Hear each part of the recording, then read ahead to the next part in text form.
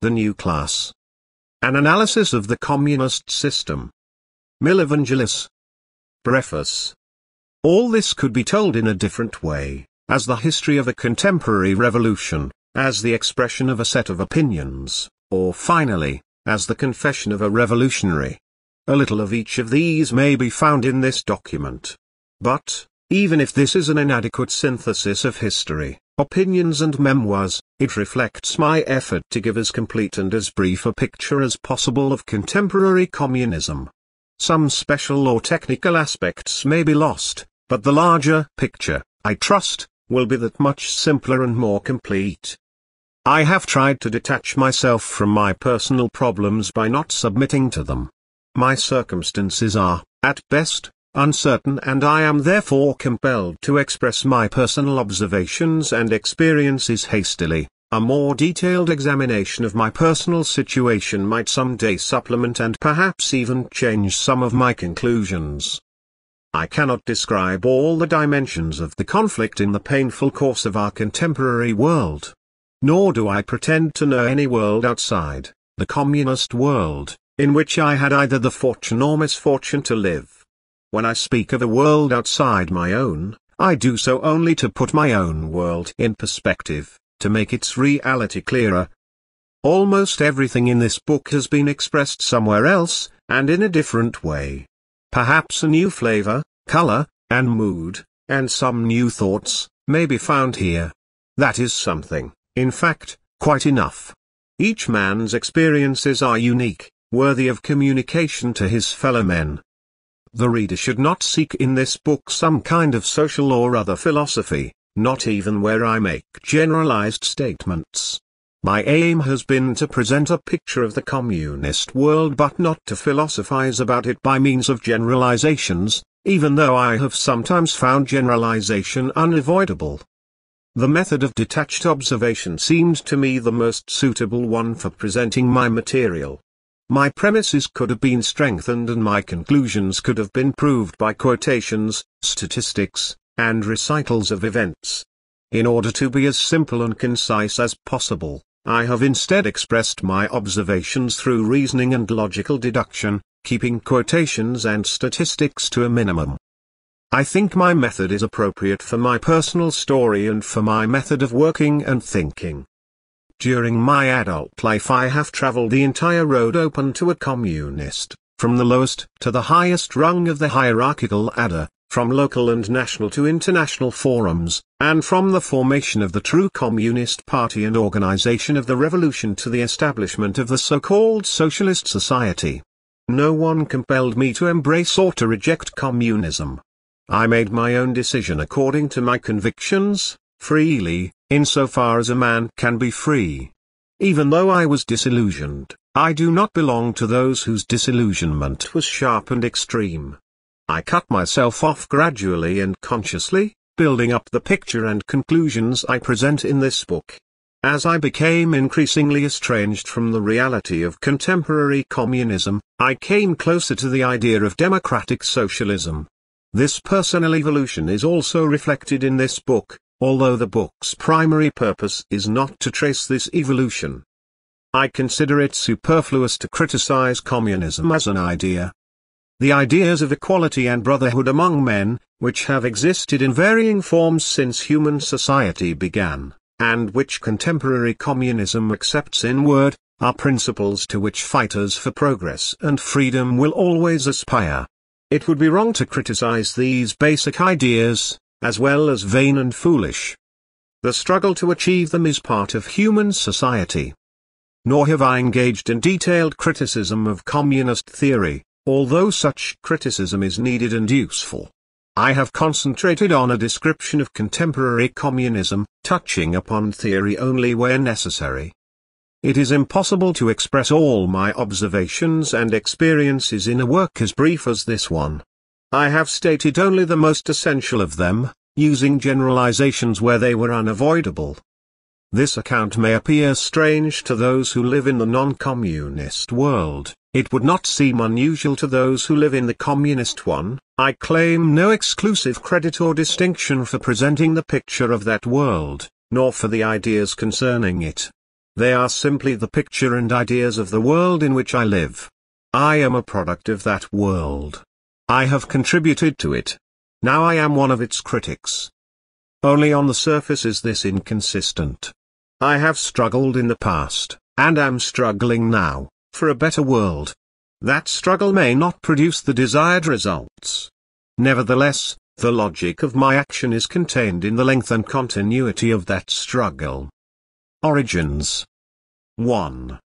The roots of modern communism reach back very far, although they were dormant before the development of modern industry in Western Europe. Communism's basic ideas are the primacy of matter and the reality of change, ideas borrowed from thinkers of the period just before the inception of communism. As communism endures and gains strength, these basic ideas play a less and less important role. This is understandable. Once in power, communism tends to remodel the rest of the world according to its own ideas and tends less and less to change itself. Dialectics and materialism, the changing of the world independently of human will, formed the basis of the old, classical, Marxist communism. These basic ideas were not originated by communist theorists, such as Marx or Engels. They borrowed them and wove them into a whole, thus forming, unintentionally, the basis for a new conception of the world. The idea of the primacy of matter was borrowed from the French materialists of the 18th century. Earlier thinkers, including Democritus in ancient Greece, had expressed it in a different way. The idea of the reality of change, caused by the struggle of opposites, called dialectics, was taken over from Hegel. The same idea had been expressed in a different way by Heraclitus in ancient Greece. Without going into the details of the differences between Marxist ideas and preceding similar theories, it is necessary to point out that Hegel, in presenting the idea of the reality of change, retained the concept of an unchanging supreme law, or the idea of the absolute, as he expressed it, in the last analysis there are unchangeable laws which, independently of human will, govern nature, society, and human beings. Although stressing the idea of the reality of change, Marx, and especially Engels, stated that the laws of the objective or material world were unchangeable and independent of human beings. Marx was certain that he would discover the basic laws governing life and society, just as Darwin had discovered the laws governing living creatures. At any rate, Marx did clarify some social laws, particularly the way in which these laws operated in the period of early industrial capitalism. This fact alone, even if accepted as accurate, cannot in itself justify the contention of modern communists that Marx discovered all the laws of society. Still less can it justify their attempt to model society after those ideas in the same way that livestock is bred on the basis of the discoveries of Lamarck and Darwin. Human society cannot be compared to species of animals or to inanimate objects, it is composed of individuals and groups which are continuously and consciously active in it, growing and changing. In the pretensions of contemporary communism of being, if not the unique and absolute, but in any case the highest science, based on dialectical materialism, are hidden the seeds of its despotism. The origin of these pretensions can be found in the ideas of Marx, though Marx himself did not anticipate them. Of course, contemporary communism does not deny the existence of an objective or unchanging body of laws. However, when in power, it acts in an entirely different manner toward human society and the individual, and uses methods to establish its power different from those its theories would suggest. Beginning with the premise that they alone know the laws which govern society, communists arrive at the oversimplified and unscientific conclusion that this alleged knowledge gives them the power and the exclusive right to change society and to control its activities. This is the major error of their system. Hegel claimed that the absolute monarchy in Prussia was the incarnation of his idea of the absolute. The communists, on the other hand, claim that they represent the incarnation of the objective aspirations of society. Here is more than just one difference between the communists and Hegel. There is also a difference between the communists and absolute monarchy.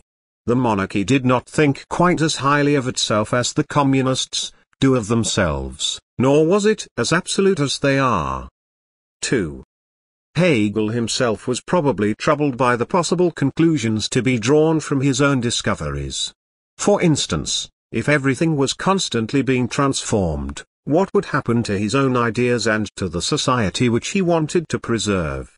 As a professor by royal appointment he could not have dared, in any case, to make public recommendations for the improvement of society on the basis of his philosophy. This was not the case with Marx. As a young man he took an active part in the 1848 revolution. He went to extremes in drawing conclusions from Hegel's ideas. Was not the bloody class struggle raging all over Europe straining toward something new and higher? It appeared not only that Hegel was right, that is, Hegel as interpreted by Marx, but also that philosophical systems no longer had meaning and justification, since science was discovering objective laws so rapidly, including those applicable to society. In science, Comte's positivism had already triumphed as a method of inquiry, the English school of political economy, Smith, Ricardo, and others, was at its height. Epochal laws were being discovered from day to day in the natural sciences. Modern industry was carving out its path on the basis of scientific technology, and the wounds of young capitalism revealed themselves in the suffering and the beginning struggle of the proletariat. Apparently this was the onset of the domination of science, even over society and the elimination of the capitalistic concept of ownership as the final obstacle to human happiness and freedom. The time was ripe for one great conclusion. Marx had both the daring and the depth to express it, but there were no social forces available on which he could rely. Marx was a scientist and an ideologist. As a scientist, he made important discoveries, particularly in sociology. As an ideologist, he furnished the ideological basis for the greatest and most important political movements of modern history, which took place first in Europe and are now taking place in Asia. But, just because he was a scientist, economist, and sociologist, Marx never thought of constructing an all-inclusive philosophical or ideological system. He once said, one thing is certain, I am not a Marxist. His great scientific talent gave him the greatest advantage over all his socialist predecessors, such as Owen and Fourier. The fact that he did not insist on ideological all-inclusiveness or his own philosophical system gave him an even greater advantage over his disciples. Most of the latter were ideologists and only to a very limited degree, as the examples of Plekhanov, Labriola, Lenin, Kautsky, and Stalin will show scientists. Their main desire was to construct a system out of Marx's ideas. This was especially true of those who knew little philosophy and had even less talent for it.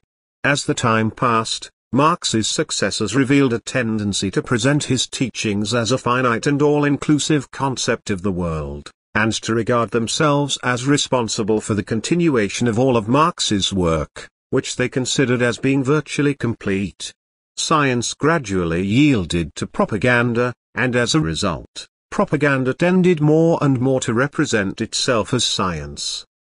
Being a product of his time, Marx denied the need for any kind of philosophy. His closest friend, Engels, declared that philosophy had died with the development of science. Marx's thesis was not at all original.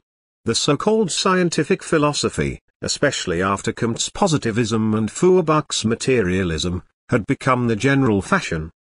It is easy to understand why Marx denied both the need for and the possibility of establishing any kind of philosophy. It is harder to understand why his successors tried to arrange his ideas into an all-inclusive system, into a new, exclusive philosophy. Even though they denied the need for any kind of philosophy, in practice they created a dogma of their own which they considered to be the most scientific or the only scientific system. In a period of general scientific enthusiasm and of great changes brought about in everyday life and industry by science, they could not help but be materialists and to consider themselves the only representatives of the only scientific view and method, particularly since they represented a social stratum which was in conflict with all the accepted ideas of the time. Marx's ideas were influenced by the scientific atmosphere of his time, by his own leanings toward science, and by his revolutionary aspiration to give to the working class movement a more or less scientific basis. His disciples were influenced by a different environment and by different motives when they converted his views into dogma. If the political needs of the working class movement in Europe had not demanded a new ideology complete in itself, the philosophy that calls itself Marxist, the dialectical materialism, would have been forgotten, dismissed as something not particularly profound or even original, though Marx's economic and social studies are of the highest scientific and literary rank. The strength of Marxist philosophy did not lie in its scientific elements, but in its connection with the mass movement, and most of all in its emphasis on the objective of changing society. It stated again and again that the existing world would change simply because it had to change, that it bore the seeds of its own opposition and destruction, that the working class wanted this change and would be able to effect it. Inevitably, the influence of this philosophy increased and created in the European working class movement the illusion that it was omnipotent, at least as a method. In countries where similar conditions did not exist, such as Great Britain and the United States, the influence and importance of this philosophy was insignificant, despite the strength of the working class and the working class movement. As a science, Marxist philosophy was not important, since it was based mainly on Hegelian and materialistic ideas. As the ideology of the new, oppressed classes and especially of political movements, it marked an epoch, first in Europe, and later in Russia and Asia, providing the basis for a new political movement and a new social system. 3. Marx thought that the replacement of capitalist society would be brought about by a revolutionary struggle between its two basic classes, the bourgeoisie and the proletariat. The clash seemed all the more likely to him because in the capitalistic system of that time both poverty and wealth kept increasing unchecked, on the opposite poles of a society that was shaken by periodic economic crises. In the last analysis, Marx's teaching was the product of the Industrial Revolution or of the struggle of the industrial proletariat for a better life. It was no accident that the frightful poverty and brutalization of the masses which accompanied industrial change had a powerful influence on Marx. His most important work, Das Kapital, contains a number of important and stirring pages on this topic. The recurring crises, which were characteristic of the capitalism of the 19th century, together with the poverty and the rapid increase of the population, logically led Marx to the belief that revolution was the only solution. Marx did not consider revolution to be inevitable in all countries, particularly not in those where democratic institutions were already a tradition of social life. He cited as examples of such countries, in one of his talks, the Netherlands, Great Britain and the United States. However, one can conclude from his ideas, taken as a whole, that the inevitability of revolution was one of his basic beliefs. He believed in revolution and preached it, he was a revolutionary. Marx's revolutionary ideas, which were conditional and not universally applicable, were changed by Lenin into absolute and universal principles. In the infantile disorder of left-wing communism, Perhaps his most dogmatic work, Lenin developed these principles still more, differing with Marx's position that revolution was avoidable in certain countries. He said that Great Britain could no longer be regarded as a country in which revolution was avoidable, because during the First World War she had become a militaristic power, and therefore the British working class had no other choice but revolution. Lenin erred, not only in his failure to understand that British militarism was only a temporary, wartime phase of development, but because he failed to foresee the further development of democracy and economic progress in Great Britain or other Western countries. He also did not understand the nature of the English trade union movement. He placed too much emphasis on his own, or Marxian, deterministic, scientific ideas and paid too little attention to the objective social role and potentialities of the working class in more highly developed countries. Although he disclaimed it, he did in fact proclaim his theories and the Russian revolutionary experience to be universally applicable. According to Marx's hypothesis and his conclusions on the subject, the revolution would occur first of all in the highly developed capitalist countries. Marx believed that the results of the revolution, that is, the new socialist society, would lead to a new and higher level of freedom than that prevalent in the existing society, in so-called liberal capitalism. This is understandable. In the very act of rejecting various types of capitalism, Marx was at the same time a product of his epoch, the liberal capitalist epoch. In developing the Marxist stand that capitalism must be replaced not only by a higher economic and social form, that is, socialism, but by a higher form of human freedom, the Social Democrats justifiably considered themselves to be Marx's successors. They had no less right to this claim than the Communists, who cited Marx as the source of their idea that the replacement of capitalism can take place only by revolutionary means. However, both groups of Marx's followers, the Social Democrats and the Communists, were only partly right in citing him as the basis for their ideas. In citing Marx's ideas they were defending their own practices, which had originated in a different, and already changed society. And, although both cited and depended on Marxist ideas, the social democratic and communist movements developed in different directions. In countries where political and economic progress was difficult, and where the working class played a weak role in society, the need arose slowly to make a system and a dogma out of Marxist teaching. Moreover, in countries where economic forces and social relations were not yet ripe for industrial change, as in Russia and later in China, the adoption and dogmatization of the revolutionary aspects of Marxist teachings was more rapid and complete.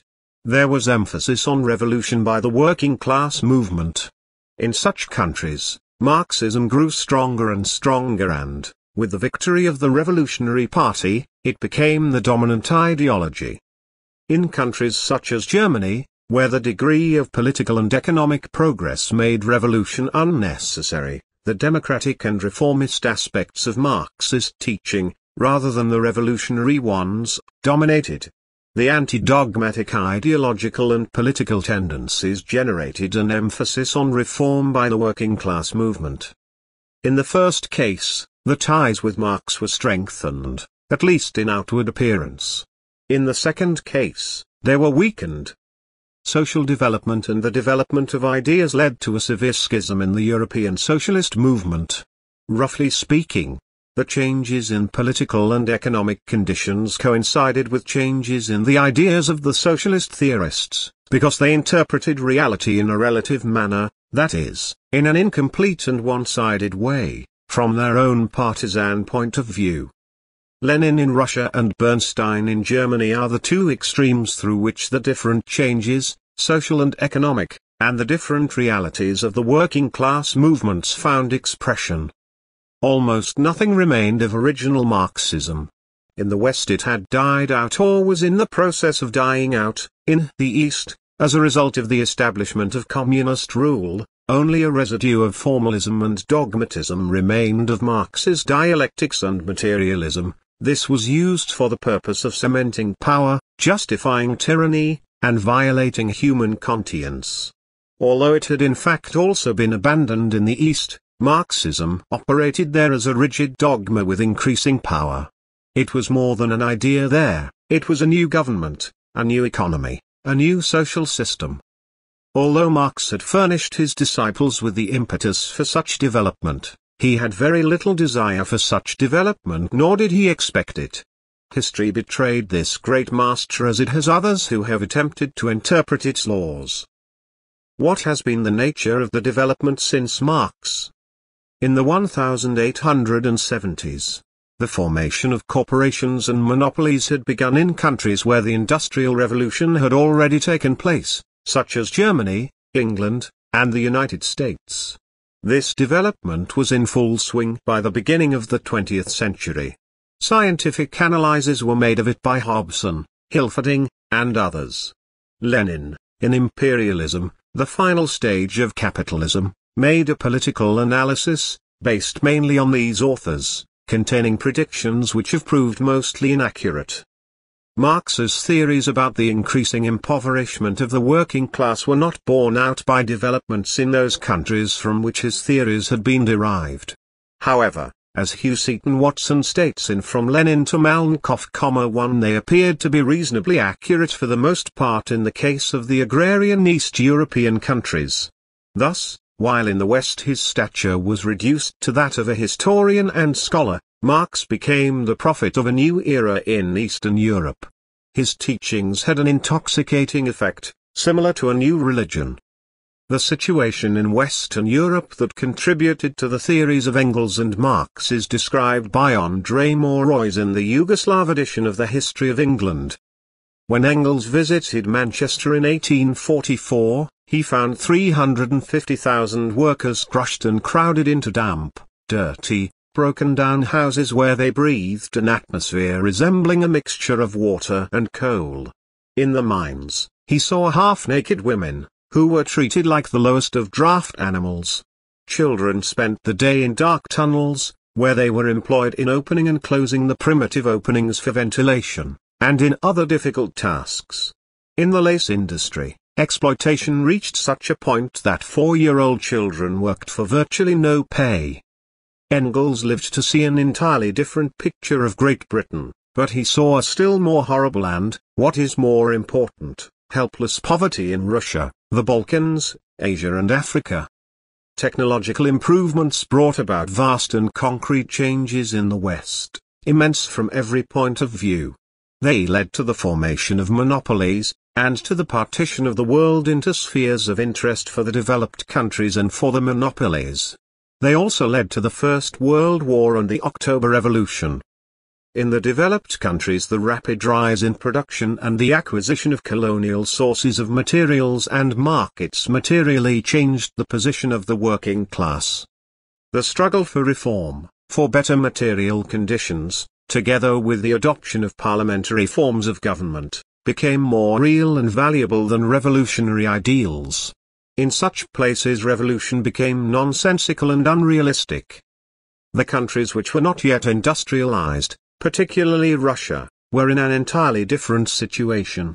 They found themselves in a dilemma, they had either to become industrialized, or to discontinue active participation on the stage of history, turning into captives of the developed countries and their monopolies, thus doomed to degeneracy. Local capital and the class and parties representing it were too weak to solve the problems of rapid industrialization.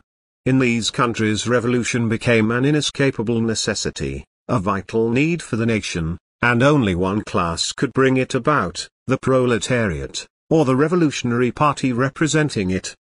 The reason for this is that there is an immutable law, that each human society and all individuals participating in it strive to increase and perfect production.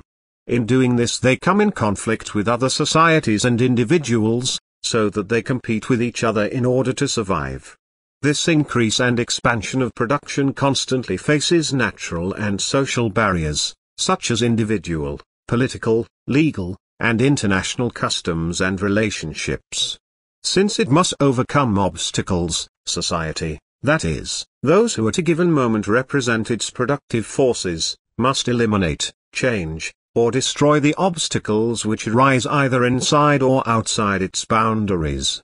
Classes, parties, political systems, political ideas, are an expression of this ceaseless pattern of movement and stagnation. No society or nation allows production to lag to such an extent that its existence is threatened. To lag means to die. People never die willingly, they are ready to undergo any sacrifice to overcome the difficulties which stand in the way of their economic production and their existence. The environment and the material and intellectual level determine the method, forces, and means that will be used to bring about the development and expansion of production, and the social results which follow. However, the necessity for the development and expansion of production, under any ideological banner or social force, does not depend on individuals, because they wish to survive, societies and nations find the leaders and ideas which, at a given moment, are best suited to that which they must and wish to attain. Revolutionary Marxism was transplanted during the period of monopolistic capitalism from the industrially developed West to countries of the industrially undeveloped East, such as Russia and China. This is about the time when socialist movements were developing in the East and West.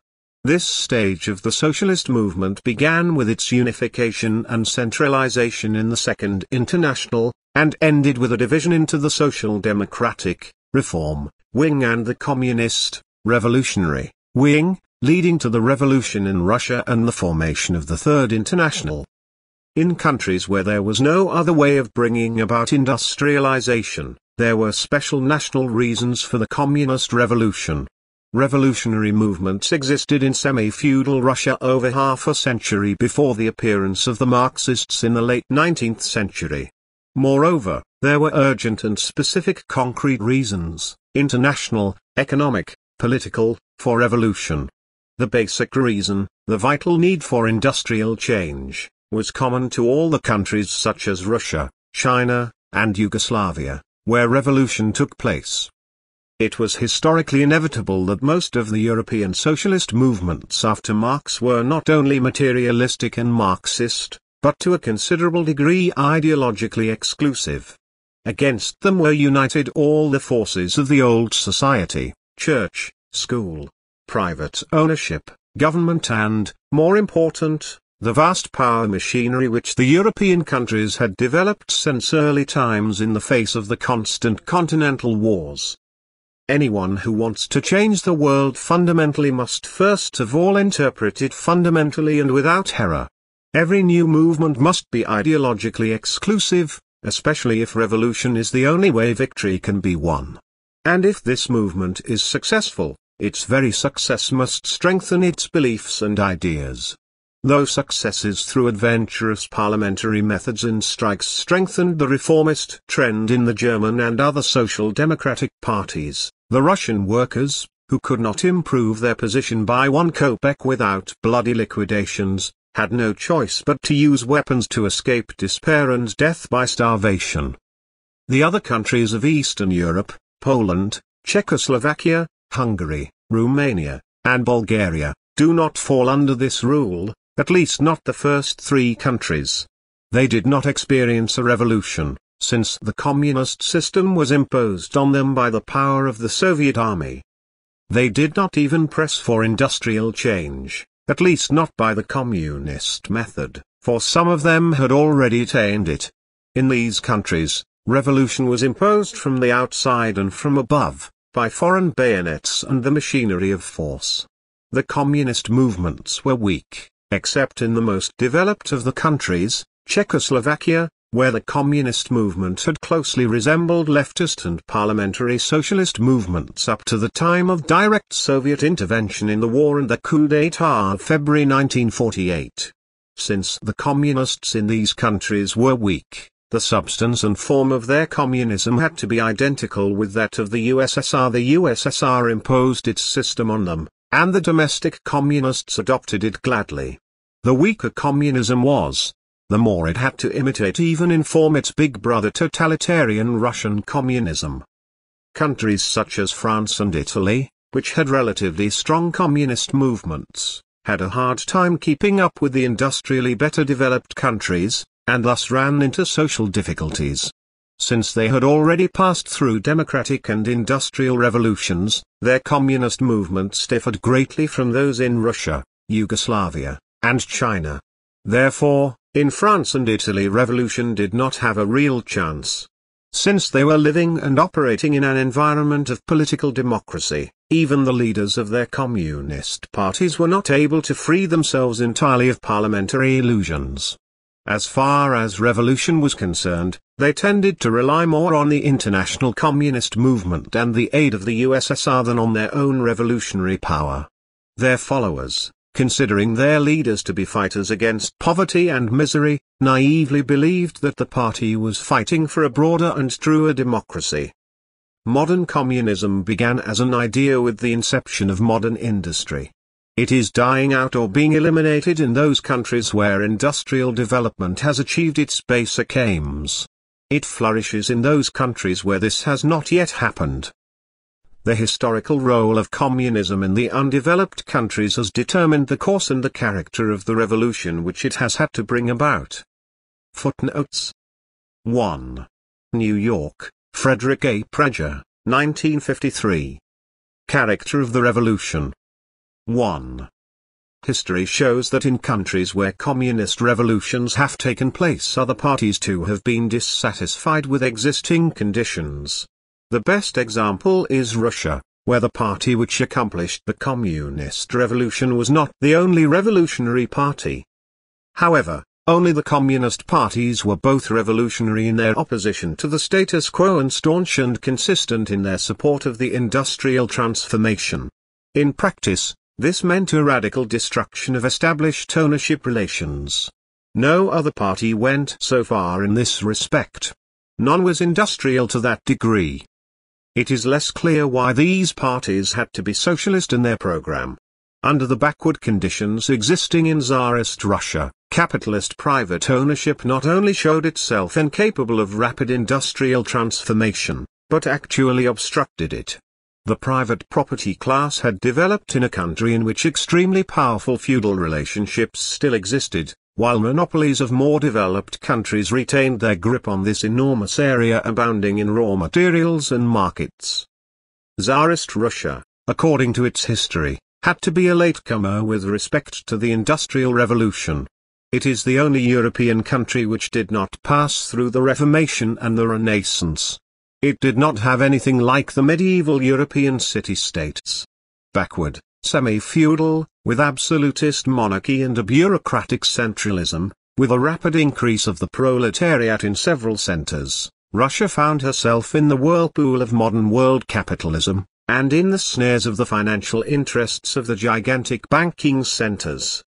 Lenin states in his work Imperialism, the final stage of capitalism at three-fourths of the capital of the large banks in Russia was in the hands of foreign capitalists. Trotsky in his History of the Russian Revolution emphasizes that foreigners controlled 40% of the shares of industrial capital in Russia, and that this percentage was even greater in some leading industries. As for Yugoslavia, foreigners had a decisive influence in the most important branches of Yugoslav economy. These facts alone do not prove anything. But they show that foreign capitalists used their power to check progress in these countries, to develop them exclusively as their own sources of raw materials and cheap labor, with the result that these nations became unprogressive and even began to decline. The party which had the historic task of carrying out the revolution in these countries had to be anti-capitalistic in its internal policy and anti-imperialistic in its foreign policy. Internally, domestic capital was weak, and was largely an instrument or affiliate of foreign capital. It was not the capitalist class but another class, the proletariat which was arising from the increasing poverty of the peasantry, that was vitally interested in the Industrial Revolution. Just as the elimination of outrageous exploitation was a matter of life and death for those who already were proletarians, so was industrialization a matter of survival for those who in their turn were about to become proletarians. The movement which represented both of these had to be anti-capitalistic, that is, socialistic in its ideas, slogans and pledges. The Revolutionary Party could not seriously contemplate execution of an industrial revolution unless it concentrated all domestic resources in its own hands, particularly those of native capitalists against whom the masses were also embittered because of severe exploitation and the use of inhumane methods. The Revolutionary Party had to take a similar stand against foreign capital. Other parties were unable to follow a similar program. All of them either aspired to a return to the old system, to preservation of vested, static relationships, or at best, to gradual and peaceful development. Even the parties which were anti-capitalistic, as for example the SRs, Socialist Revolutionary Party, in Russia, aspired toward returning society to idyllic primitive peasant life. Even the socialist parties such as the Mensheviks in Russia did not go farther than to push for the violent overthrow of the barriers to free capitalist development. They took the point of view that it was necessary to have fully developed capitalism in order to arrive at socialism later. However, the problem here was different. Both a return to the old system and unhampered development of capitalism were impossible for these countries. Neither solution was capable, under the given international and internal conditions, of resolving the urgent problem of further development of these countries, that is, their industrial revolutions. Only the party which was in favor of the anti-capitalist revolution and rapid industrialization had prospects for success. Obviously that party had to be, in addition, socialist in its convictions. But since it was obliged to operate under prevailing conditions in general, and in the labor or socialist movements, such a party had to depend ideologically on the concept of the inevitability and usefulness of modern industry as well as on the tenet that revolution was unavoidable. This concept already existed, it was necessary only to modify it. The concept was Marxism, its revolutionary aspect. Association with revolutionary Marxism, on with the European socialist movement, was natural for the party then. Later, with the development of the revolution and with the organizational changes in the developed countries, it became just as essential for it to separate itself from the reformism of European socialism. The inevitability of revolution and of rapid industrialization, which exacted enormous sacrifices and involved ruthless violence, required not only promises but faith in the possibility of the kingdom of heaven on earth. Advancing, as others also do, along the line of least resistance, the supporters of revolution and industrialization often departed from established Marxist and socialist doctrine.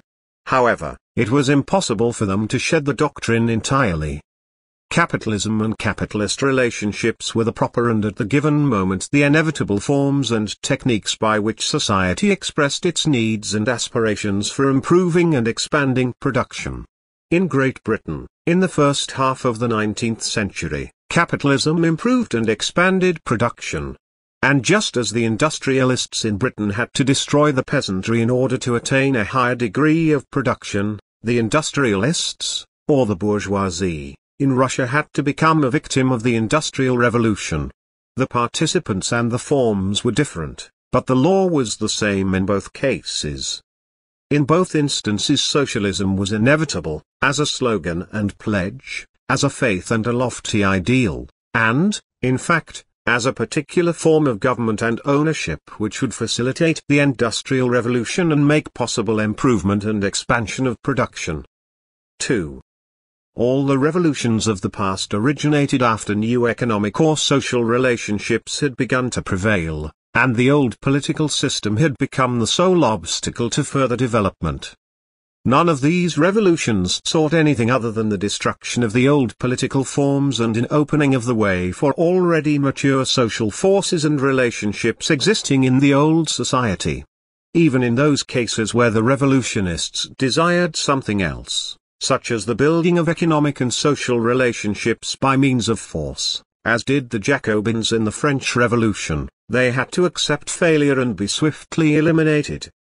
In all previous revolutions, force and violence appeared predominantly as a consequence, as an instrument of new but already prevailing economic and social forces and relationships. Even when force and violence surpassed proper limits during the course of a revolution, in the final analysis the revolutionary forces had to be directed toward a positive and attainable goal. In these cases terror and despotism might have been inevitable but solely temporary manifestations. All so-called bourgeois revolutions, whether achieved from below, that is, with participation of the masses as in France, or from above, that is, by coup d'état as in Germany under Bismarck, had to end up in political democracy. That is understandable. Their task was chiefly to destroy the old despotic political system, and to permit the establishment of political relationships which would be adequate for already existing economic and other needs, particularly those concerning the free production of goods. The case is entirely different with contemporary communist revolutions. These revolutions did not occur because new, let us say socialist, relationships were already existing in the economy, or because capitalism was overdeveloped. On the contrary, They did occur because capitalism was not fully developed and because it was not able to carry out the industrial transformation of the country.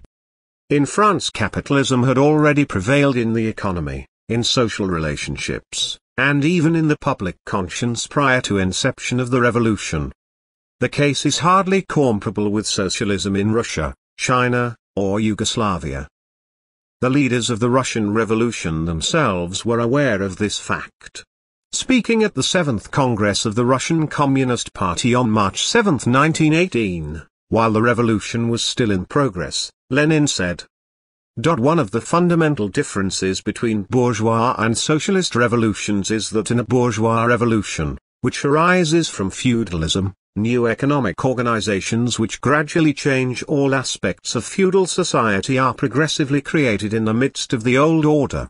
In accomplishing this task, Every bourgeois revolution accomplishes all that is required of it, it hastens the growth of capitalism. A socialist revolution is in an entirely different situation. To the extent that a country which had to begin a socialist revolution, because of the vagaries of history, is backward, the transition from old capitalist relations to socialist relations is increasingly difficult. The difference between socialist revolutions and bourgeois revolutions lies specifically in the fact that, in the latter case, established forms of capitalist relations exist, while the Soviet power, the proletariat, does not attain such relations, if we exclude the most developed forms of capitalism, which actually encompassed a small number of top industries and only very scantily touched agriculture. I quote Lenin, but I could quote any leader of the Communist Revolution and numerous other authors, as confirmation of the fact that settled relationships did not exist for the new society, but that someone, in this case the Soviet power, must therefore build them. If the new socialist relationships had been developed to the fullest in the country in which communist revolution was able to emerge victorious, there would have been no need for so many assurances, dissertations, and efforts embracing the building of socialism. This leads to an apparent contradiction. If the conditions for a new society were not sufficiently prevalent, then who needed the revolution? Moreover, how was the revolution possible? How could it survive in view of the fact that the new social relationships were not yet in the formative process in the old society? No revolution or party had ever before set itself to the task of building social relationships or a new society. But this was the primary objective of the communist revolution. Communist leaders, though no better acquainted than others with the laws which govern society, discovered that in the country in which their revolution was possible, industrialization was also possible, particularly when it involved a transformation of society in keeping with their ideological hypothesis. Experience, the success of revolution under unfavorable conditions, confirmed this for them. The building of socialism did likewise. This strengthened their illusion that they knew the laws of social development. In fact, they were in the position of making a blueprint for a new society, and then of starting to build it, making corrections here and leaving out something there, all the while adhering closely to their plans. Industrialization, as an inevitable, legitimate necessity of society, and the communist way of accomplishing it, joined forces in the countries of communist revolutions. However, neither of these, though they progressed together and on parallel tracks, could achieve success overnight. After the completion of the revolution, someone had to shoulder the responsibility for industrialization. In the West, this role was taken over by the economic forces of capitalism liberated from the despotic political chains, while in the countries of communist revolutions no similar forces existed and, thus, their function had to be taken over by the revolutionary organs themselves, the new authority, that is, the Revolutionary Party. In earlier revolutions, revolutionary force and violence became a hindrance to the economy as soon as the old order was overthrown. In communist revolutions, force and violence are a condition for further development and even progress. In the words of earlier revolutionaries, force and violence were only a necessary evil and a means to an end. In the words of communists, force and violence are elevated to the lofty position of a cult and an ultimate goal. In the past, the classes and forces which made up a new society already existed before the revolution erupted. The communist revolutions are the first which have had to create a new society and new social forces. Even as the revolutions in the West had inevitably to end in democracy after all the aberrations and withdrawals, in the East, the revolutions had to end in despotism. The methods of terror and violence in the West became needless and ridiculous, and even a hindrance in accomplishing the revolution for the revolutionaries and revolutionary parties. In the East, the case was the opposite. Not only did despotism continue in the East because the transformation of industry required so much time, but, as we shall see later, it lasted long after industrialization had taken place. 3. There are other basic differences between communist revolutions and earlier ones. Earlier revolutions, though they had reached the point of readiness in an economy and a society, were unable to break out without advantageous condition. We now know the general conditions necessary for the eruption and success of revolution. However, every revolution has, in addition to these general conditions, its peculiarities which make its planning and execution possible. War, or more precisely, national collapse of the state organization, was unnecessary for past revolutions, at least for the larger ones. Until now, however, this has been a basic condition for the victory of communist revolutions. This is even valid for China, true, there the revolution began prior to the Japanese invasion, but it continued for an entire decade to spread and finally to emerge victorious with the end of the war. The Spanish Revolution of 1936, which could have been an exception, did not have time to transform itself into a purely communist revolution, and, therefore, never emerged victorious. The reason war was necessary for the communist revolution, or the downfall of the state machinery, must be sought in the immaturity of the economy and society. In a serious collapse of a system, and particularly in a war which has been unsuccessful for the existing ruling circles and state system, a small but well-organized and disciplined group is inevitably able to take authority in its hands. Thus at the time of the October Revolution the Communist Party had about 80,000 members. The Yugoslav Communist Party began the 1941 revolution with about 10,000 members. To grasp power, the support and active participation of at least a part of the people is necessary, but in every case the party which leads the revolution and assumes power is a minority group relying exclusively on exceptionally favorable conditions. Furthermore, such a party cannot be a majority group until it becomes the permanently established authority. The accomplishment of such a grandiose task, the destruction of a social order and the building of a new society when conditions for such an undertaking are not propitious in the economy or society, is a task able to attract only a minority, and at that, only those who believe fanatically in its possibilities. Special conditions and a particular party are basic characteristics of communist revolutions. The achievement of every revolution, as well as of every victory in war, demands centralization of all forces. According to the Malthusian theory, the French Revolution was the first in which all the resources of a people at war were placed in the hands of the authorities, people, food, clothing. This must be the case to an even greater degree in a communist immature revolution. Not only all material means but all intellectual means must fall into the hands of the party, and the party itself must become politically, and as an organization, centralized to the fullest extent.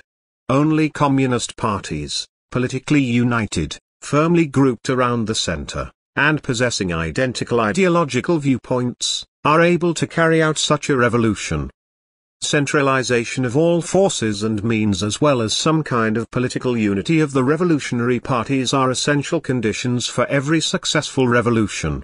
For the communist revolution these conditions are even more important, since from the very beginning the communists exclude every other independent political group or party from being an ally of their party.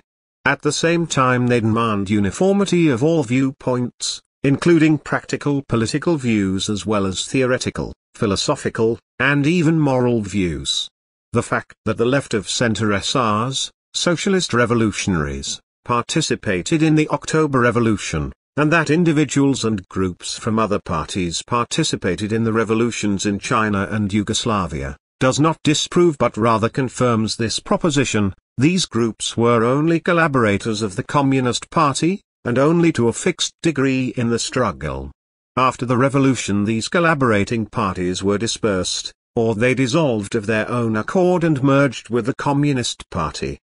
The Bolsheviks routed the left of center SRs as soon as the latter wished to become independent, while the non-communist groups in Yugoslavia and China that had supported the revolution had, in the meantime, renounced every one of their political activities. The earlier revolutions were not carried out by a single political group. To be sure, in the course of a revolution individual groups pressured and destroyed one another, but, taken as a whole, the revolution was not the work of only one group.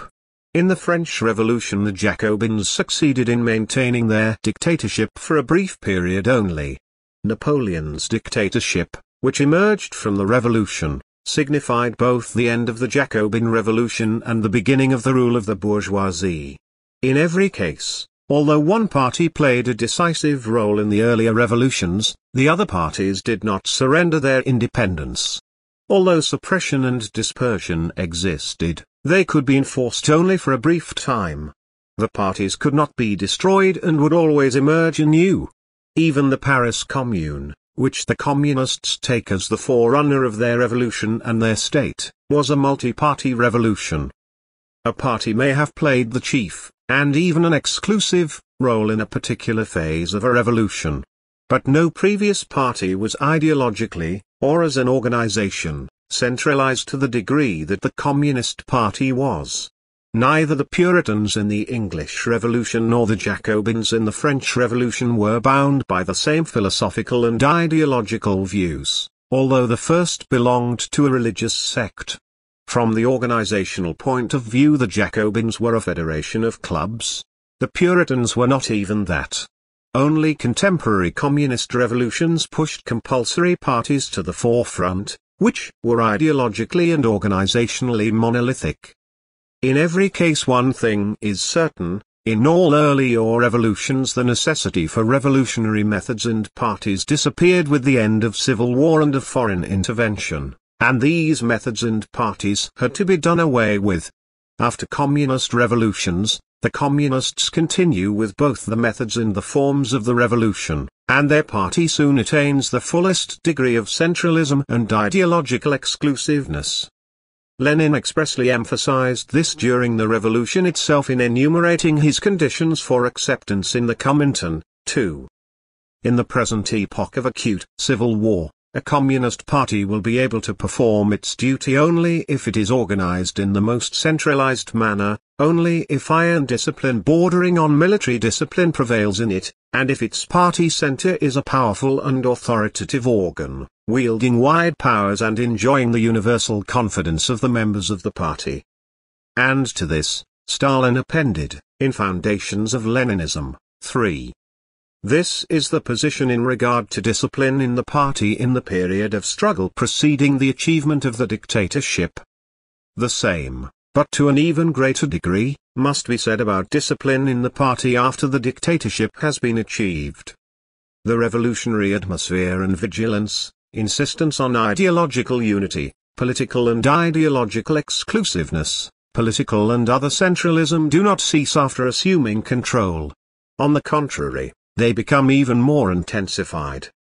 Ruthlessness in methods, exclusiveness in ideas, and monopoly in authority in the earlier revolutions lasted more or less as long as the revolutions themselves.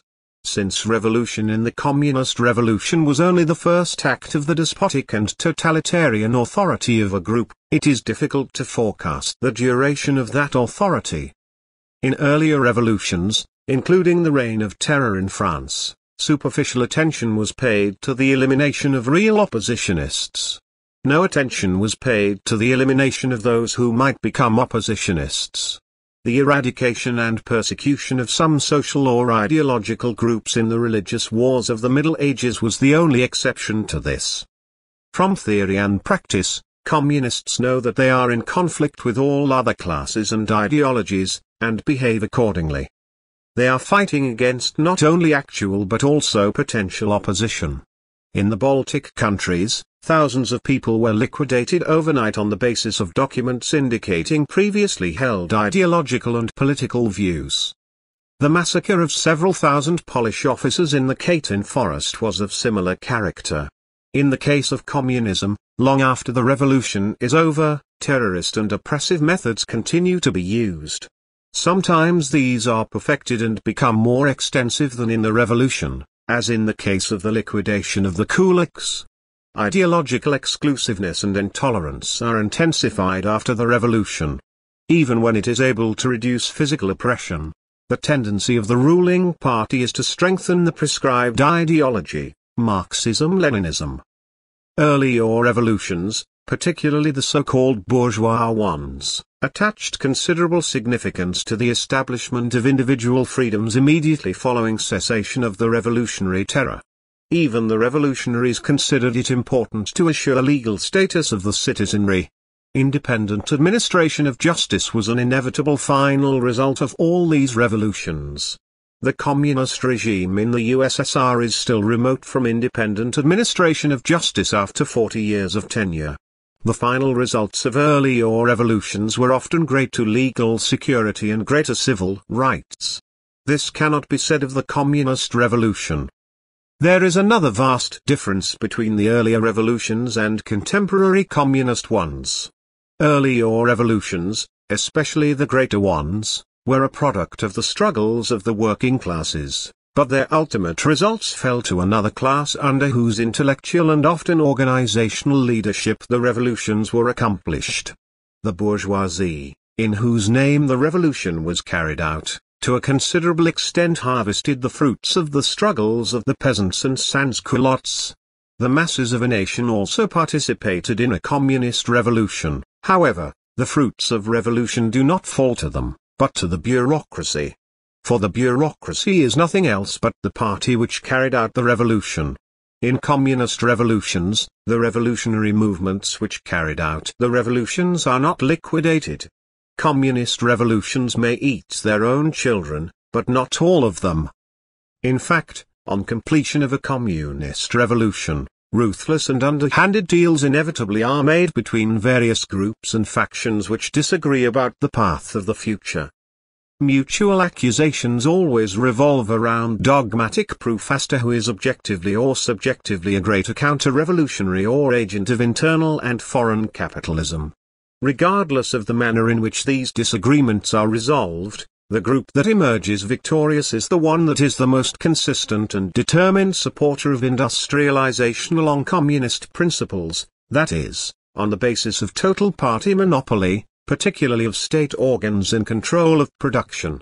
The communist revolution does not devour those of its children who are needed for its future course, for industrialization. Revolutionaries who accepted the ideas and slogans of the revolution literally, naively believing in their materialization, are usually liquidated.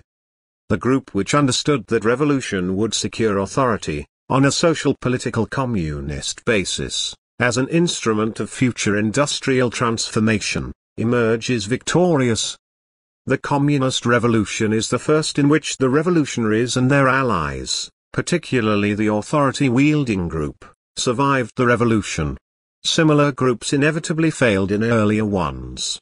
The communist revolution is the first to be carried out to the advantage of the revolutionaries.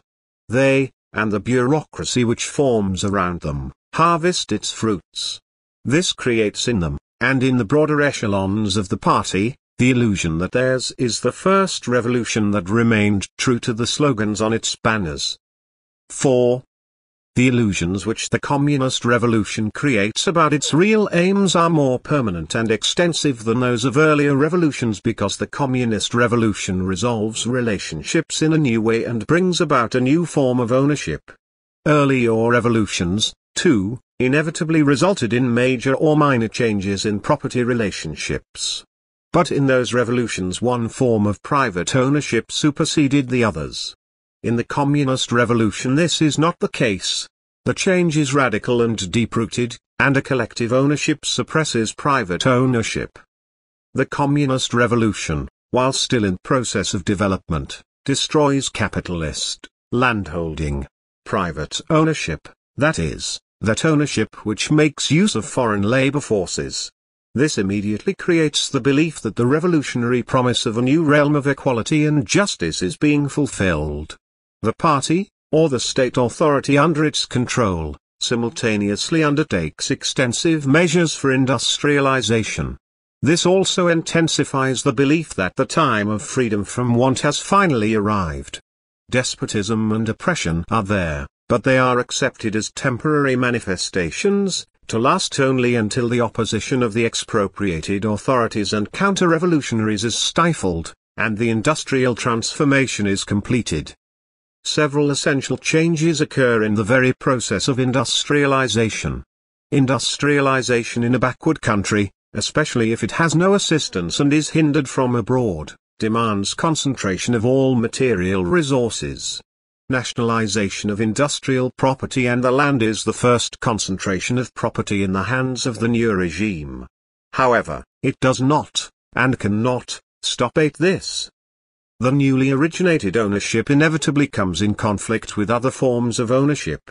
The new ownership imposes itself by force on smaller owners who do not employ someone else's manpower, or to whom such manpower is unessential, that is, on craftsmen, workers, small commercial merchants, and peasants. This expropriation of small property owners is effected even when it is not done for economic motives, that is, in order to attain a higher degree of productivity. In the course of industrialization, the property of those elements who were not opposed to, or even assisted, the revolution is taken over. As a matter of form, the state also becomes the owner of this property. The state administers and manages the property. Private ownership ceases, or decreases to a role of secondary importance, but its complete disappearance is subject to the whim of the new men in authority. This is experienced by the communists and by some members of the masses as a complete liquidation of classes and the realization of a classless society. In fact, the old pre-revolutionary classes do disappear with the completion of industrialization and collectivization. There remains the spontaneous and unorganized displeasure of the mass of the people a displeasure which neither ceases nor abates. Communist delusions and self-deceit about the remnants and influence of the class enemy still persist. But the illusion that the long-dreamed classless society arises by these means is complete, at least for the communists themselves. Every revolution, and even every war, creates illusions and is conducted in the name of unrealizable ideals. During the struggle the ideals seem real enough for the combatants, by the end they often cease to exist. Not so in the case of a communist revolution. Those who carry out the communist revolution as well as those among the lower echelons persist in their illusions long after the armed struggle. Despite oppression, despotism, unconcealed confiscations, and privileges of the ruling echelons, some of the people, and especially the communists, retain the illusions contained in their slogans. Although the communist revolution may start with the most idealistic concepts, calling for wonderful heroism and gigantic effort, it sows the greatest and the most permanent illusions.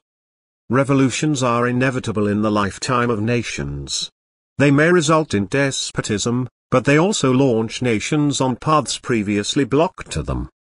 The communist revolution cannot attain a single one of the ideals named as its motivating force. However, communist revolution has brought about a measure of industrial civilization to vast areas of Europe and Asia. In this way, material bases have actually been created for a future freer society. Thus while bringing about the most complete despotism, the communist revolution has also created the basis for the abolition of despotism. As the 19th century introduced modern industry to the West, the 20th century will introduce modern industry to the East.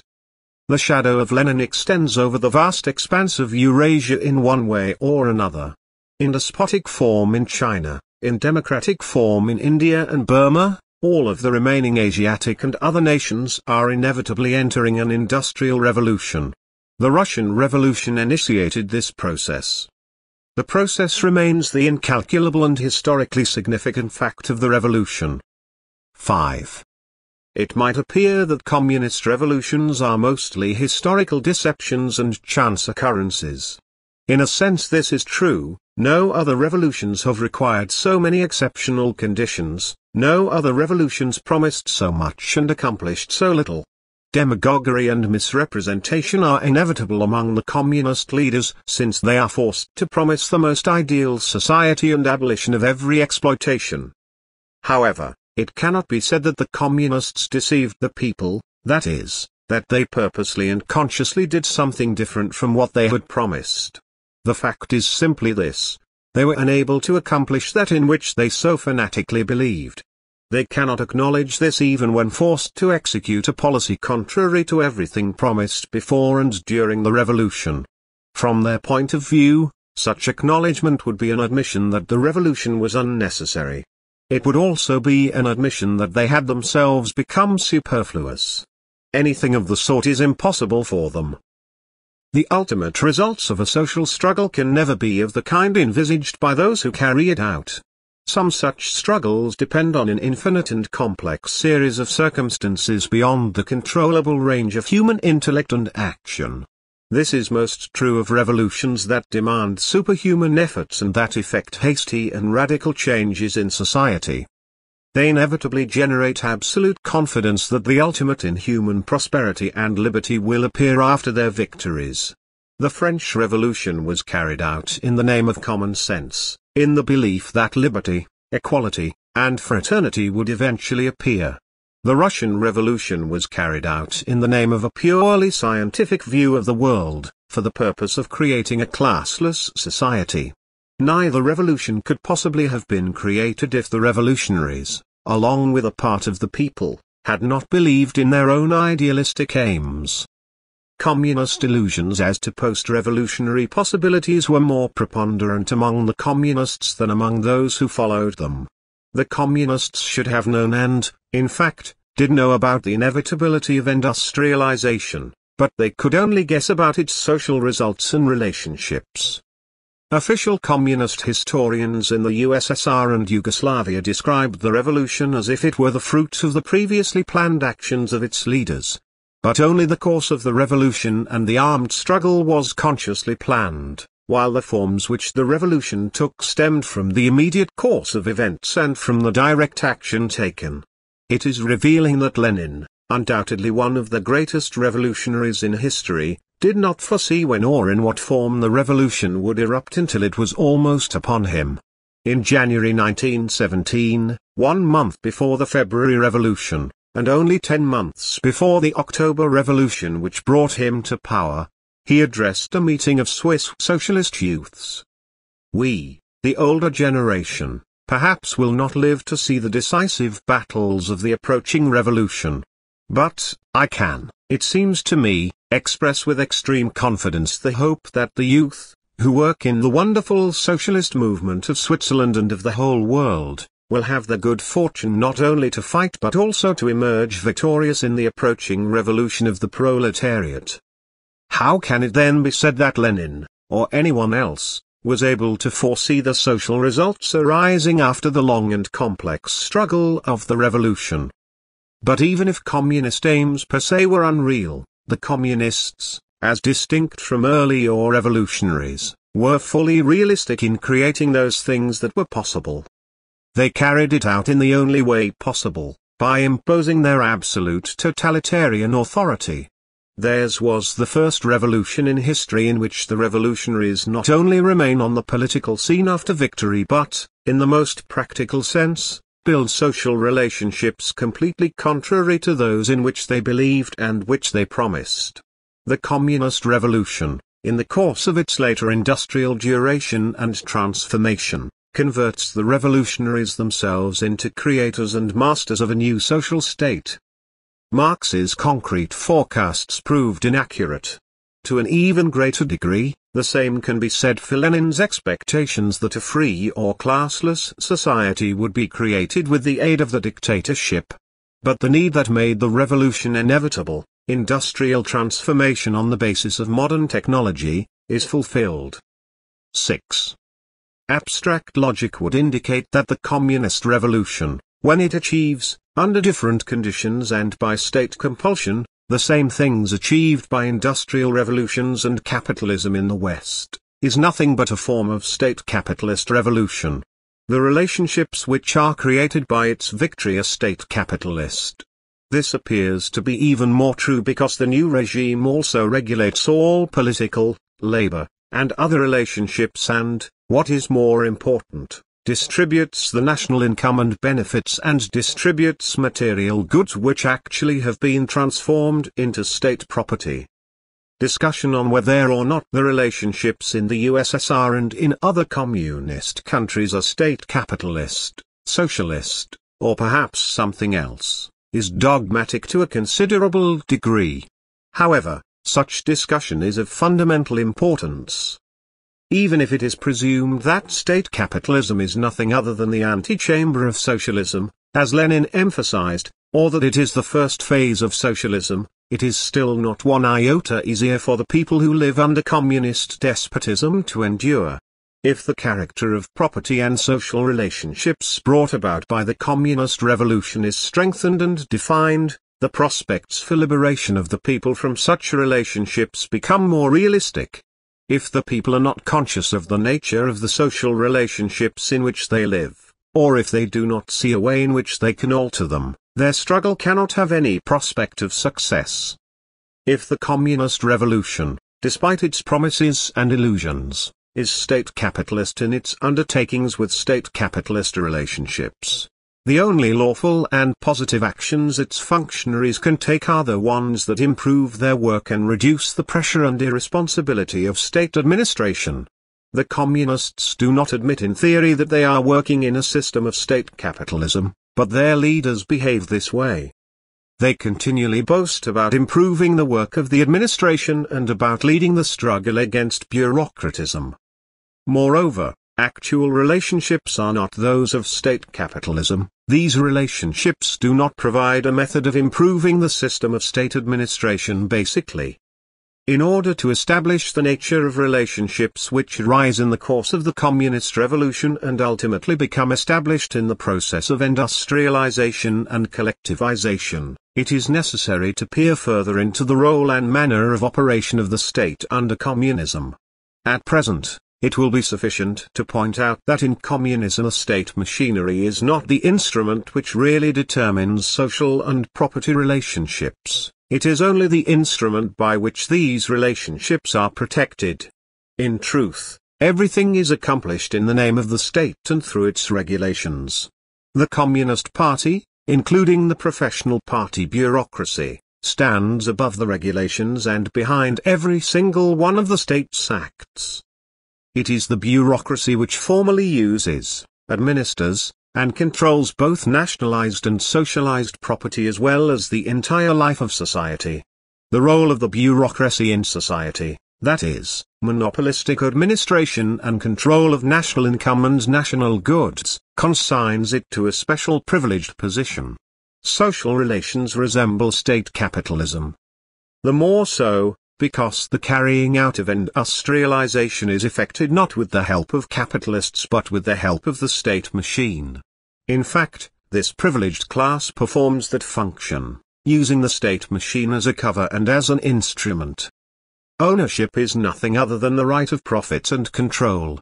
If one defines class benefits by this right, the communist states have seen, in the final analysis, the origin of a new form of ownership or of a new ruling and exploiting class.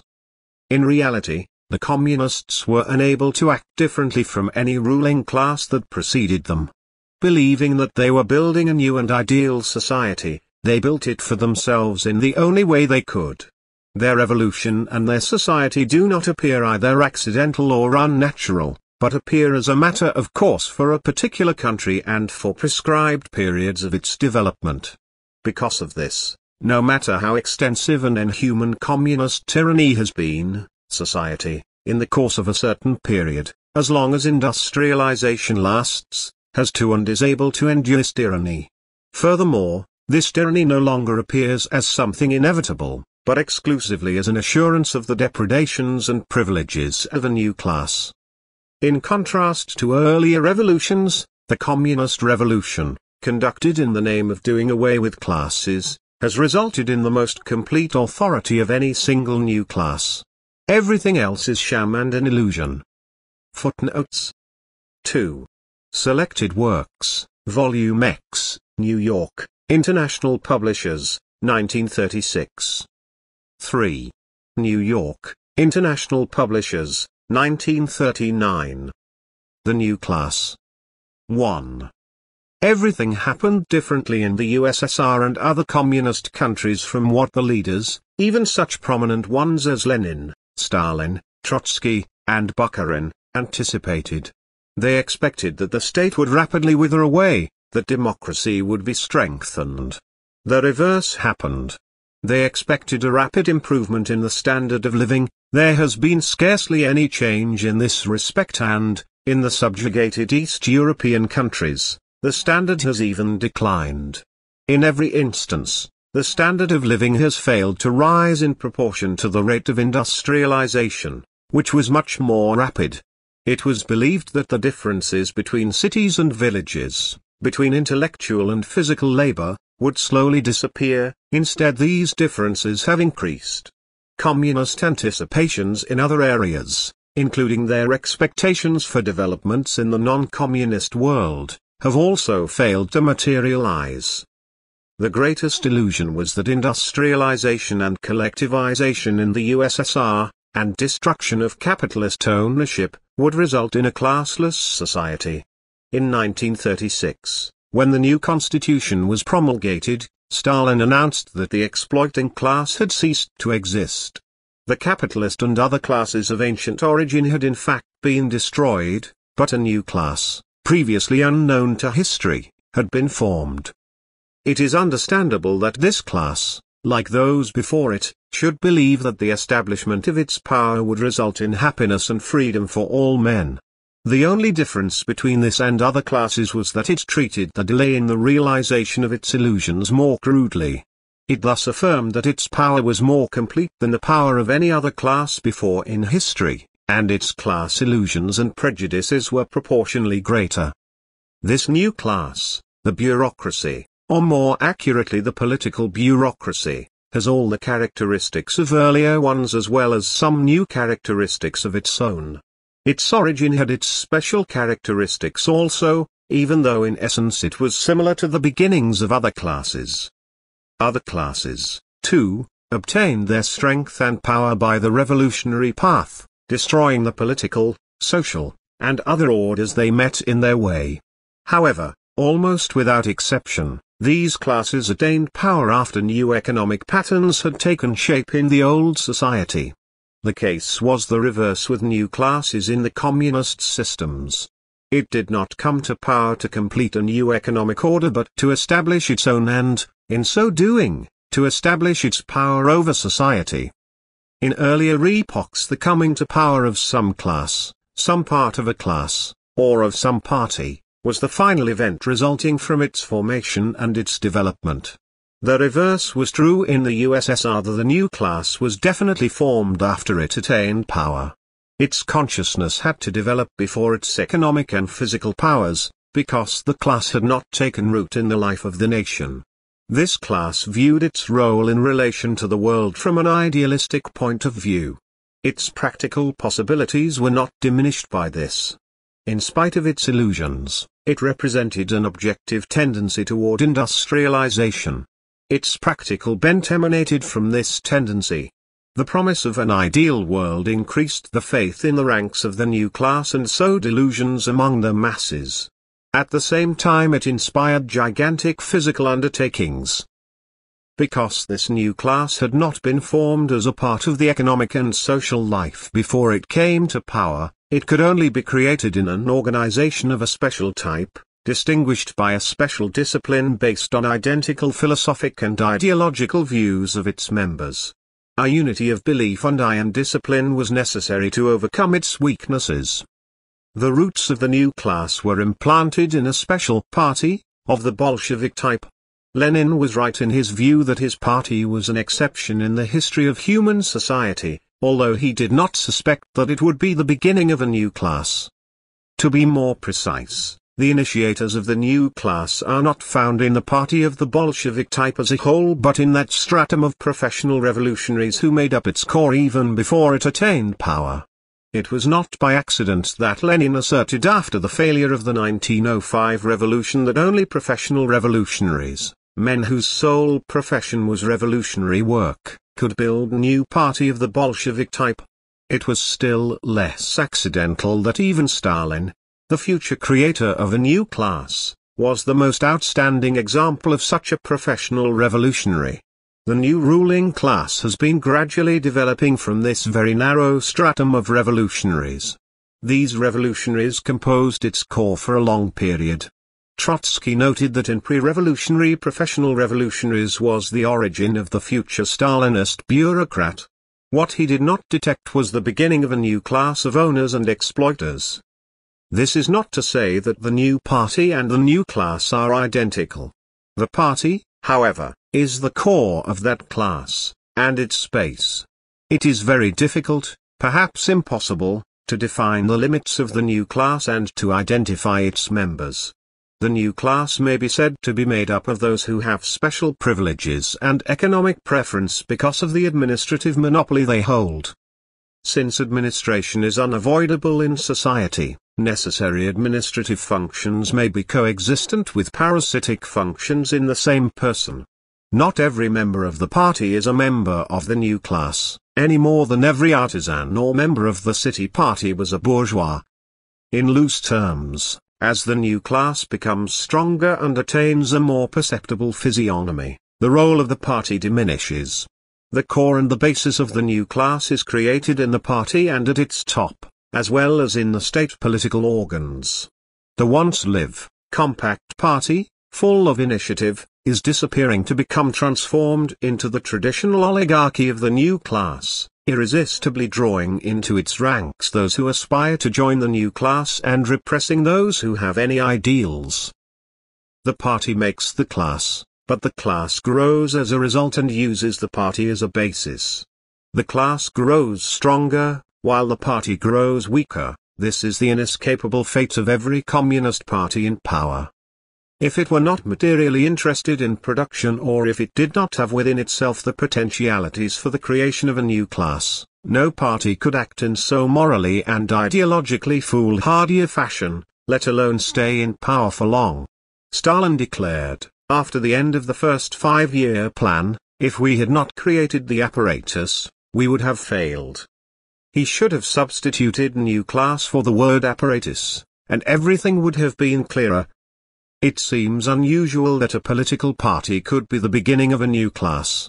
Parties are generally the product of classes and strata which have become intellectually and economically strong.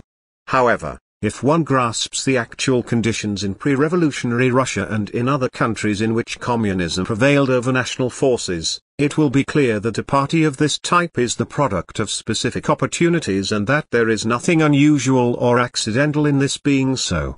Although the roots of Bolshevism reach far back into Russian history, the party is partly the product of the unique pattern of international relationships in which Russia found itself at the end of the 19th and the beginning of the 20th century. Russia was no longer able to live in the modern world as an absolute monarchy, and Russia's capitalism was too weak and too dependent on the interests of foreign powers to make it possible to have an industrial revolution. This revolution could only be implemented by a new class, or by a change in the social order. As yet, there was no such class. In history, it is not important who implements a process, it is only important that the process be implemented. Such was the case in Russia and other countries in which communist revolutions took place. The revolution created forces, leaders, organizations, and ideas which were necessary to it. the new class came into existence for objective reasons, and by the wish, wits, and action of its leaders. 2. The social origin of the new class lies in the proletariat just as the aristocracy arose in a peasant society, and the bourgeoisie in a commercial and artisan society. There are exceptions, depending on national conditions, but the proletariat in economically underdeveloped countries, being backward, constitutes the raw material from which the new class arises. There are other reasons why the new class always acts as the champion of the working class. The new class is anti-capitalistic and, consequently, logically dependent upon the working strata. The new class is supported by the proletarian struggle and the traditional faith of the proletariat in a socialist, communist society where there is no brutal exploitation. It is vitally important for the new class to assure a normal flow of production, hence it cannot ever lose its connection with the proletariat. Most important of all, the new class cannot achieve industrialization and consolidate its power without the help of the working class. On the other hand, the working class sees in expanded industry the salvation from its poverty and despair. Over a long period of time, the interests, ideas, faith, and hope of the new class, and of parts of the working class and of the poor peasants, coincide and unite. Such mergers have occurred in the past among other widely different classes. Did not the bourgeoisie represent the peasantry in the struggle against the feudal lords? The movement of the new class toward power comes as a result of the efforts of the proletariat and the poor. These are the masses upon which the party or the new class must lean and with which its interests are most closely allied. This is true until the new class finally establishes its power and authority. Over and above this, the new class is interested in the proletariat and the poor only to the extent necessary for developing production and for maintaining in subjugation the most aggressive and rebellious social forces. The monopoly which the new class establishes in the name of the working class over the whole of society is, primarily, a monopoly over the working class itself. This monopoly is first intellectual, over the so-called avant-garde proletariat, and then over the whole proletariat. This is the biggest deception the class must accomplish, but it shows that the power and interests of the new class lie primarily in industry. Without industry the new class cannot consolidate its position or authority. Former sons of the working class are the most steadfast members of the new class. It has always been the fate of slaves to provide for their masters the most clever and gifted representatives. In this case a new exploiting and governing class is born from the exploited class. 3. When communist systems are being critically analyzed, it is considered that their fundamental distinction lies in the fact that a bureaucracy, organized in a special stratum, rules over the people. This is generally true. However, a more detailed analysis will show that only a special stratum of bureaucrats, those who are not administrative officials, make up the core of the governing bureaucracy, or, in my terminology, of the new class. This is actually a party or political bureaucracy. Other officials are only the apparatus under the control of the new class. The apparatus may be clumsy and slow but, no matter what, it must exist in every socialist society. It is sociologically possible to draw the borderline between the different types of officials, but in practice they are practically indistinguishable. This is true not only because the communist system by its very nature is bureaucratic, but because communists handle the various important administrative functions. In addition, the stratum of political bureaucrats cannot enjoy their privileges if they do not give crumbs from their tables to other bureaucratic categories.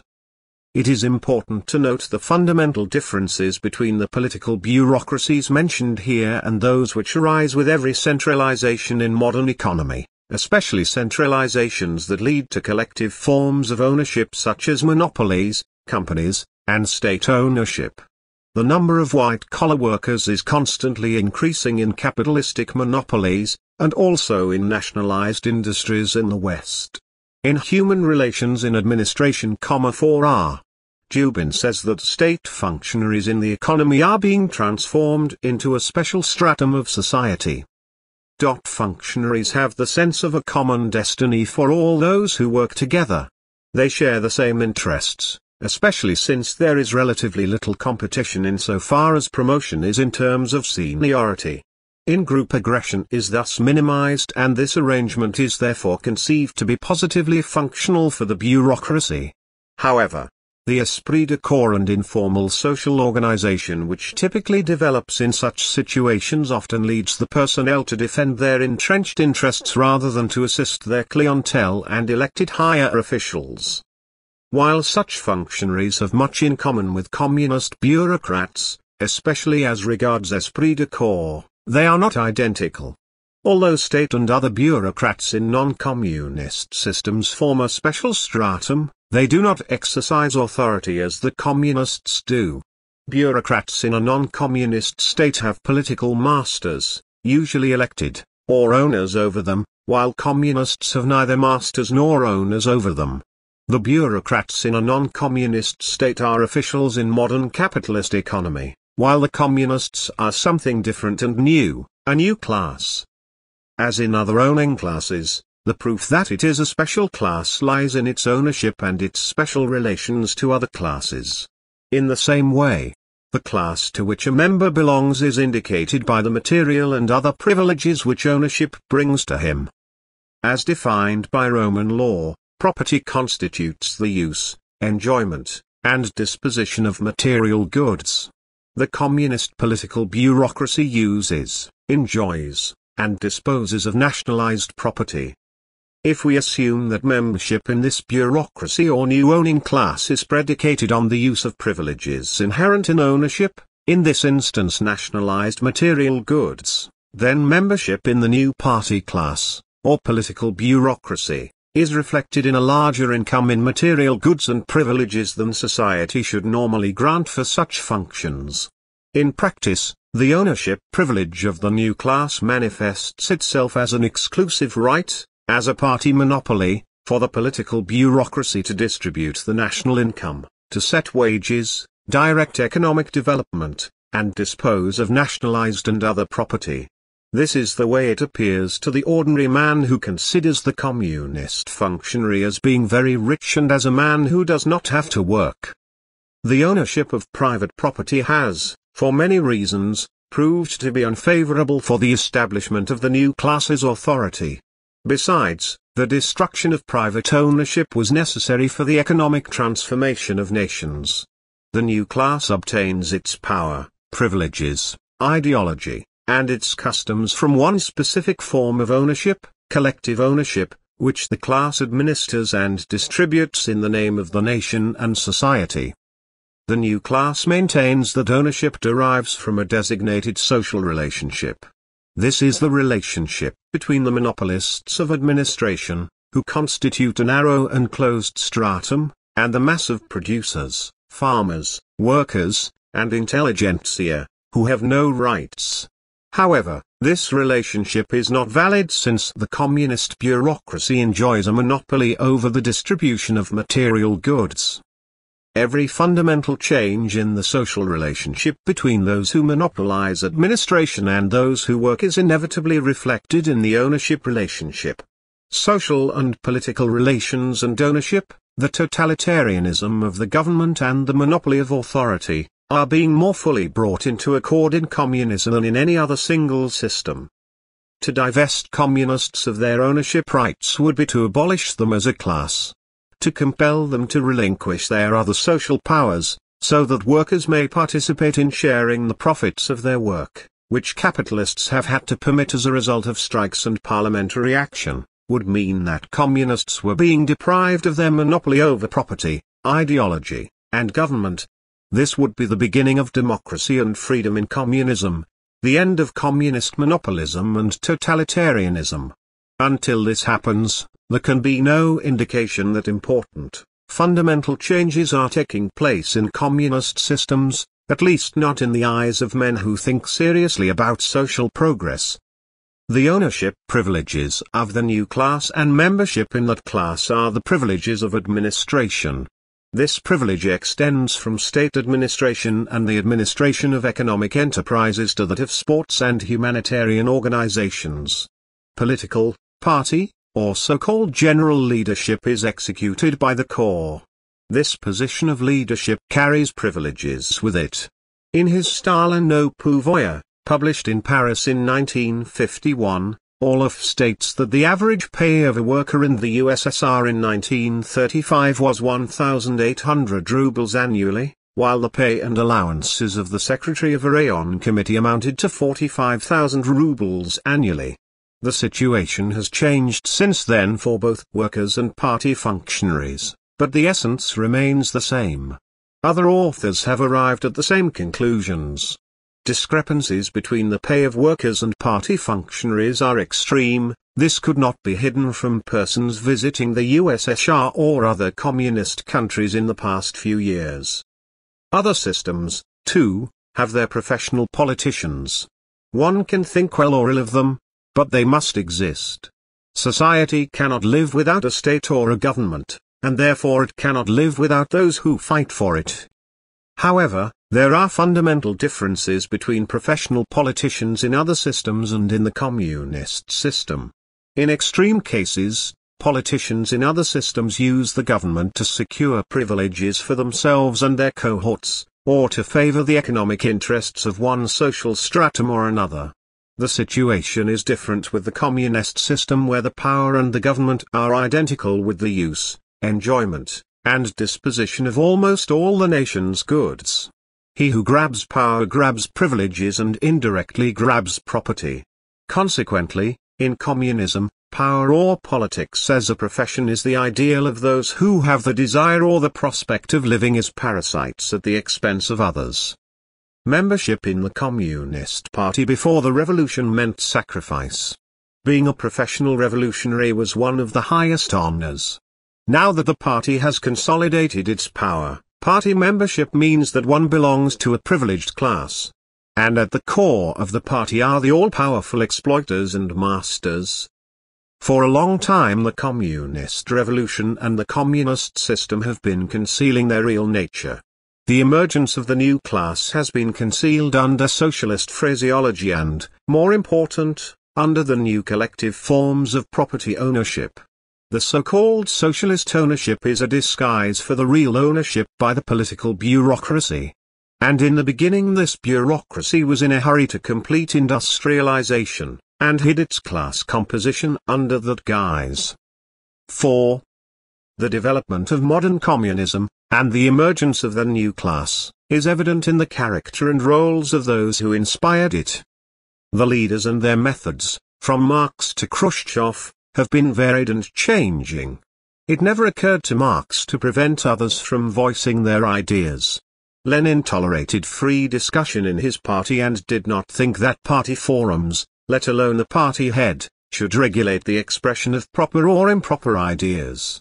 Stalin abolished every type of intra-party discussion, and made the expression of ideology solely the right of the central forum, or of himself. Other communist movements were different.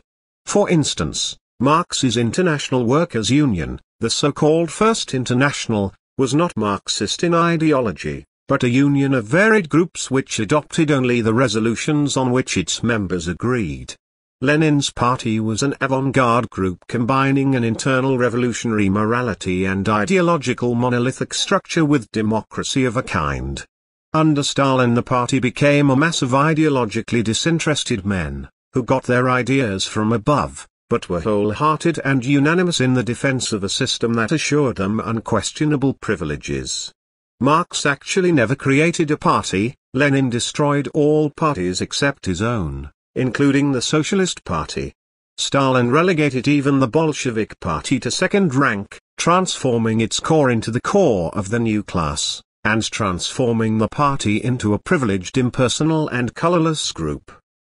Marx created a system of the roles of classes, and of class war in society, even though he did not discover them, and he saw that mankind is mostly made up of members of discernible classes, although he was only restating Terence's Stoic philosophy, humani nihilum alienum puncto. Lenin viewed men as sharing ideas rather than as being members of discernible classes. Stalin saw in men only obedient subjects or enemies. Marx died a poor emigrant in London, but was valued by learned men and valued in the movement. Lenin died as the leader of one of the greatest revolutions, but died as a dictator about whom a cult had already begun to form. When Stalin died, he had already transformed himself into a god. These changes in personalities are only the reflection of changes which had already taken place and were the very soul of the communist movement. Although he did not realize it, Lenin started the organization of the new class. He established the party along Bolshevik lines and developed the theories of its unique and leading role in the building of a new society. This is but one aspect of his many-sided and gigantic work, it is the aspect which came about from his actions rather than his wishes. It is also the aspect which led the new class to revere him. The real and direct originator of the new class, however, was Stalin. He was a man of quick reflexes and a tendency to coarse humor, not very educated nor a good speaker. But he was a relentless dogmatician and a great administrator a Georgian who knew better than anyone else whither the new powers of Greater Russia were taking her. He created the new class by the use of the most barbaric means, not even sparing the class itself.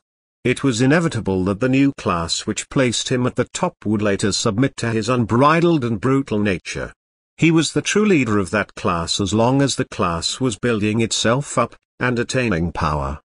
The new class was born in the revolutionary struggle in the Communist Party, but was developed in the Industrial Revolution. Without the revolution, without industry, the class's position would not have been secure and its power would have been limited. While the country was being industrialized, Stalin began to introduce considerable variations in wages, at the same time allowing the development toward various privileges to proceed. He thought that industrialization would come to nothing if the new class were not made materially interested in the process. By acquisition of some property for itself. Without industrialization the new class would find it difficult to hold its position, for it would have neither historical justification nor the material resources for its continued existence. The increase in the membership of the party, or of the bureaucracy, was closely connected with this. In 1927, on the eve of industrialization, the Soviet Communist Party had 887,233 members. In 1934, at the end of the first five-year plan, the membership had increased to 1,874,488. This was a phenomenon obviously connected with industrialization. The prospects for the new class and privileges for its members were improving. What is more, the privileges and the class were expanding more rapidly than industrialization itself. It is difficult to cite any statistics on this point, but the conclusion is self-evident for anyone who bears in mind that the standard of living has not kept pace with industrial production, while the new class actually seized the lion's share of the economic and other progress earned by the sacrifices and efforts of the masses. The establishment of the new class did not proceed smoothly. It encountered bitter opposition from existing classes and from those revolutionaries who could not reconcile reality with the ideals of their struggle. In the USSR the opposition of revolutionaries was most evident in the Trotsky-Stalin conflict. The conflict between Trotsky and Stalin, or between oppositionists in the party and Stalin, as well as the conflict between the regime and the peasantry, became more intense as industrialization advanced and the power and authority of the new class increased. Trotsky, an excellent speaker, brilliant stylist, and skilled polemicist, a man cultured and of excellent intelligence, was deficient in only one quality, a sense of reality. He wanted to be a revolutionary in a period when life imposed the commonplace. He wished to revive a revolutionary party which was being transformed into something completely different, into a new class unconcerned with great ideals and interested only in the everyday pleasures of life. He expected action from a mass already tired by war, hunger, and death, at a time when the new class already strongly held the reins and had begun to experience the sweetness of privilege. Trotsky's fireworks lit up the distant heavens, but he could not rekindle fires in weary men. He sharply noted the sorry aspect of the new phenomena but he did not grasp their meaning. In addition, he had never been a Bolshevik. This was his vice and his virtue.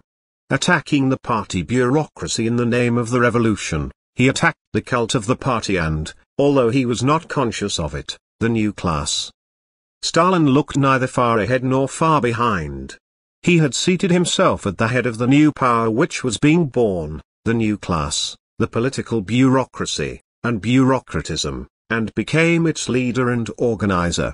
He did not preach, he made decisions. He too promised a shining future, but one which bureaucracy could visualize as being real because its life was improving from day to day and its position was being strengthened. He spoke without ardor and color, but the new class was better able to understand this kind of realistic language. Trotsky wished to extend the revolution to Europe. Stalin was not opposed to the idea but this hazardous undertaking did not prevent him from worrying about Mother Russia or, specifically, about ways of strengthening the new system and increasing the power and reputation of the Russian state. Trotsky was a man of the revolution of the past. Stalin was a man of today and, thus, of the future. In Stalin's victory Trotsky saw the Thermidoric reaction against the revolution, actually the bureaucratic corruption of the Soviet government and the revolutionary cause. Consequently, he understood and was deeply hurt by the amorality of Stalin's methods. Trotsky was the first, although he was not aware of it, who in the attempt to save the communist movement discovered the essence of contemporary communism. But he was not capable of seeing it through to the end.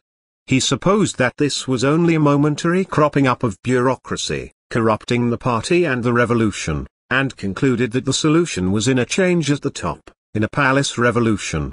When a palace revolution actually took place after Stalin's death, it could be seen that the essence had not changed. Something deeper and more lasting was involved. The Soviet Thermidor of Stalin had not only led to the installation of a government more despotic than the previous one, but also to the installation of a class. This was the continuation of that other violent foreign revolution which had inevitably born and strengthened the new class. Stalin could, with equal if not greater right, refer to Lenin and all the revolution, just as Trotsky did for Stalin was the lawful although wicked offspring of Lenin and the revolution. History has no previous record of a personality like Lenin who, by his versatility and persistence, developed one of the greatest revolutions known to men. It also has no record of a personality like Stalin, who took on the enormous task of strengthening, in terms of power and property, a new class born out of one of the greatest revolutions in one of the largest of the world's countries. Behind Lenin, who was all passion and thought, stands the dull, grey figure of Joseph Stalin, the symbol of the difficult, cruel, and unscrupulous ascent of the new class to its final power. After Lenin and Stalin came what had to come, namely, mediocrity in the form of collective leadership. And also there came the apparently sincere, kind-hearted, non-intellectual man of the people Nikita Khrushchev. The new class no longer needs the revolutionaries or dogmatists it once required, it is satisfied with simple personalities, such as Khrushchev, Malenkov, Bulganin, and Shepilov, whose every word reflects the average man. The new class itself is tired of dogmatic purges and training sessions. It would like to live quietly, it must protect itself even from its own authorized leader now that it has been adequately strengthened. Stalin remained the same as he was when the class was weak, when cruel measures were necessary against even those in its own ranks who threatened to deviate. Today this is all unnecessary. Without relinquishing anything it created under Stalin's leadership, the new class appears to be renouncing his authority for the past few years. But it is not really renouncing that authority, only Stalin's methods which, according to Khrushchev, hurt good communists. Lenin's revolutionary epoch was replaced by Stalin's epoch, in which authority and ownership, and industrialization, were strengthened so that the much desired peaceful and good life of the new class could begin. Lenin's revolutionary communism was replaced by Stalin's dogmatic communism, which in turn was replaced by non-dogmatic communism, a so-called collective leadership or a group of oligarchs. These are the three phases of development of the new class in the USSR or of Russian communism, or of every other type of communism in one manner or another. The fate of Yugoslav communism was to unify these three phases in the single personality of Tito, along with national and personal characteristics. Tito is a great revolutionary, but without original ideas, he has attained personal power, but without Stalin's distrustfulness and dogmatism. Like Khrushchev, Tito is a representative of the people, that is, of the middle party strata. The road which Yugoslav communism has traveled, attaining a revolution, copying Stalinism, then renouncing Stalinism and seeking its own form, is seen most fully in the personality of Tito. Yugoslav communism has been more consistent than other parties in preserving the substance of communism, yet never renouncing any form which could be of value to it. The three phases in the development of the new class, Lenin, Stalin, and collective leadership are not completely divorced from each other, in substance or in ideas. Lenin too was a dogmatist, and Stalin too was a revolutionary, just as collective leadership will resort to dogmatism and to revolutionary methods when necessary. What is more, the non-dogmatism of the collective leadership is applied only to itself, to the heads of the new class. On the other hand, the people must be all the more persistently educated in the spirit of the dogma, or of Marxism-Leninism. By relaxing its dogmatic severity and exclusiveness, the new class, becoming strengthened economically, has prospects of attaining greater flexibility. The heroic era of communism is past. The epoch of its great leaders has ended. The epoch of practical men has set in. The new class has been created. It is at the height of its power and wealth, but it is without new ideas. It has nothing more to tell the people. The only thing that remains is for it to justify itself. 5. It would not be important to establish the fact that in contemporary communism a new owning and exploiting class is involved and not merely a temporary dictatorship and an arbitrary bureaucracy. If some anti-Stalinist communists including Trotsky as well as some social democrats had not depicted the ruling stratum as a passing bureaucratic phenomenon because of which this new ideal, classless society, still in its swaddling clothes, must suffer, just as bourgeois society had had to suffer under Cromwell's and Napoleon's despotism. But the new class is really a new class, with a special composition and special power. By any scientific definition of a class, even the Marxist definition by which some classes are lower than others according to their specific position in production, we conclude that, in the USSR and other communist countries, a new class of owners and exploiters is in existence. The specific characteristic of this new class is its collective ownership. Communist theoreticians affirm, and some even believe, that communism has arrived at collective ownership. Collective ownership in various forms has existed in all earlier societies, all ancient Eastern despotisms were based on the preeminence of the state's or the king's property. In ancient Egypt after the 15th century BC, arable land passed to private ownership. Before that time only homes and surrounding buildings had been privately owned. State land was handed over for cultivation while state officials administered the land and collected taxes on it. Canals and installations, as well as the most important works, were also state-owned. The state owned everything until it lost its independence in the first century of our era. This helps to explain the deification of the pharaohs of Egypt and of the emperors, which one encounters in all the ancient Eastern despotisms. Such ownership also explains the undertaking of gigantic tasks, such as the construction of temples, tombs, and castles of emperors, of canals, roads, and fortifications. The Roman state treated newly conquered land as state land and owned considerable numbers of slaves. The medieval church also had collective property. Capitalism by its very nature was an enemy of collective ownership until the establishment of shareholders' organizations. Capitalism continued to be an enemy of collective ownership, even though it could not do anything against new encroachments by collective ownership and the enlargement of its area of operations. The Communists did not invent collective ownership as such, but invented its all-encompassing character, more widely extended than in earlier epochs, even more extensive than in Pharaoh's Egypt. That is all that the Communists did.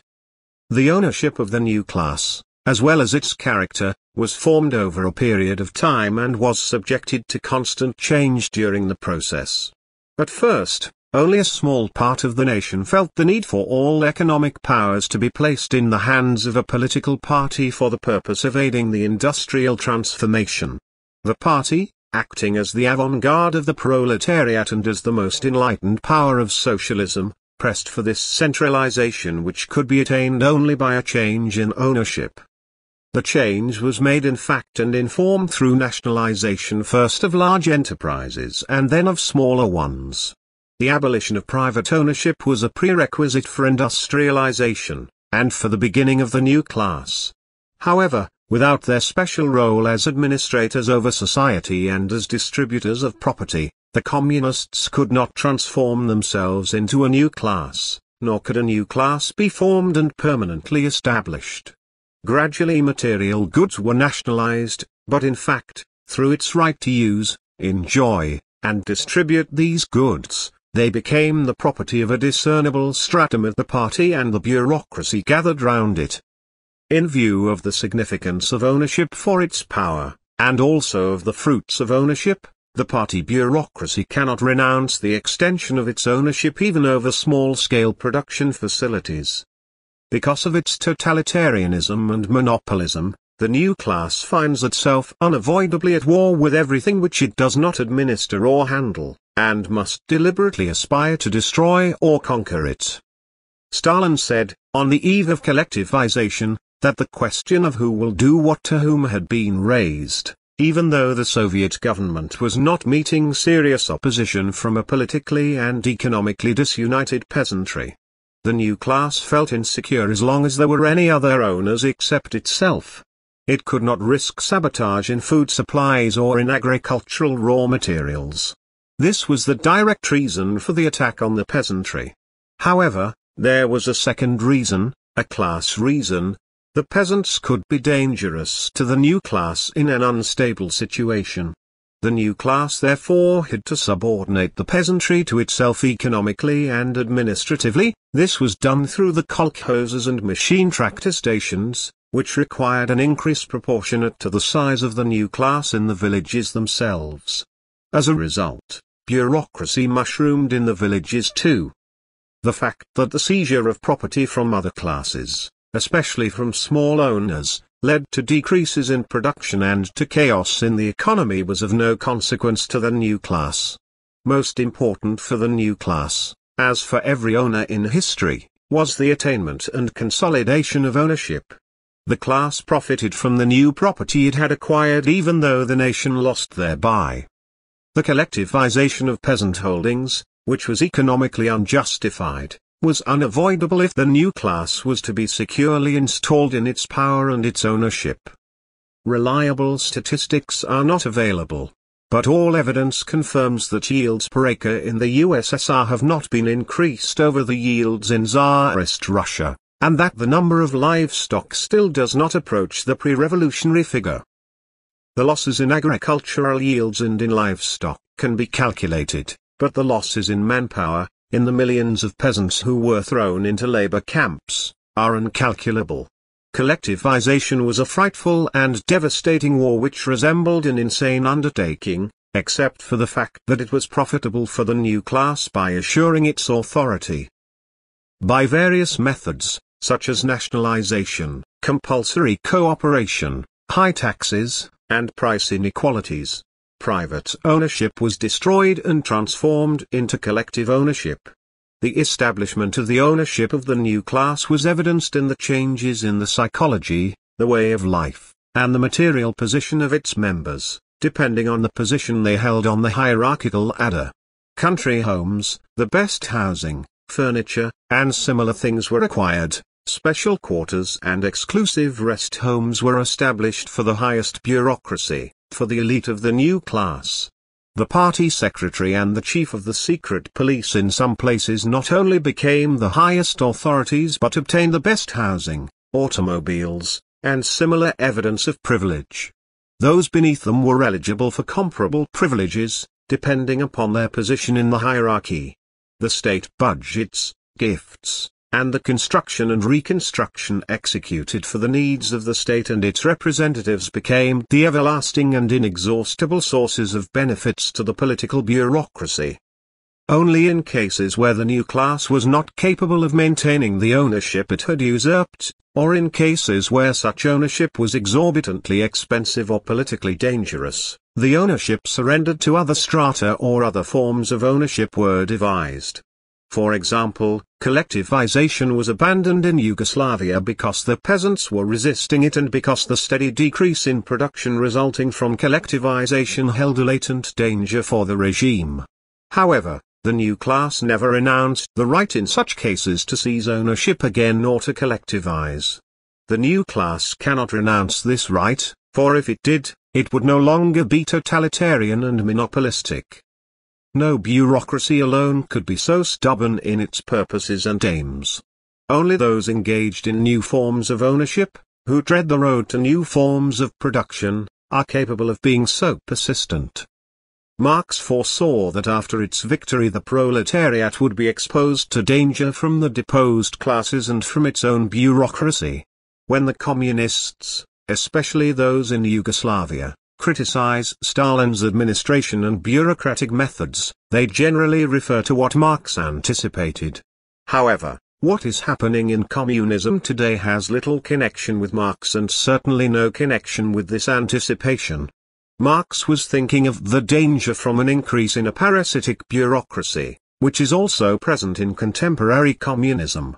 It never occurred to him that today's communist strongmen, who handle material goods on behalf of their own narrow caste's interests rather than for the bureaucracy as a whole, would be the bureaucracy he was thinking of.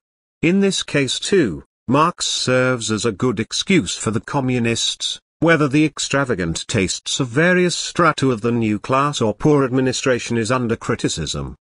Contemporary communism is not only a party of a certain type, or a bureaucracy which has sprung from monopolistic ownership and excessive state interference in the economy. More than anything else, the essential aspect of contemporary communism is the new class of owners and exploiters. 6. No class is established by its own action, even though its ascent is organized and accompanied by a conscious struggle. This holds true for the new class in communism.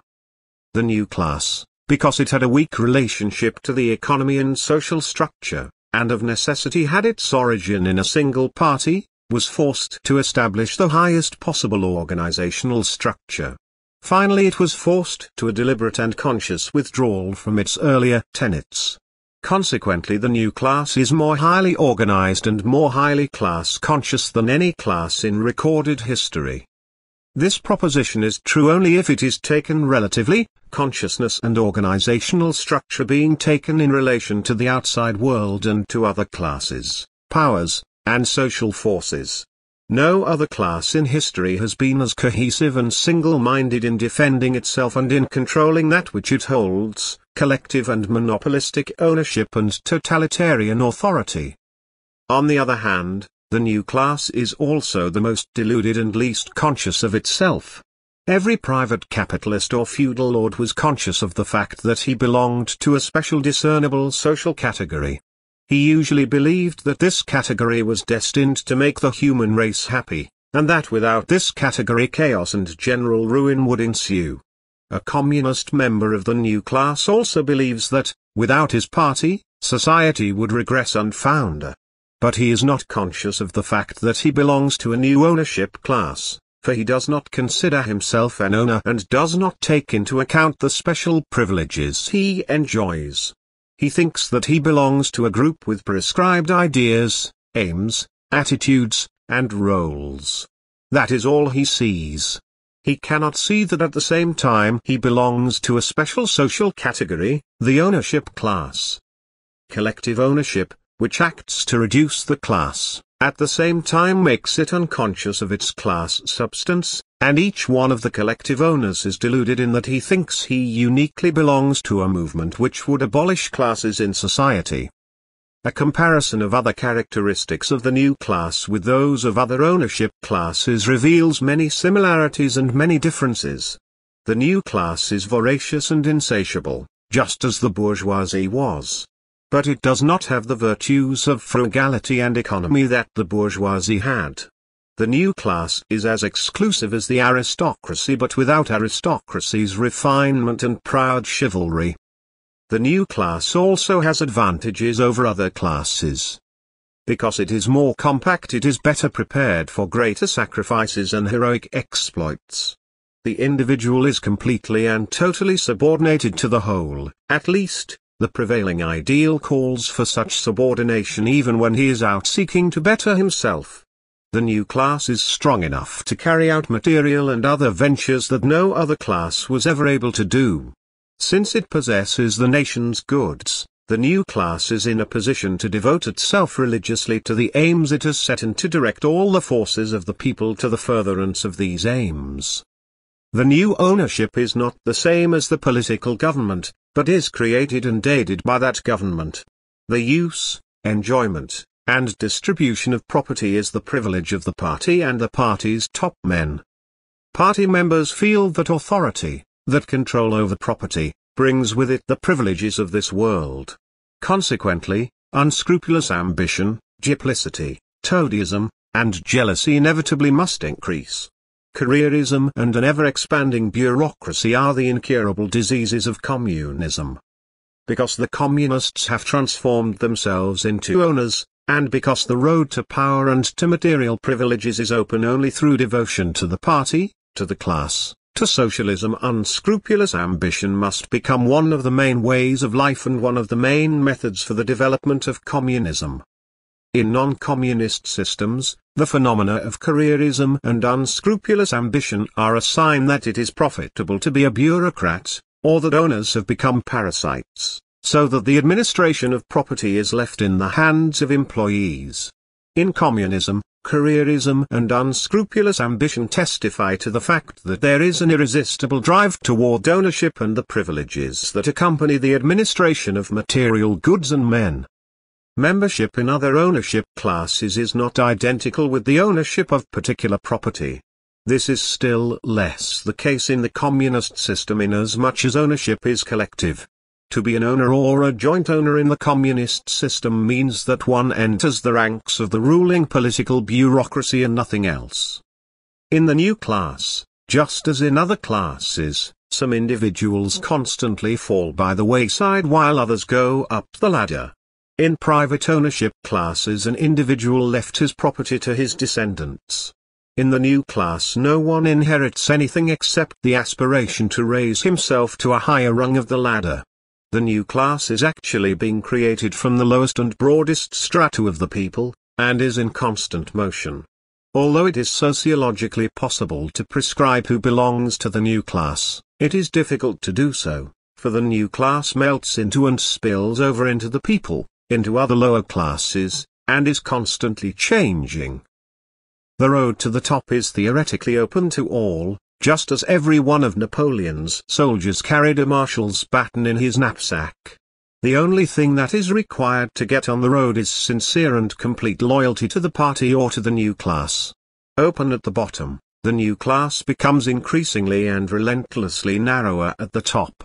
Not only is the desire necessary for the climb, also necessary is the ability to understand and develop doctrines, firmness in struggles against antagonists, exceptional dexterity and cleverness in intra-party struggles, and talent in strengthening the class.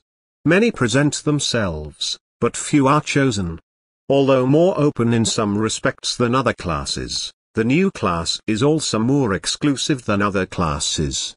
Since one of the new class's most important features is monopoly of authority, this exclusiveness is strengthened by bureaucratic hierarchical prejudices. Nowhere, at any time, has the road been as wide open to the devoted and the loyal as it is in the communist system. But the ascent to the heights has never at any time been so difficult or required so much sacrifice and so many victims. On the one hand, communism is open and kind to all, on the other hand, it is exclusive and intolerant even of its own adherents. 7.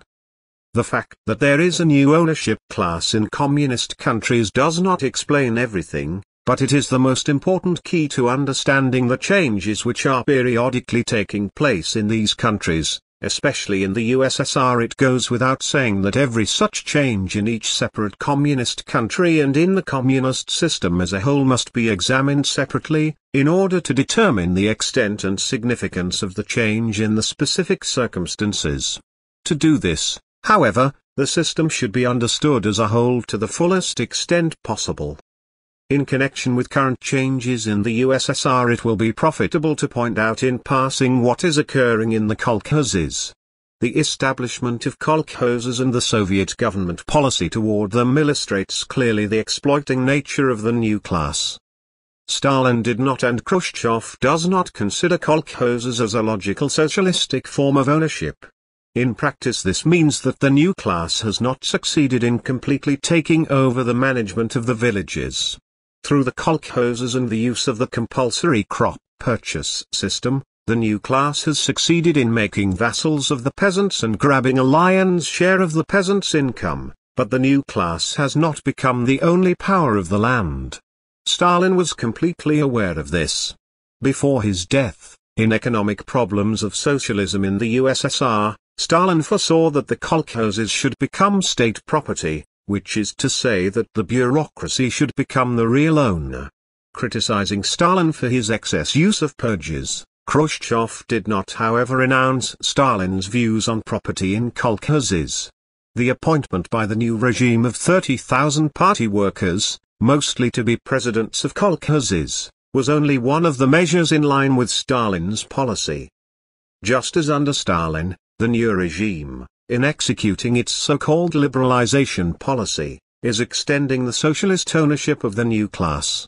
Decentralization in the economy does not mean a change in ownership, but only gives greater rights to the lower strata of the bureaucracy or of the new class. If the so-called liberalization and decentralization meant anything else, that would be manifest in the political right of at least part of the people to exercise some influence in the management of material goods. At least, the people would have the right to criticize the arbitrariness of the oligarchy. This would lead to the creation of a new political movement, even though it were only a loyal opposition. However, this is not even mentioned, just as democracy in the party is not mentioned, liberalization and decentralization are in force only for communists, first for the oligarchy, the leaders of the new class, and second, for those in the lower echelons. This is the new method, inevitable under changing conditions, for the further strengthening and consolidation of monopolistic ownership and totalitarian authority of the new class. The fact that there is a new owning, monopolistic, and totalitarian class in communist countries calls for the following conclusion, all changes initiated by the communist chiefs are dictated first of all by the interests and aspirations of the new class, which, like every social group, lives and reacts, defends itself and advances, with the aim of increasing its power. This does not mean, however, that such changes may not be important for the rest of the people as well. Although the innovations introduced by the new class have not yet materially altered the communist system, they must not be underestimated. It is necessary to gain insight into the substance of these changes in order to determine their range and significance. The communist regime, in common with others, must take into account the mood and movement of the masses. Because of the exclusiveness of the Communist Party and the absence of free public opinion in its ranks, the regime cannot discern the real status of the masses. However, their dissatisfaction does penetrate the consciousness of the top leaders. In spite of its totalitarian management, the new class is not immune to every type of opposition. Once in power, The communists have no difficulty in settling their accounts with the bourgeoisie and large estate owners. The historical development is hostile to them and their property and it is easy to arouse the masses against them. Seizing property from the bourgeoisie and the large estate owners is quite easy, difficulties arise when seizure of small properties is involved. Having acquired power in the course of earlier expropriations, the communists can do even this. Relations are rapidly clarified, there are no more old classes and old owners, society is classless, or on the road to being so, and men have started to live in a new manner. Under such conditions, demands to return to the old pre-revolutionary relations seem unrealistic, if not ridiculous. Material and social bases no longer exist for the maintenance of such relations. The communists meet such demands as if they were jests. The new class is most sensitive to demands on the part of the people for a special kind of freedom, not for freedom in general or political freedom. It is especially sensitive to demands for freedom of thought and criticism, within the limits of present conditions and within the limits of socialism, not for demands for a return to previous social and ownership relations. This sensitivity originates from the class's special position. The new class instinctively feels that national goods are, in fact, its property, and that even the terms socialist, social, and state property denote a general legal fiction. The new class also thinks that any breach of its totalitarian authority might imperil its ownership. Consequently, the new class opposes any type of freedom, ostensibly for the purpose of preserving socialist ownership. Criticism of the new class's monopolistic administration of property generates the fear of a possible loss of power. The new class is sensitive to these criticisms and demands depending on the extent to which they expose the manner in which it rules and holds power. This is an important contradiction. Property is legally considered social and national property. But, in actuality, a single group manages it in its own interest. The discrepancy between legal and actual conditions continuously results in obscure and abnormal social and economic relationships. It also means that the words of the leading group do not correspond to its actions, and that all actions result in strengthening its property holdings and its political position. This contradiction cannot be resolved without jeopardizing the class's position. Other ruling, Property-owning classes could not resolve this contradiction either, unless forcefully deprived of monopoly of power and ownership. Wherever there has been a higher degree of freedom for society as a whole, the ruling classes have been forced, in one way or another, to renounce monopoly of ownership. The reverse is true also, wherever monopoly of ownership has been impossible, freedom, to some degree, has become inevitable. In communism, power and ownership are almost always in the same hands, but this fact is concealed under a legal guise. In classical capitalism, the worker had equality with the capitalist before the law, even though the worker was being exploited and the capitalist was doing the exploiting. In communism, legally, all are equal with respect to material goods. The formal owner is the nation. In reality, because of monopolistic administration, only the narrowest stratum of administrators enjoys the rights of ownership. Every real demand for freedom in communism, the kind of demand that hits at the substance of communism, boils down to a demand for bringing material and property relations into accord with what the law provides. A demand for freedom, based on the position that capital goods produced by the nation can be managed more efficiently by society than by private monopoly or a private owner, and consequently should actually be in the hands or under control of society exercised through its freely elected representatives, would force the new class either to make concessions to other forces, or to take off the mask and admit its ruling and exploiting characteristics. The type of ownership and exploitation which the new class creates by using its authority and its administrative privileges is such that even the class itself must deny it. Does not the new class emphasize that it uses its authority and administrative functions in the name of the nation as a whole to preserve national property? This makes the legal position of the new class uncertain and is also the source of the new class's biggest internal difficulties. The contradiction discloses the disharmony between words and actions, while promising to abolish social differences, it must always increase them by acquiring the products of the nation's workshops and granting privileges to its adherents. It must proclaim loudly its dogma that it is fulfilling its historical mission of final liberation of mankind from every misery and calamity while it acts in exactly the opposite way. The contradiction between the new class's real ownership position and its legal position can furnish the basic reason for criticism. This contradiction has within it the ability not only to incite others but also to corrode the class's own ranks, since privileges are actually being enjoyed by only a few. This contradiction, when intensified, holds prospects of real changes in the communist system, whether the ruling class is in favor of the change or not. The fact that this contradiction is so obvious has been the reason for the changes made by the new class, especially in so-called liberalization and decentralization. Forced to withdraw and surrender to individual strata, the new class aims at concealing this contradiction and strengthening its own position. Since ownership and authority continue intact, all measures taken by the new class, even those democratically inspired, show a tendency toward strengthening the management of the political bureaucracy. The system turns democratic measures into positive methods for consolidating the position of the ruling classes. Slavery in ancient times in the East inevitably permeated all of society's activities and components, including the family. In the same way, the monopolism and totalitarianism of the ruling class in the communist system are imposed on all the aspects of social life, even though the political heads are not aiming at this. Yugoslavia's so-called workers' management and autonomy, conceived at the time of the struggle against Soviet imperialism as a far-reaching democratic measure to deprive the party of the monopoly of administration, has been increasingly relegated to one of the areas of party work.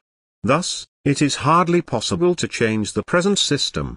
The aim of creating a new democracy through this type of administration will not be achieved. Besides, freedom cannot be extended to the largest piece of the pie. Workers' management has not brought about a sharing in profits by those who produce, either on a national level or in local enterprises. This type of administration has increasingly turned into a safe type for the regime. Through various taxes and other means, the regime has appropriated even the share of the profits which the workers believed would be given to them. Only crumbs from the tables and illusions have been left to the workers. Without universal freedom not even workers' management can become free. Clearly, in an unfree society nobody can freely decide anything.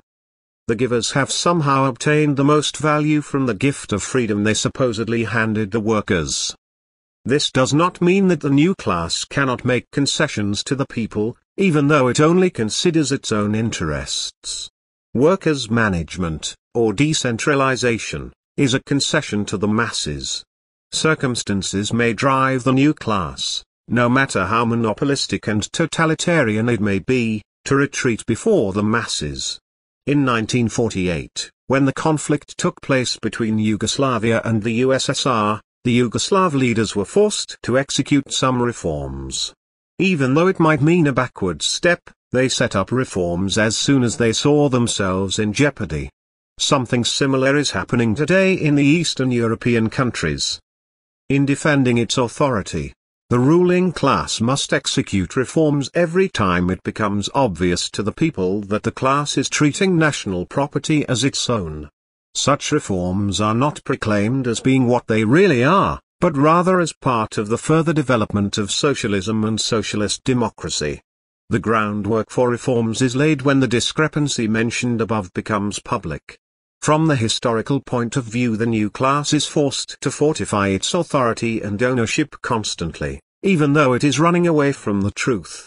It must constantly demonstrate how it is successfully creating a society of happy people, all of whom enjoy equal rights and have been freed of every type of exploitation the new class cannot avoid falling continuously into profound internal contradictions, for in spite of its historical origin it is not able to make its ownership lawful, and it cannot renounce ownership without undermining itself. Consequently, it is forced to try to justify its increasing authority, invoking abstract and unreal purposes. This is a class whose power over men is the most complete known to history. For this reason it is a class with very limited views, views which are false and unsafe.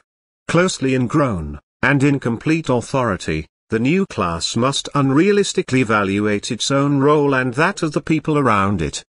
Having achieved industrialization, the new class can now do nothing more than strengthen its brute force and pillage the people. It ceases to create. Its spiritual heritage is overtaken by darkness.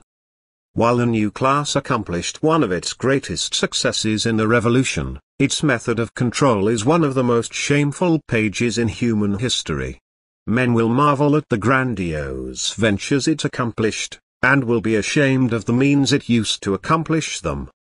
When the new class leaves the historical scene, and this must happen, there will be less sorrow over its passing than there was for any other class before it.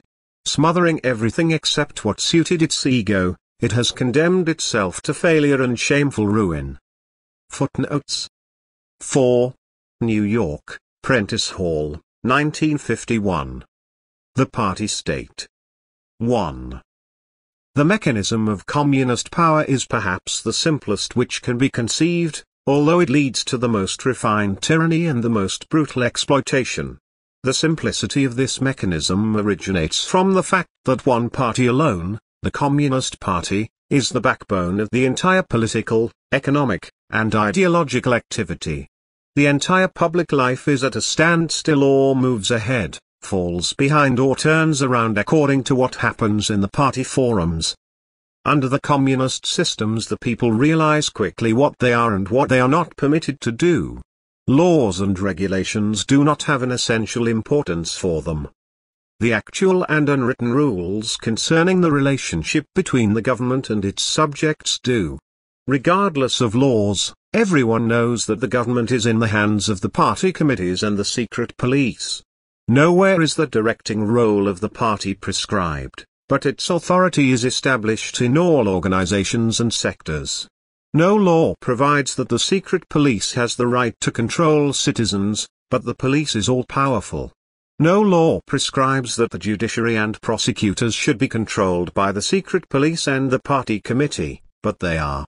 Most people know that this is the case. Everyone knows what can and what cannot be done, and what depends on whom. People adjust to the environment and to actual conditions, turning to party forums or to organs under the party's control in all important matters. The direction of social organizations and social organs is accomplished simply by this method. The Communists form a unit, which turns to authorized political forums in all matters. This is theoretical, actually it operates in this way, in cases where the social organ or organization is managed by a person who also has power in the party, he will not refer to anyone regarding lesser matters. Communists become familiar with their system and with the relationships created by it. They accustom themselves to distinguish between the important and the unimportant, and refer to party forums only in especially important matters. The unit exists only potentially, important decisions being made by the party, the opinion of those who have elected the government or administration of some organization is totally unimportant. Communist totalitarianism and the new class took root when the Communist Party was preparing for the revolution. Their method of administering and maintaining authority also goes back to that time. The directing role in organs of government and social organizations is merely the former communist unit which has since branched out, developed, and perfected itself. The second directing role of the party in the building of socialism is nothing but the old theory regarding the avant-garde role of the party with respect to the working class, with the difference that the theory then had a different significance for society than it has now. Before the communists usurped power, this theory was necessary in order to recruit revolutionaries and revolutionary organs. Now it justifies the totalitarian control of the new class. One springs from the other, but one is also different from the other. the revolution and its forms were unavoidable and were even needed by that part of society which irresistibly aspired to technical and economic progress. The totalitarian tyranny and control of the new class, which came into being during the revolution, has become the yoke from under which the blood and sweat of all members of society flow. Particular revolutionary forms were transformed into reactionary ones. This was also the case with the communist units. There are two essential methods through which communist control of the social machine is accomplished. The first is the unit, the main method in principle and in theory. The second, actually more practical one, restricts certain government posts to party members. These jobs, which are essential in any government but especially in a communist one, include assignments with police, especially the secret police, and the diplomatic and officers' corps, especially positions in the information and political services. In the judiciary only top positions have until now been in the hands of communists. The judiciary, subordinated to the party and police establishments, is generally poorly paid, and is unattractive to communists. However, the tendency now is for judiciary posts to be considered as a privilege open only to party members, and for members of the judiciary to have increasing privileges. Thus, control over the judiciary could be relaxed, if not completely abolished, with the assurance that it will continue to rule according to the intentions of the party or in the spirit of socialism. Only in a communist state are a number of both specified and unspecified positions reserved for members of the party. The communist government, although a class structure, is a party government, the communist army is a party army, and the state is a party state. More precisely, communists tend to treat the army and the state as their exclusive weapons. The exclusive, if unwritten, law that only party members can become policemen, officers, diplomats, and hold similar positions, or that only they can exercise actual authority, creates a special privileged group of bureaucrats and simplifies the mechanism of government and administration. In this manner the party unit expanded and more or less took in all these services. As a result, the unit has disappeared while these services have become an essential area for party activity. There is no fundamental difference in the communist system between governmental services and party organizations as in the example of the party and the secret police. The party and the police mingle very closely in their daily functioning, the difference between them is only in the distribution of work. The entire governmental structure is organized in this manner. Political positions are reserved exclusively for party members. Even in non-political governmental bodies communists hold the strategic positions or oversee administration. Calling a meeting at the party center or publishing an article is sufficient to cause the entire state and social mechanism to begin functioning. If difficulties occur anywhere, the party and the police very quickly correct the error. 2. The particular character of the Communist Party has already been discussed. There are other special features, too, which help reveal the essence of a communist state. The Communist Party does not have its unique character solely because it is revolutionary and centralized and observes military discipline and other definite goals, or has other characteristics. There are other parties with similar features, even though these features may be stronger in the Communist Party. However, only in the Communist Party is ideological unity or an identical concept of the world and of the development of society obligatory for its members. This applies only to persons who function in the higher forums of the party.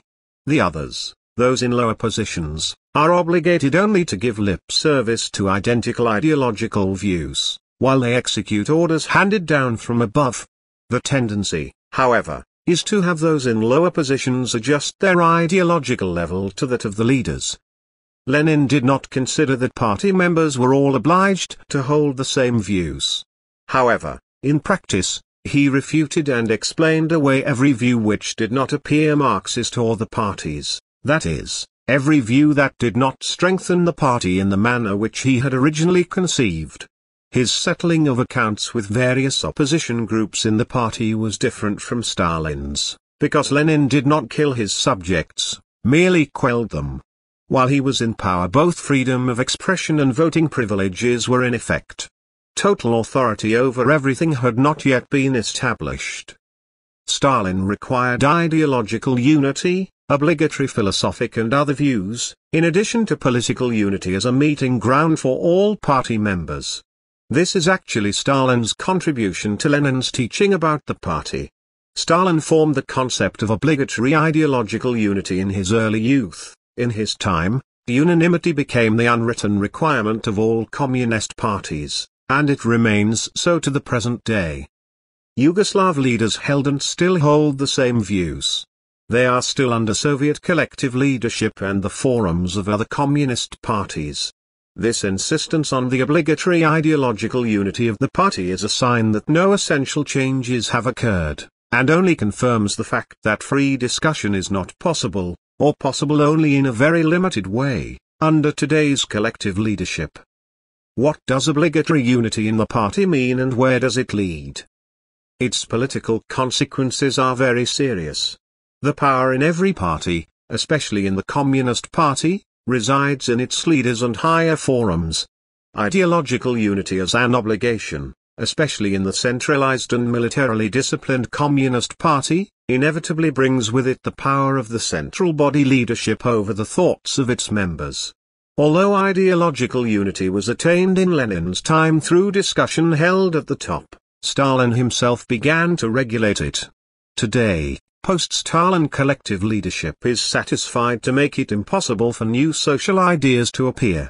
Thus, Marxism has become a theory to be defined exclusively by party leaders.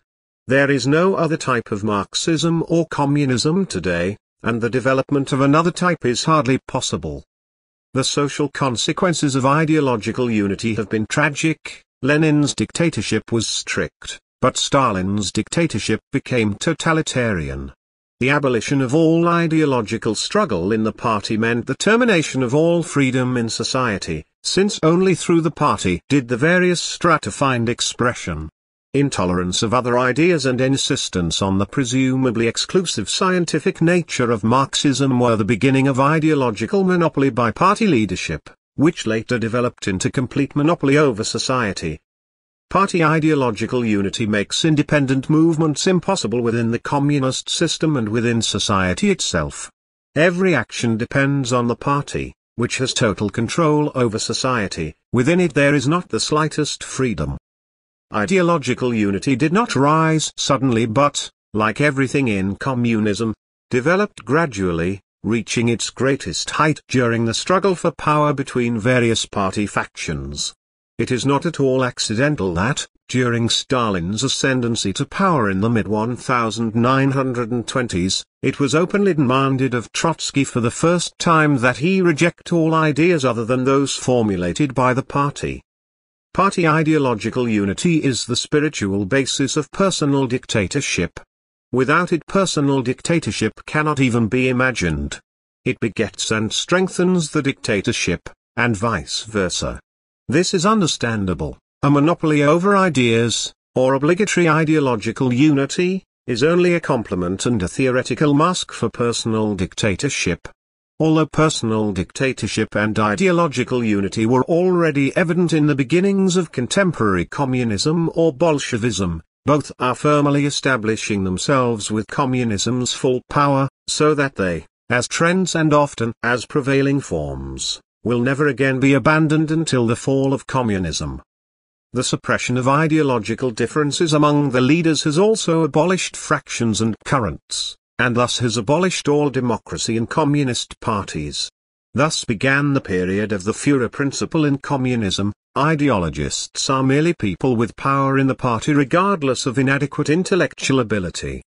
The continuance of ideological unity in the party is an unmistakable sign of the maintenance of a personal dictatorship, or the dictatorship of a small number of oligarchs who temporarily work together or maintain a balance of power, as is the case in the USSR today. We find a tendency toward ideological unity in other parties also, especially in socialist parties in their earlier stages. However, this is only a tendency in these parties, in communist parties it has become obligatory. one is obliged not only to be a Marxist, but to adopt the type of Marxism desired and prescribed by the leadership. Marxism has been transformed from a free revolutionary ideology into a prescribed dogma. As in ancient Eastern despotism, the top authority interprets and prescribes the dogma, while the emperor is the archpriest. The obligatory ideological unity of the party, which has passed through various phases and forms, has remained the most essential characteristic of Bolshevik or Communist parties. If these parties had not at the same time been the beginning of new classes, and if they had not had a special historical role to play, obligatory ideological unity could not have existed in them. Except for the communist bureaucracy, not a single class or party in modern history has attained complete ideological unity. None had, before, the task of transforming all of society, mostly through political and administrative means. For such a task, a complete, fanatical confidence in the righteousness and nobility of their views is necessary. Such a task calls for exceptional brutal measures against other ideologies and social groups. It also calls for ideological monopoly over society and for absolute unity of the ruling class. Communist parties have needed special ideological solidarity for this reason. Once ideological unity is established, it operates as powerfully as prejudice. Communists are educated in the idea that ideological unity, or the prescription of ideas from above, is the holy of holies, and that factionalism in the party is the greatest of all crimes. Complete control of society could not be accomplished without coming to terms with other socialist groups. Ideological unity, too, is only possible through a reconciliation within the party's own ranks.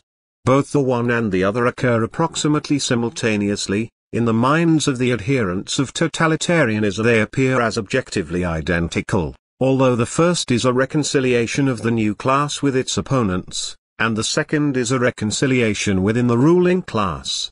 In fact, Stalin knew that Trotsky, Bukharin, Zinoviev, and others were not foreign spies and traitors to the socialist fatherland. However, since their disagreement with him obviously delayed the establishment of totalitarian control, he had to destroy them. His crimes within the party consist of the fact that he transformed objective unfriendliness the ideological and political differences in the party, into the subjective guilt of groups and individuals, attributing to them crimes which they did not commit. 3. But this is the inescapable road of every communist system. The method of establishing totalitarian control, or ideological unity, may be less severe than Stalin's, but the essence is always the same. Even where industrialization is not the form or condition for establishing totalitarian control, as in Czechoslovakia and Hungary, the communist bureaucracy is inevitably compelled to establish the same forms of authority in underdeveloped countries as those established in the Soviet Union. This does not occur simply because the Soviet Union imposed such forms on these countries as subordinates, but because it is within the very nature of communist parties themselves and of their ideologies to do so. Party control over society, identification of the government and governmental machinery with the party, and the right to express ideas dependent on the amount of power and the position one holds in the hierarchy, these are the essential and inevitable characteristics of every communist bureaucracy as soon as it attains power. The party is the main force of the communist state and government. It is the motive force of everything. It unites within itself the new class, the government, ownership, and ideas. For this reason, military dictatorships have not been possible under communism, although it seems that military conspiracies have occurred in the USSR military dictatorships would not be able to encompass all phases of life, nor even convince the nation temporarily of the need for exceptional efforts and self-sacrifice. Such can be accomplished only by the party, and then only by a party with belief in such vast ideals that its despotism appears to its members and adherents as necessary, as the highest form of state and social organization. Viewed from the standpoint of freedom, a military dictatorship in a communist system would denote great progress. it would signify the termination of totalitarian party control, or of a party oligarchy.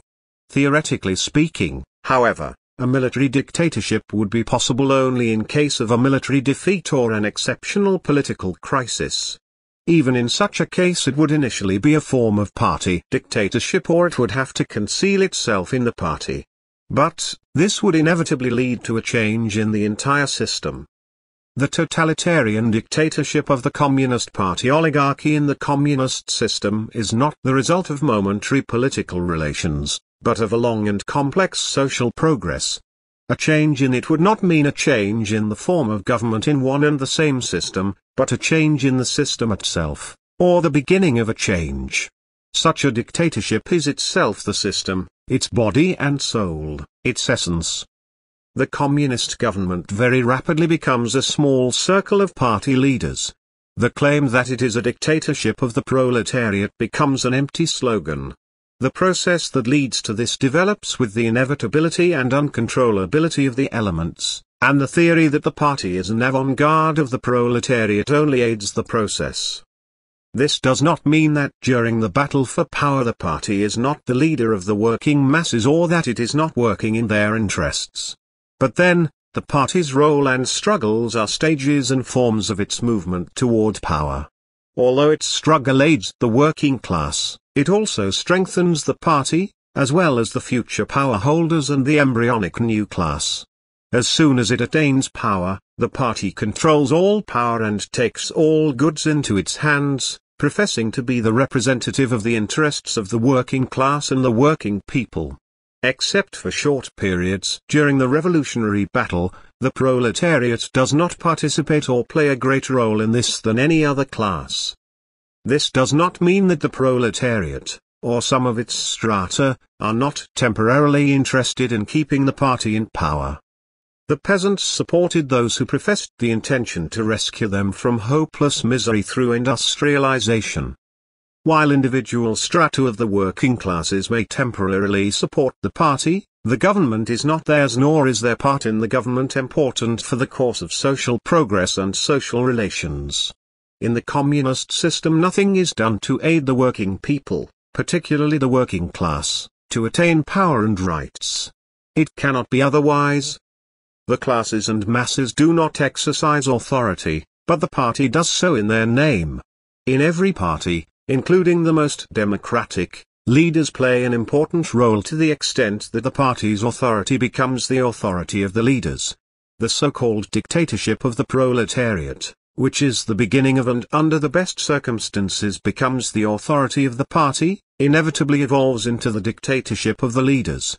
In a totalitarian government of this type, the dictatorship of the proletariat is a theoretical justification, or ideological mask at best, for the authority of some oligarchs. Marx envisioned the dictatorship of the proletariat as democracy within and for the benefit of the proletariat, that is, a government in which there are many socialist streams or parties. The only dictatorship of the proletariat, the Paris Commune of 1871, on which Marx based his conclusions, was composed of several parties, among which the Marxist party was neither the smallest nor the most significant.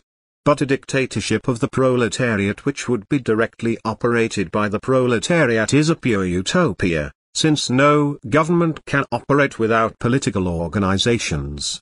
Lenin delegated the dictatorship of the proletariat to the authority of one party, his own. Stalin delegated the dictatorship of the proletariat to his own personal authority, to his personal dictatorship in the party and in the state.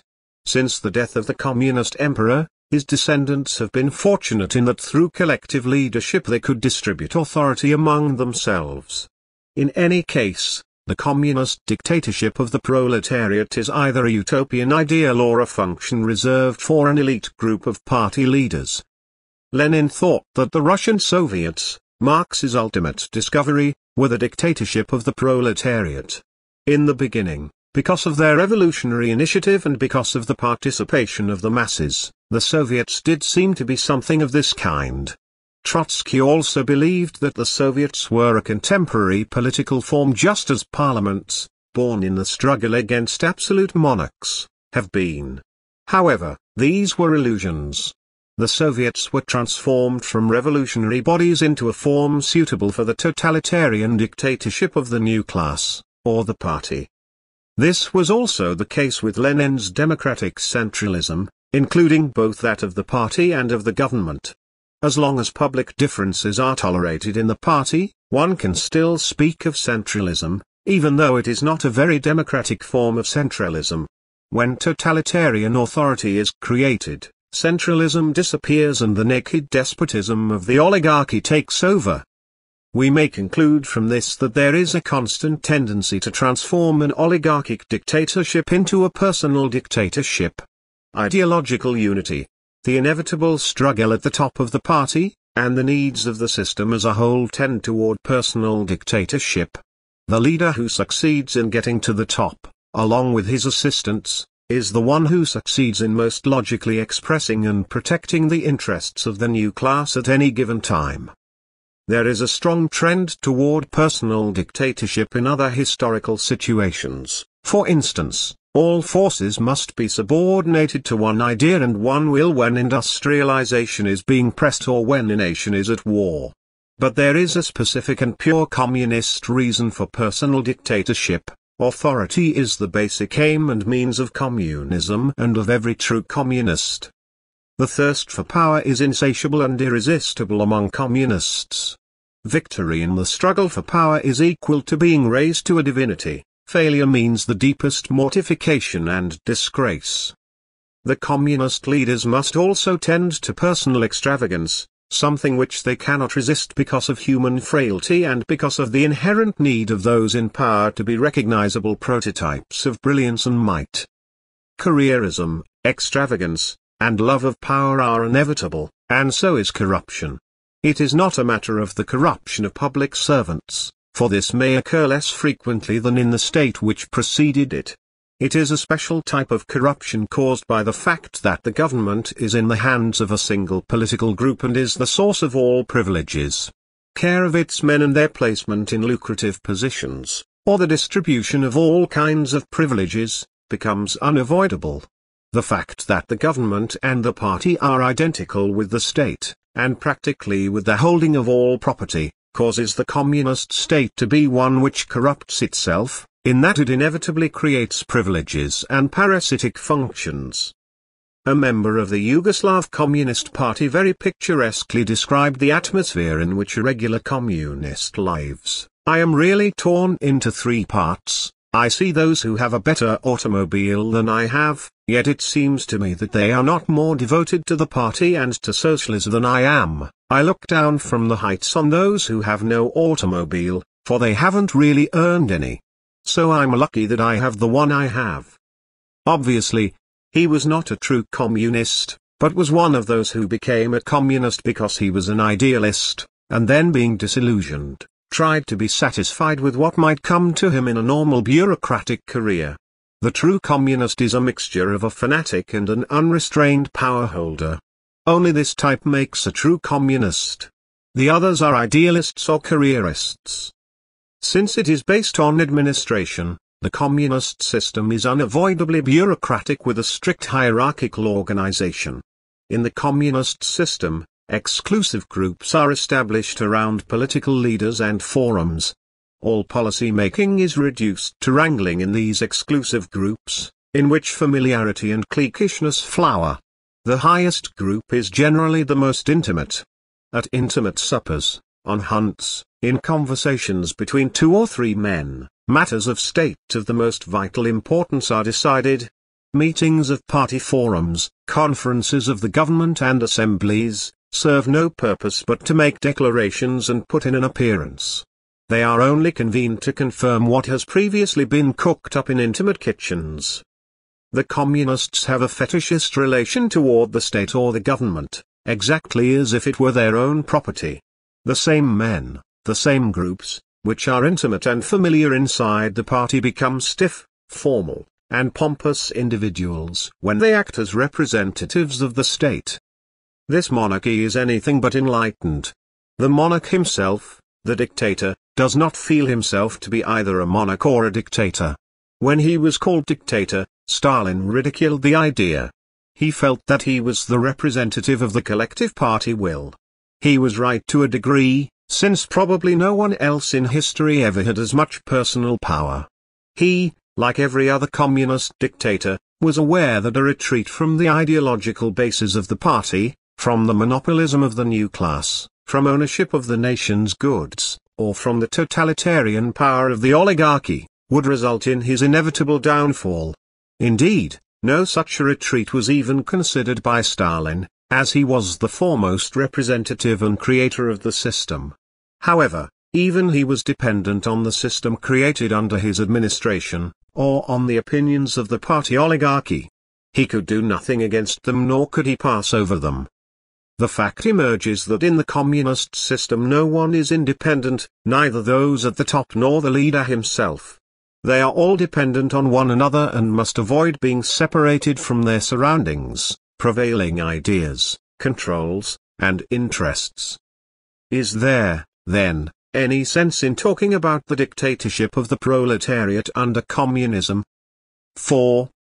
The communist theory of the state, a theory worked out in detail by Lenin and supplemented by Stalin and others, favors the totalitarian dictatorship of the party bureaucracy. Two elements are fundamental in the theory, the theory of the state alone and the theory of the withering away of the state. Both of these elements are mutually related and together represent the entire theory. Lenin's theory of the state is most completely presented in his document The State and Revolution, which was written while he was hiding from the provisional government on the eve of the October Revolution. Like everything else of Lenin's, the theory leans toward the revolutionary aspects of Marxist teaching. In his discussion of the state Lenin developed this aspect further and carried it to extremes, utilizing particularly the experience of the Russian Revolution of 1905. Considered historically, Lenin's document was of much greater significance as an ideological weapon of the revolution than it was as a base for development of a new authority built according to its ideas. Lenin reduced the state to force, or more precisely, to the organ of tyranny which one class employs for the sake of oppressing the other classes. Trying to formulate the nature of the state in the most forceful way, Lenin noted, the state is a club. Lenin perceived other functions of the state too. But in these functions he also uncovered what was for him the most indispensable role of the state, the use of brute force by one class against the others. Lenin's theory calling for the destruction of the old state apparatus was, in fact, far from being a scientific one. This document of Lenin's, extremely significant from the historic point of view, would make valid all that is typical of all communist theories. In proceeding from immediate needs, the parties create generalities, ostensibly scientific conclusions and theories, and proclaim half-truths as truths. The fact that force and violence are basic characteristics of every state authority, or the fact that individual social and political forces employ the machinery of state, particularly in armed clashes, cannot be denied.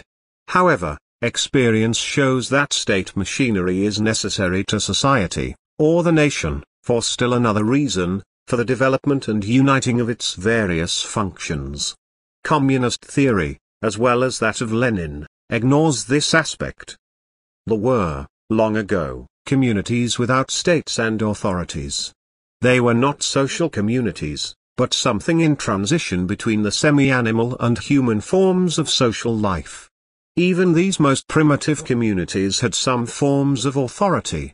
With increasingly complex forms of social life, it would be naive to try to prove that the need for the state would disappear in the future. Lenin, in support of Marx who agreed with the anarchists about this, contemplated and tried to establish precisely such a stateless society. Without entering into a discussion on the extent to which his premises were justified, we must remember that he contemplated this society as his classless society. According to this theory there will be no classes and no class struggles, there will be no one to oppress and to exploit others, and there will be no need for the state. Until that time, then, the most democratic state is the dictatorship of the proletariat, for the reason that it abolishes classes, and by so doing, ostensibly makes itself gradually unnecessary. Therefore, everything that strengthens that dictatorship, or leads to the abolishing of classes, is justified, progressive, and liberal. In those places where they are not in control the communists are pleaders in behalf of the most democratic measures because this facilitates their struggles, in those places where they manage to get control, they become opponents of every democratic form as allegedly a bourgeois form. They currently proclaim the preposterous classification of democracy into bourgeois and socialist, although the only proper and fair distinction must be drawn solely on the basis of the quantity of freedom, or the universality of freedom. In the entire Leninist or communist theory of the state, there are gaps in the scientific as well as the practical points of view. Experience has demonstrated that the results are completely contrary to those envisaged by Lenin.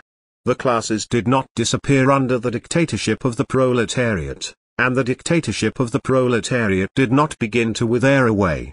Actually, the creation of the total authority of the communists, and the liquidation of the classes of the old society, was meant to look like the liquidation of classes in general. But the growth of state power or, more precisely, of the bureaucracy through which it enforced its tyranny did not stop with the dictatorship of the proletariat. Instead it increased. The theory had to be patched up somehow, Stalin had conceived a still higher educational role of the Soviet state before it withered. If communist theory of the state, and especially its practice, is reduced to its very essence, that is, to force and coercion as the principal or only function of the state, Stalin's theory might be said to be that the police system has this high or educational role to play. Understandably, only a malicious interpretation could lead to such a conclusion, and in this theory of Stalin's there is one of the communist half-truths. Stalin did not know how to explain the obvious fact that the power and might of the state machinery continually grew in the already established socialist society. So he took one of the functions of the state, the educational function, as the main function. He was not able to use tyranny since there no longer were any opposition classes. The situation is the same with the Yugoslav leaders' theories concerning autonomy. In the clash with Stalin, they had to rectify his deviations and do something so that the state would soon begin to wither away. It did not matter to Stalin or to them that they were further promoting and strengthening that function of the state, force, which for them was the most important function and one on which they based their theory of the state. Stalin's ideas on how the state withers away while growing stronger, that is, the way that the state's functions continually expand and draw an ever-increasing number of citizens into themselves, is extremely interesting. Perceiving the ever greater and expanding role of the state machine, despite the already started transition into a completely classless communist society, Stalin thought that the state would disappear by having all the citizenry rise to the state's level and take charge of its affairs. Lenin, moreover, talked about the time when even housewives will administer the government. Theories resembling that of Stalin circulate in Yugoslavia, as we have seen.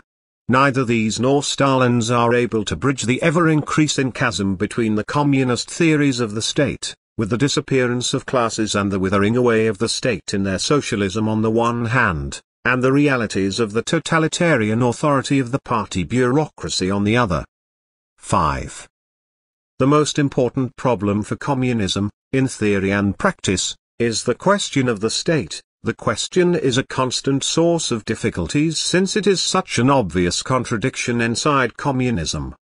Communist regimes are a form of latent civil war between the government and the people. The state is not merely an instrument of tyranny, society as well as the executive bodies of the state machine is in a continuous and lively opposition to the oligarchy, which aspires to reduce this opposition by naked force. In practice, the communists are unable to attain the goal of a state existing solely on naked force, nor are they able to subordinate society completely, but they are able to control the organs of force, that is, the police and party, which in turn control the entire state machine and its functions. The opposition of the organs and functions of the state against the irrationalities of the party and police, or of individual political functionaries, is really the opposition of society carried over into the state machine. It is an expression of dissatisfaction because of the oppression and crippling of society's objective aspirations and needs. In communist systems, the state and state functions are not reduced to organs of oppression, nor are they identical with them. As an organization of national and social life, the state is subordinated to these organs of oppression. Communism is unable to solve this incongruity, for the reason that by its own totalitarian despotism it inevitably comes in conflict with dissimilar and opposite tendencies of society, tendencies which are expressed even through the social functions of the state. Because of this contradiction, and the unavoidable and constant need of the communists to treat the state predominantly as an instrument of force, the communist state cannot become a lawful state or a state in which the judiciary would be independent of the government and in which laws could actually be enforced. The whole communist system is opposed to such a state.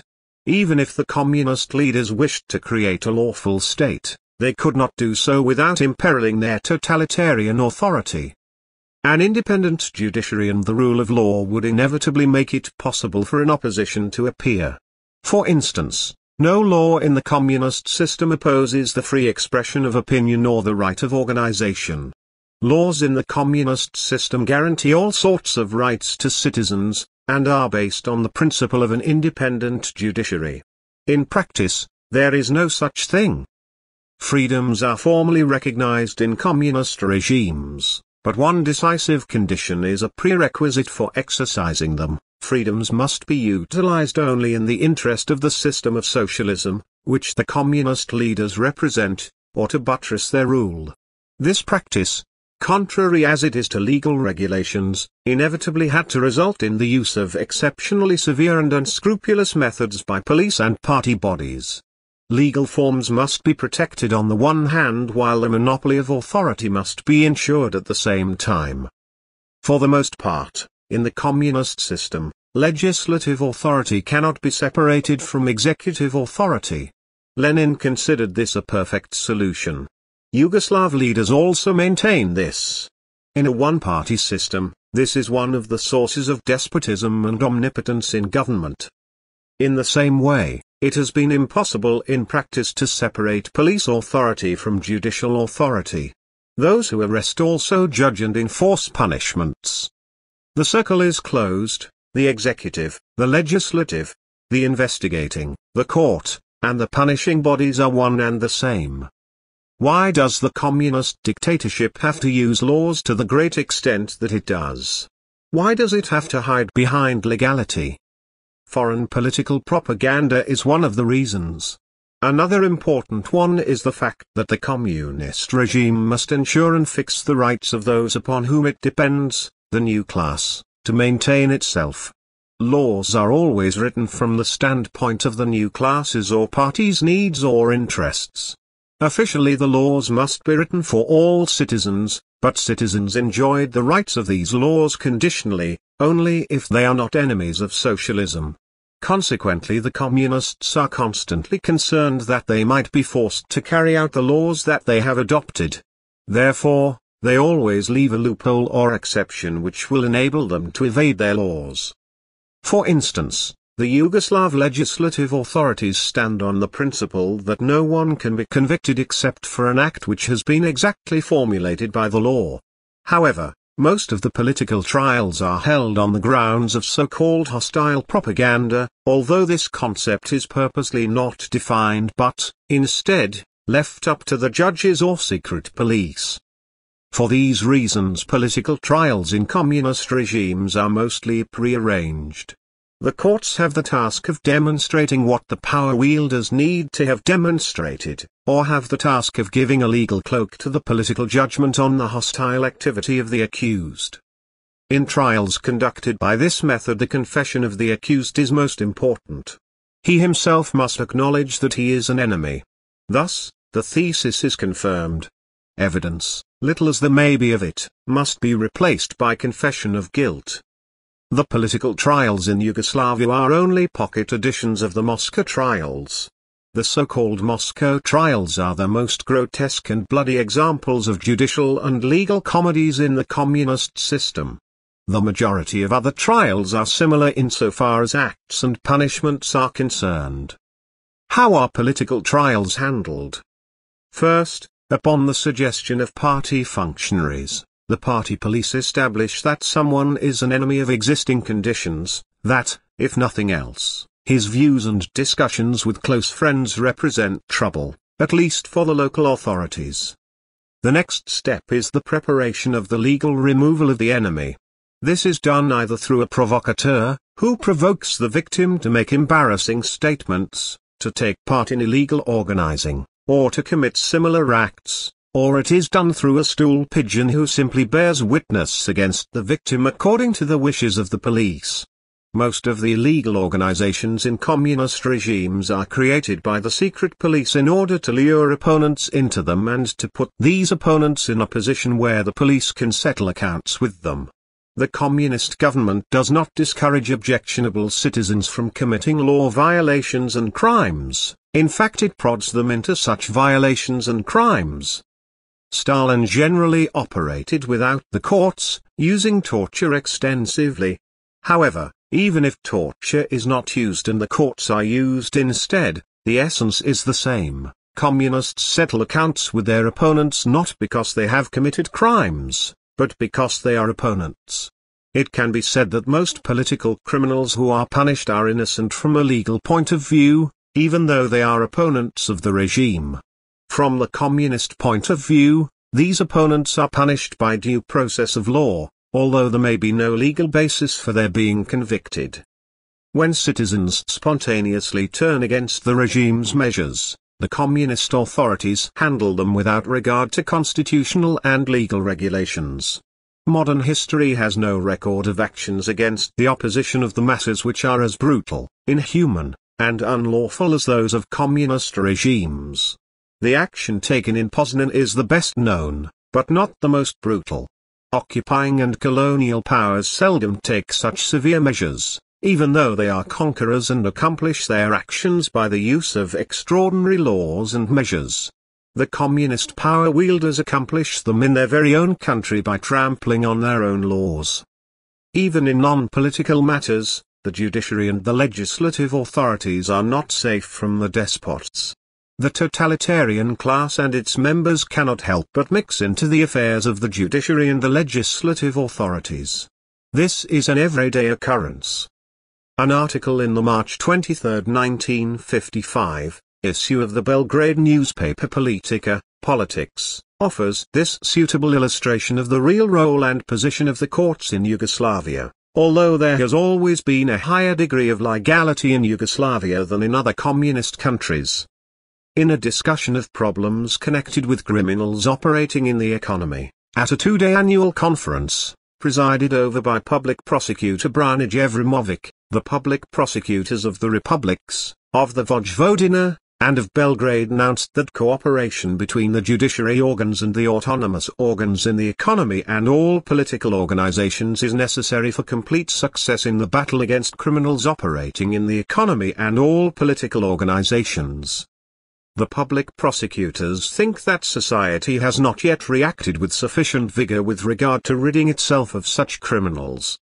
The prosecutors agreed that society's reaction must be more effective.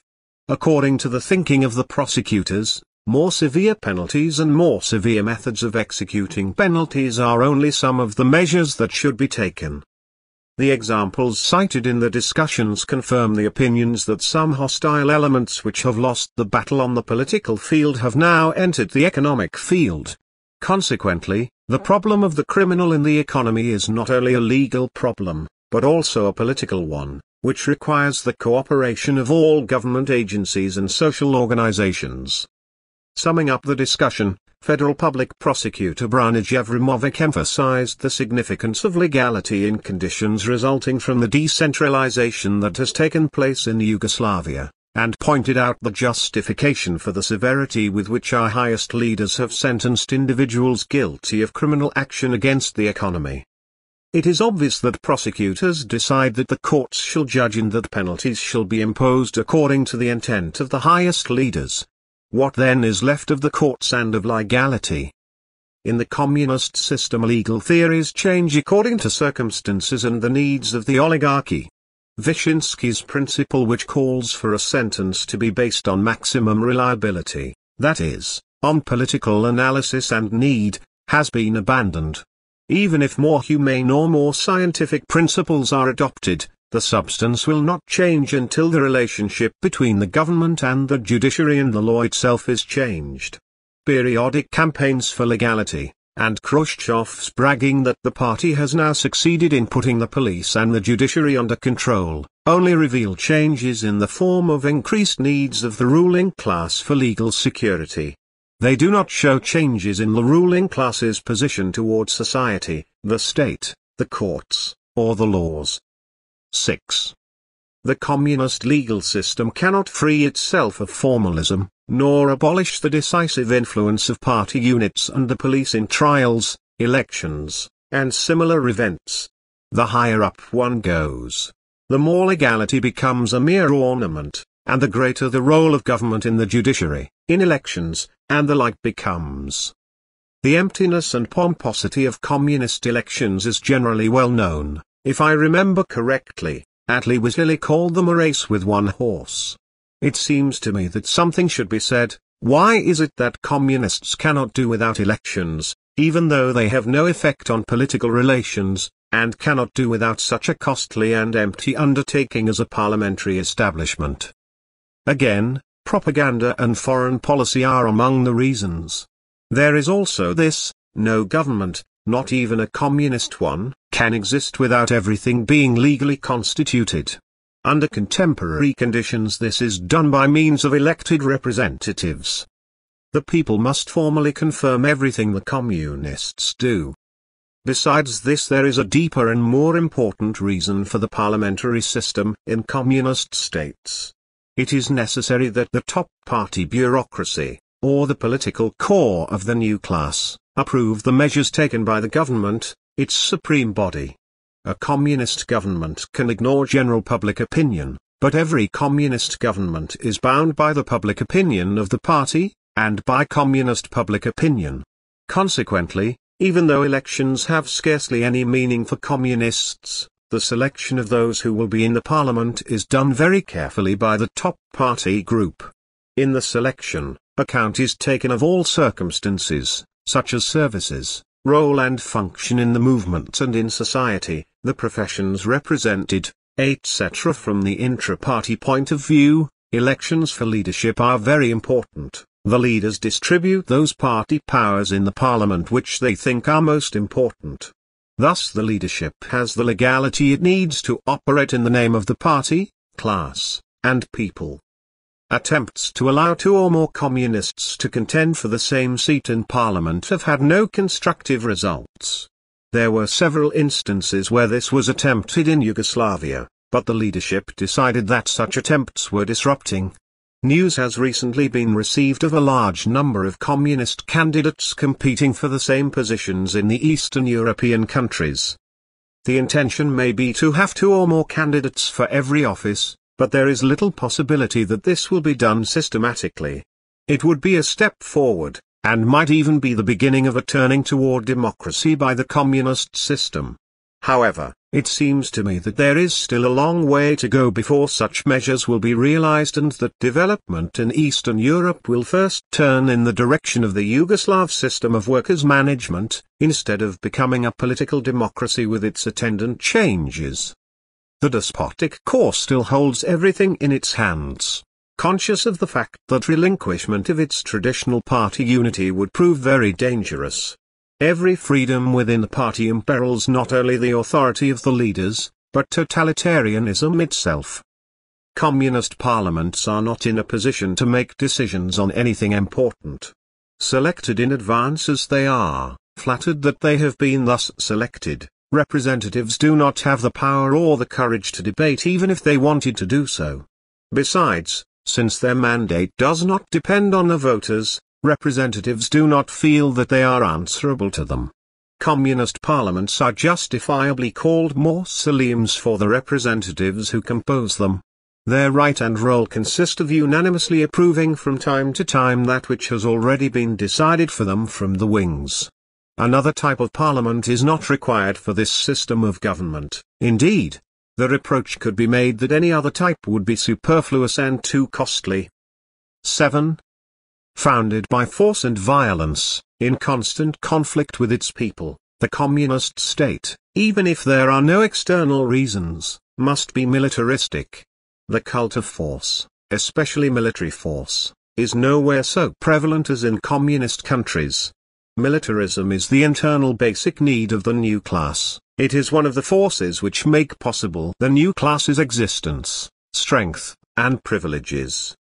Under constant pressure to be primarily and, when necessary, exclusively an organ of violence, the communist state has been a bureaucratic state since the beginning maintained by the despotism of a handful of power wielders, the communist state wields more power than any other state organization does with the aid of diverse laws and regulations.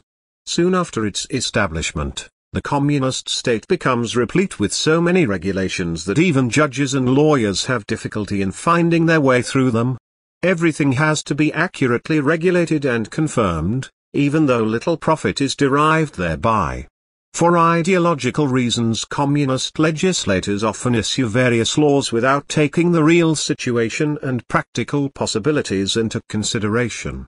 Immersed in legal and abstract socialist formulas, not subject to criticism or opposition, they compress life into paragraphs, which the assemblies mechanically ratify. The communist government is non-bureaucratic, however, where a question of the needs of the oligarchy and the working methods of its leaders is involved. Even in exceptional cases state and party heads do not like to fetter themselves with regulations. Policy making and the right of political determination are in their hands, and these cannot bear procrastination or too strict formalization. In decisions concerning the economy as a whole and in all other matters except unimportant, representational, and formal questions, the heads function without excessive restrictions. The creators of the most rigid type of bureaucratism and political centralism are not as individuals bureaucrats nor are they bound by legal regulations. For example, Stalin was not a bureaucrat in any respect. Disorder and delay prevail in the offices and establishments of many communist leaders, this does not prevent them from temporarily taking a stand against bureaucratism, that is, against both unscrupulousness and slowness in administration. They are today battling against the Stalinist form of bureaucratic administration. However, they have no intention of eliminating the real, fundamental bureaucratism rampant in the management of the political apparatus inside the economy and state. In this battle against bureaucratism, Communist leaders usually refer to Lenin. However, a very careful study of Lenin reveals that he did not foresee that the new system was moving toward political bureaucracy. In the conflict with the bureaucracy inherited partly from the Tsar's administration, Lenin attributed most of the difficulties to the fact that there are no apparatuses composed from a list of communists or from a list of members of Soviet party schools. The old officials disappeared under Stalin, and communists from the list stepped into their places, and in spite of this, bureaucratism grew. Even in places like Yugoslavia where there was a considerable weakening of bureaucratic administration, its essence, the monopoly of political bureaucracy and the relations resulting from it, was not abolished. Even when it is abolished as an administrative method of management, bureaucratism continues to exist as a political social relation. The communist state, or government, is working toward the complete impersonalization of the individual, the nation, and even of its own representatives. It aspires to turn the entire state into a state of functionaries. It aspires to regulate and control, either directly or indirectly, wages, housing conditions, and even intellectual activities. The communists do not distinguish people as to whether or not they are functionaries. All persons are considered to be functionaries, but by the amount of pay they receive and the number of privileges they enjoy. By means of collectivization, even the peasant gradually becomes a member of the general bureaucratic society. However, this is the external view. In the communist system social groups are sharply divided. In spite of such differences and conflicts, though, the communist society is as a whole more unified than any other. The weakness of the whole lies in its compulsory attitudes and relationships and the conflicting elements of its composition. However, every part is dependent on every other part, just as in a single, huge mechanism. In a communist government, or state, just as in an absolute monarchy, the development of human personality is an abstract ideal. In the period of the absolute monarchy, when mercantilists imposed the state upon the economy, the crown itself, for example, Catherine the Great, thought that the government was obliged to re-educate the people. The communist leaders operate and think in the same way. However, during the time of the absolute monarchy, the government did this in an attempt to subordinate existing ideas to its own. Today, in the communist system, the government is simultaneously the owner and the ideologist.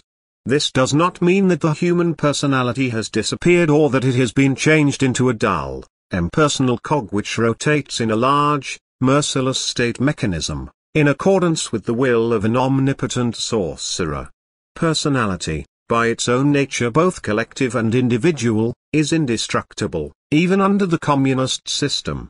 Of course it is stifled under this system more than under other systems, and its individuality has to be manifested in a different way. Its world is a world of petty daily cares. When these cares and wishes collide with the fortress of the system, which holds a monopoly over the material and intellectual life of the people, even this petty world is not free or secure. In the communist system, insecurity is the way of life for the individual. The state gives him the opportunity to make a living, but on condition that he submit. The personality is torn between what it desires and what it can actually have. It is free to recognize the interests of the collective and to submit to them, just as in every other system, but also it may rebel against the usurping representatives of the collective. Most of the individuals in the communist system are not opposed to socialism, but opposed to the way in which it is being achieved. This confirms the fact that the communists are not developing any sort of true socialism. The individual rebels against those limitations which are in the interest of the oligarchy, not against those which are in the interest of society. Anyone who does not live under these systems has a hard time grasping how human beings, particularly such proud and brave peoples, could have given up their freedom of thought and work to such an extent.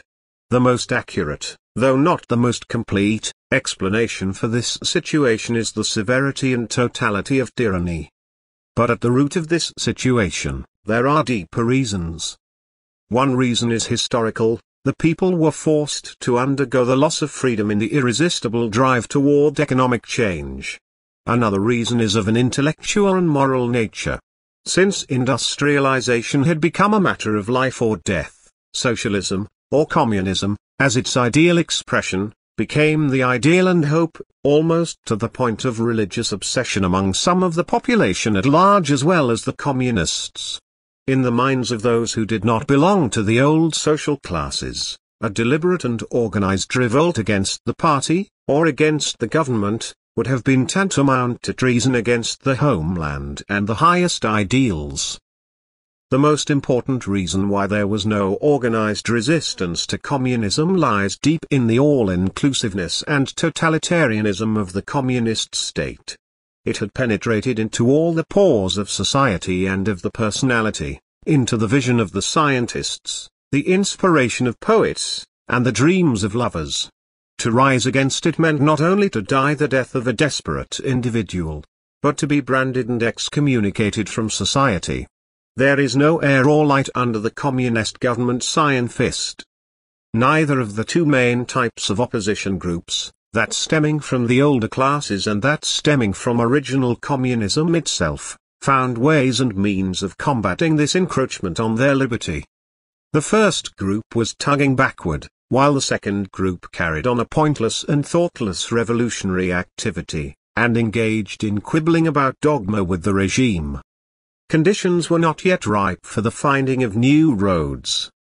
Meanwhile, the people were instinctively suspicious of the new road and resisted every step and small detail.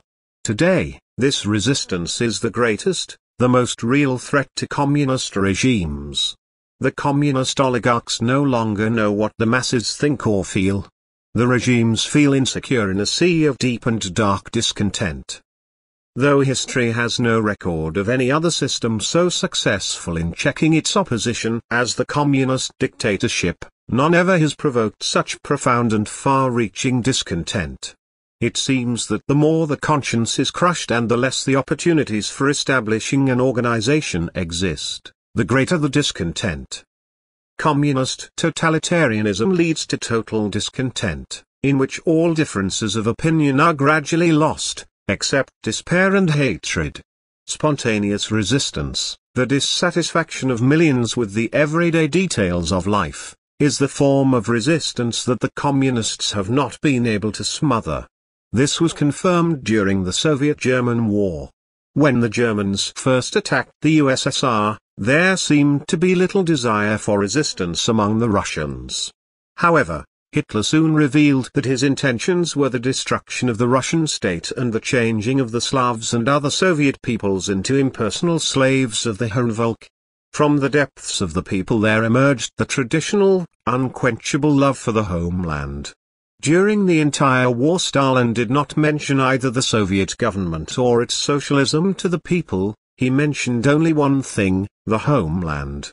And it was worth dying for, in spite of Stalin's socialism. 8.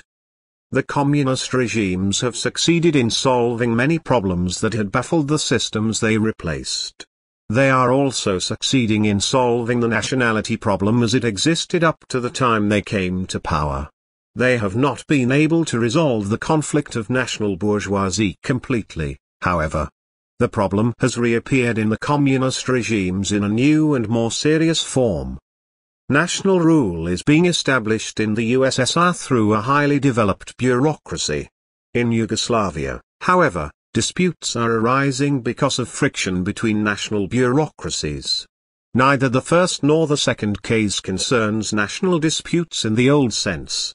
The communists are not nationalists, for them, the insistence on nationalism is only a form, just like any other form, through which they strengthen their powers. For this purpose they may even act like vehement chauvinists from time to time. Stalin was a Georgian, but in practice and in propaganda, whenever necessary, he was a rabid Great Russian. Among Stalin's errors, even Khrushchev admitted, was the terrible truth of the extermination of entire peoples. Stalin and company used the national prejudices of the largest nation, the Russian nation, just as if it had been composed of Hottentots. The communist leaders will always take recourse to anything they find useful, such as the preaching of equality of rights among the national bureaucracies, which is practically the same to them as the demand for equality of rights among nationalities. National feelings and national interest, however, do not lie at the basis of the conflict between the communist national bureaucracies. The motive is quite different, it is supremacy in one's own zone, in the sphere which is under one's administration. The struggle over the reputation and powers of one's own republic does not go much further than a desire to strengthen one's own power. The national communist state units have no significance other than that they are administrative divisions on the basis of language. The communist bureaucrats are vehement local patriots on behalf of their own administrative units, even though they have not been trained for the part on either a linguistic or a national basis. In some purely administrative units in Yugoslavia, the regional councils, chauvinism has been greater than in the national republic governments.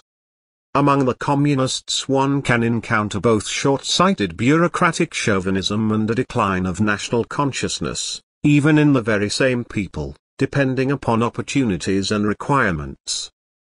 The languages which the communists speak are hardly the same as those of their own people. The words are the same, but the expressions, the meaning, the inner sense, all of these are their very own. While they are autarchical with regard to other systems and localistic within their own system, the communists can be fervent internationalists when it is to their interest to be so. The various nations, each of which once had its own form and color, its own history and hopes, stand virtually still now, grey and languid, beneath the all-powerful, all-knowing, and essentially non-national oligarchies. The communists did not succeed in exciting or awakening the nations, in this sense they also failed to solve nationality questions. Who knows anything nowadays about Ukrainian writers and political figures? What has happened to that nation, which is the same size as France, and was once the most advanced nation in Russia? You would think that only an amorphous and formless mass of people could remain under this impersonal machine of oppression. However, this is not the case. Just as personality, various social classes, and ideas still live, so do the nations still live, they function, they struggle against despotism, and they preserve their distinctive features undestroyed. If their consciences and souls are smothered, they are not broken. Though they are under subjugation, they have not yielded. The force activating them today is more than the old or bourgeois nationalism, it is an imperishable desire to be their own masters, and, by their own free development, to attain an increasingly fuller fellowship with the rest of the human race in its eternal existence. Dogmatism in the economy. 1. The development of the economy in communism is not the basis for, but a reflection of, the development of the regime itself from a revolutionary dictatorship to a reactionary despotism. This development, through struggles and disputes, demonstrates how the interference of government in the economy, necessary at first, has gradually turned into a vital, personal interest on the part of the ruling bureaucrats. Initially, the state seizes all means of production in order to control all investments for rapid industrialization. Ultimately, further economic development has come to be guided mainly in the interests of the ruling class. Other types of owners do not act in an essentially different manner, they are always motivated by some sort of personal interest. However, the thing that distinguishes the new class from other types of owners is that it has in its hands more or less, all the national resources, and that it is developing its economic power in a deliberate and organized manner. A deliberate system of unification is also used by other classes, such as political and economic organizations. Because there are a number of owners and many forms of property, all in mutual conflict, spontaneity and competition have been preserved in all economies preceding the communist one at least under normal or peaceful conditions. Even the communist economy has not succeeded in repressing spontaneity, but in contrast to all others, it constantly insists that spontaneity should be achieved. This practice has its theoretic justification. The communist leaders really believe that they know economic laws and that they can administer production with scientific accuracy. The truth is that the only thing they know how to do is to seize control of the economy. Their ability to do this, just like their victory in the revolution, has created the illusion in their minds that they succeeded because of their exceptional scientific ability. Convinced of the accuracy of their theories, they administer the economy largely according to these theories. It is a standard joke that the communists first equate an economic measure with a Marxist idea and then proceed to carry out the measure. In Yugoslavia, it has been officially declared that planning is conducted according to Marx, but Marx was neither a planner nor a planning expert. In practice, nothing is done according to Marx. However, the claim that planning is conducted according to Marx satisfies people's consciences and is used to justify tyranny and economic domination for ideal aims and according to scientific discoveries. Dogmatism in the economy is an inseparable part of the communist system. However, the forcing of the economy into dogmatic molds is not the outstanding feature of the communist economic system. In this economy the leaders are masters in adapting theory, they depart from theory when it is to their interest to do so. In addition to being motivated by the historical need for rapid industrialization, the communist bureaucracy has been compelled to establish a type of economic system designed to ensure perpetuation of its own power. allegedly for the sake of a classless society and for the abolition of exploitation, it has created a closed economic system, with forms of property which facilitate the party's domination and its monopoly. At first, the communists had to turn to this collectivistic form for objective reasons. Now they continue to strengthen this form, without considering whether or not it is in the interest of the national economy and of further industrialization, for their own sake, for an exclusive communist class aim. They first administered and controlled the entire economy for so-called ideal goals, later they did it for the purpose of maintaining their absolute control and domination. That is the real reason for such far-reaching and inflexible political measures in the communist economy. In an interview in 1956, Tito admitted that there are socialist elements in Western economies, but that they are not deliberately introduced into the economies as such. This expresses the whole communist idea, only because socialism is established deliberately by organized compulsion. In the economics of their countries must the communists preserve the despotic method of governing and their own monopoly of ownership. This attribution of great and even decisive significance to deliberateness in the development of the economy and society reveals the compulsory and selfish character of communist economic policy. Otherwise, why would such an insistence on deliberateness be necessary? The strong opposition of communists to all forms of ownership except those which they consider to be socialist indicates, above all, their uncontrollable desires to gain and maintain power. They abandoned or altered this radical attitude, however, when it was against their interest to hold to it, thus they treated their own theory badly. In Yugoslavia, for instance, they first created and then dissolved the kolkhozes in the name of error-free Marxism and socialism. Today they are pursuing a third, and confused, middle of their road line in the same matter. There are similar examples in all communist countries. However, the abolition of all forms of private ownership except their own is their unchanging purpose. Every political system gives expression to economic forces and attempts to administer them. The communists cannot attain complete control over production, but they have succeeded in controlling it to such an extent that they continuously subordinate it to their ideological and political goals. In this way, communism differs from every other political system. 2. The communists interpret the special role of those who produce in terms of their total ownership and, even more important, often in terms of the overriding role of ideology in the economy. Immediately after the revolution, freedom of employment was curtailed in the USSR but the need of the regime for rapid industrialization did not bring about complete curtailment of such freedom. This took place only after the victory of the Industrial Revolution and after the new class had been created. In 1940 a law was passed forbidding freedom of employment and punishing people for quitting their jobs. In this period and after World War II, a form of slave labor developed, namely, the labor camps. Moreover, the borderline between work in the labor camps and work in factories was almost completely eliminated. Labor camps and various kinds of voluntary work activities are only the worst and most extreme forms of compulsory labor. This can be of a temporary character in other systems but under communism compulsory labor has remained a permanent feature. Although compulsory labor did not take the same form in other communist countries nor develop that to the extent that it has in the USSR, none of these countries has completely free employment.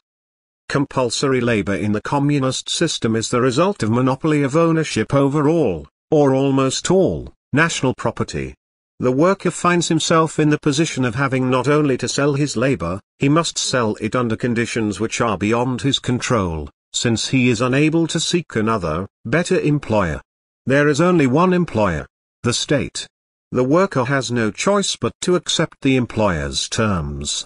The worst and most harmful element in early capitalism from the worker's standpoint, the labor market, has been replaced by the monopoly over labor of the ownership of the new class.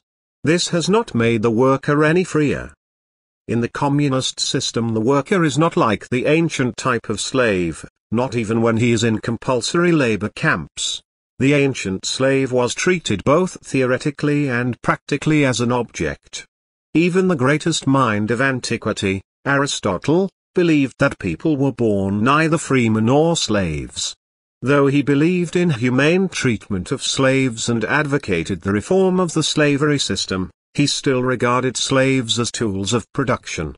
In the modern system of technology, it is not possible to deal this way with a worker, because only a literate and interested worker can do the sort of work required. Compulsory labor in the communist system is quite different from slavery in antiquity or in later history.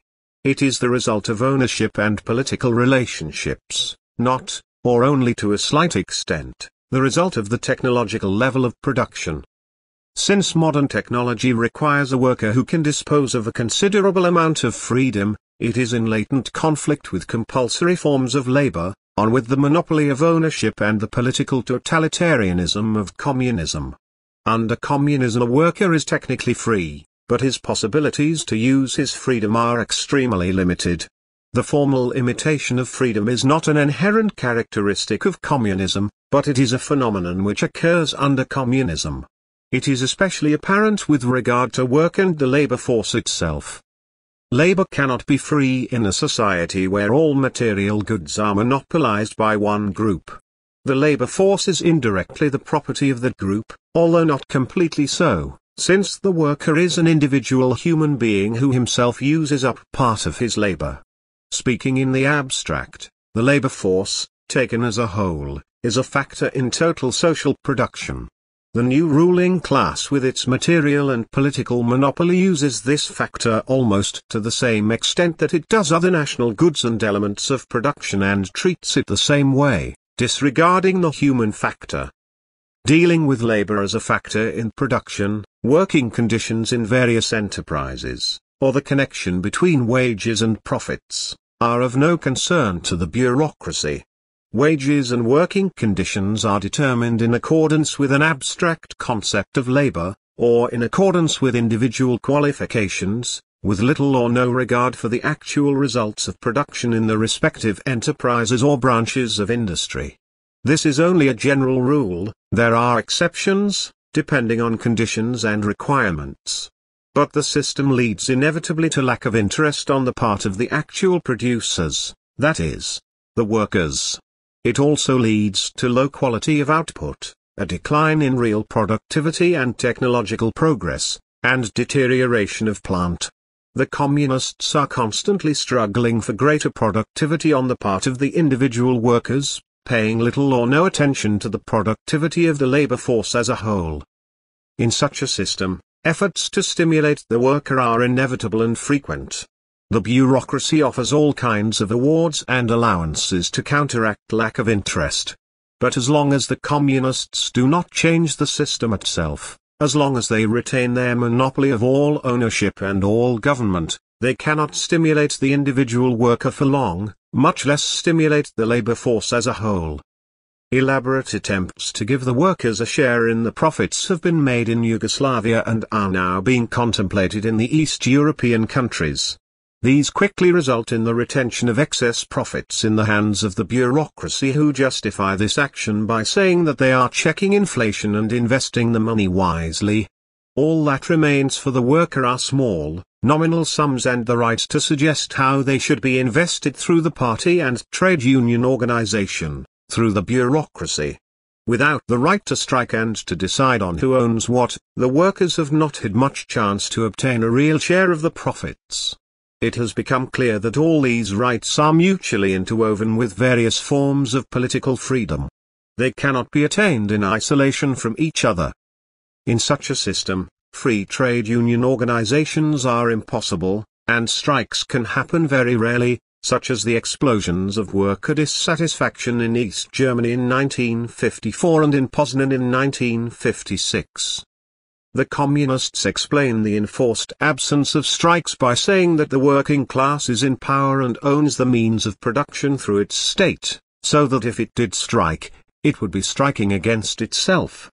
This naive explanation is based on the fact that in the communist system the owner of property is not a private individual, but, as we know, camouflaged by the fact that he is collective and formally unidentifiable. Above all, strikes under the communist system are impossible because there is only one owner who is in charge of all goods and of the entire labor force. It would be hard to take any effective action against him without the participation of all the workers. A strike of one or more enterprises, supposing that such a thing could happen at all under a total dictatorship, cannot really threaten the owner, his property does not consist of those individual enterprises but of the production machine as a whole. The owner is not harmed by losses in individual enterprises, because the producers, or society as a whole, must make up for such losses. Because of this, strikes are more of a political than an economic problem for the communists. While individual strikes are almost impossible, and hopeless as far as potential results are concerned, there are no proper political conditions for general strikes and they can occur only in exceptional situations. Whenever individual strikes have taken place, they have usually changed into general strikes and have taken on a distinctly political character. In addition, communist regimes constantly divide and disrupt the working class by means of paid functionaries, raised from its ranks, who educate it, uplift it ideologically, and direct it in its daily life. Trade union organizations and other professional organizations, because of their purpose and function, can only be the appendages of a single owner and potentate, the political oligarchy. Thus, their main purpose is the job of building socialism or increasing production. Their other functions are to spread illusions and an acquiescent mood among the workers. These organizations have played only one important role, the lifting of the cultural level of the working classes.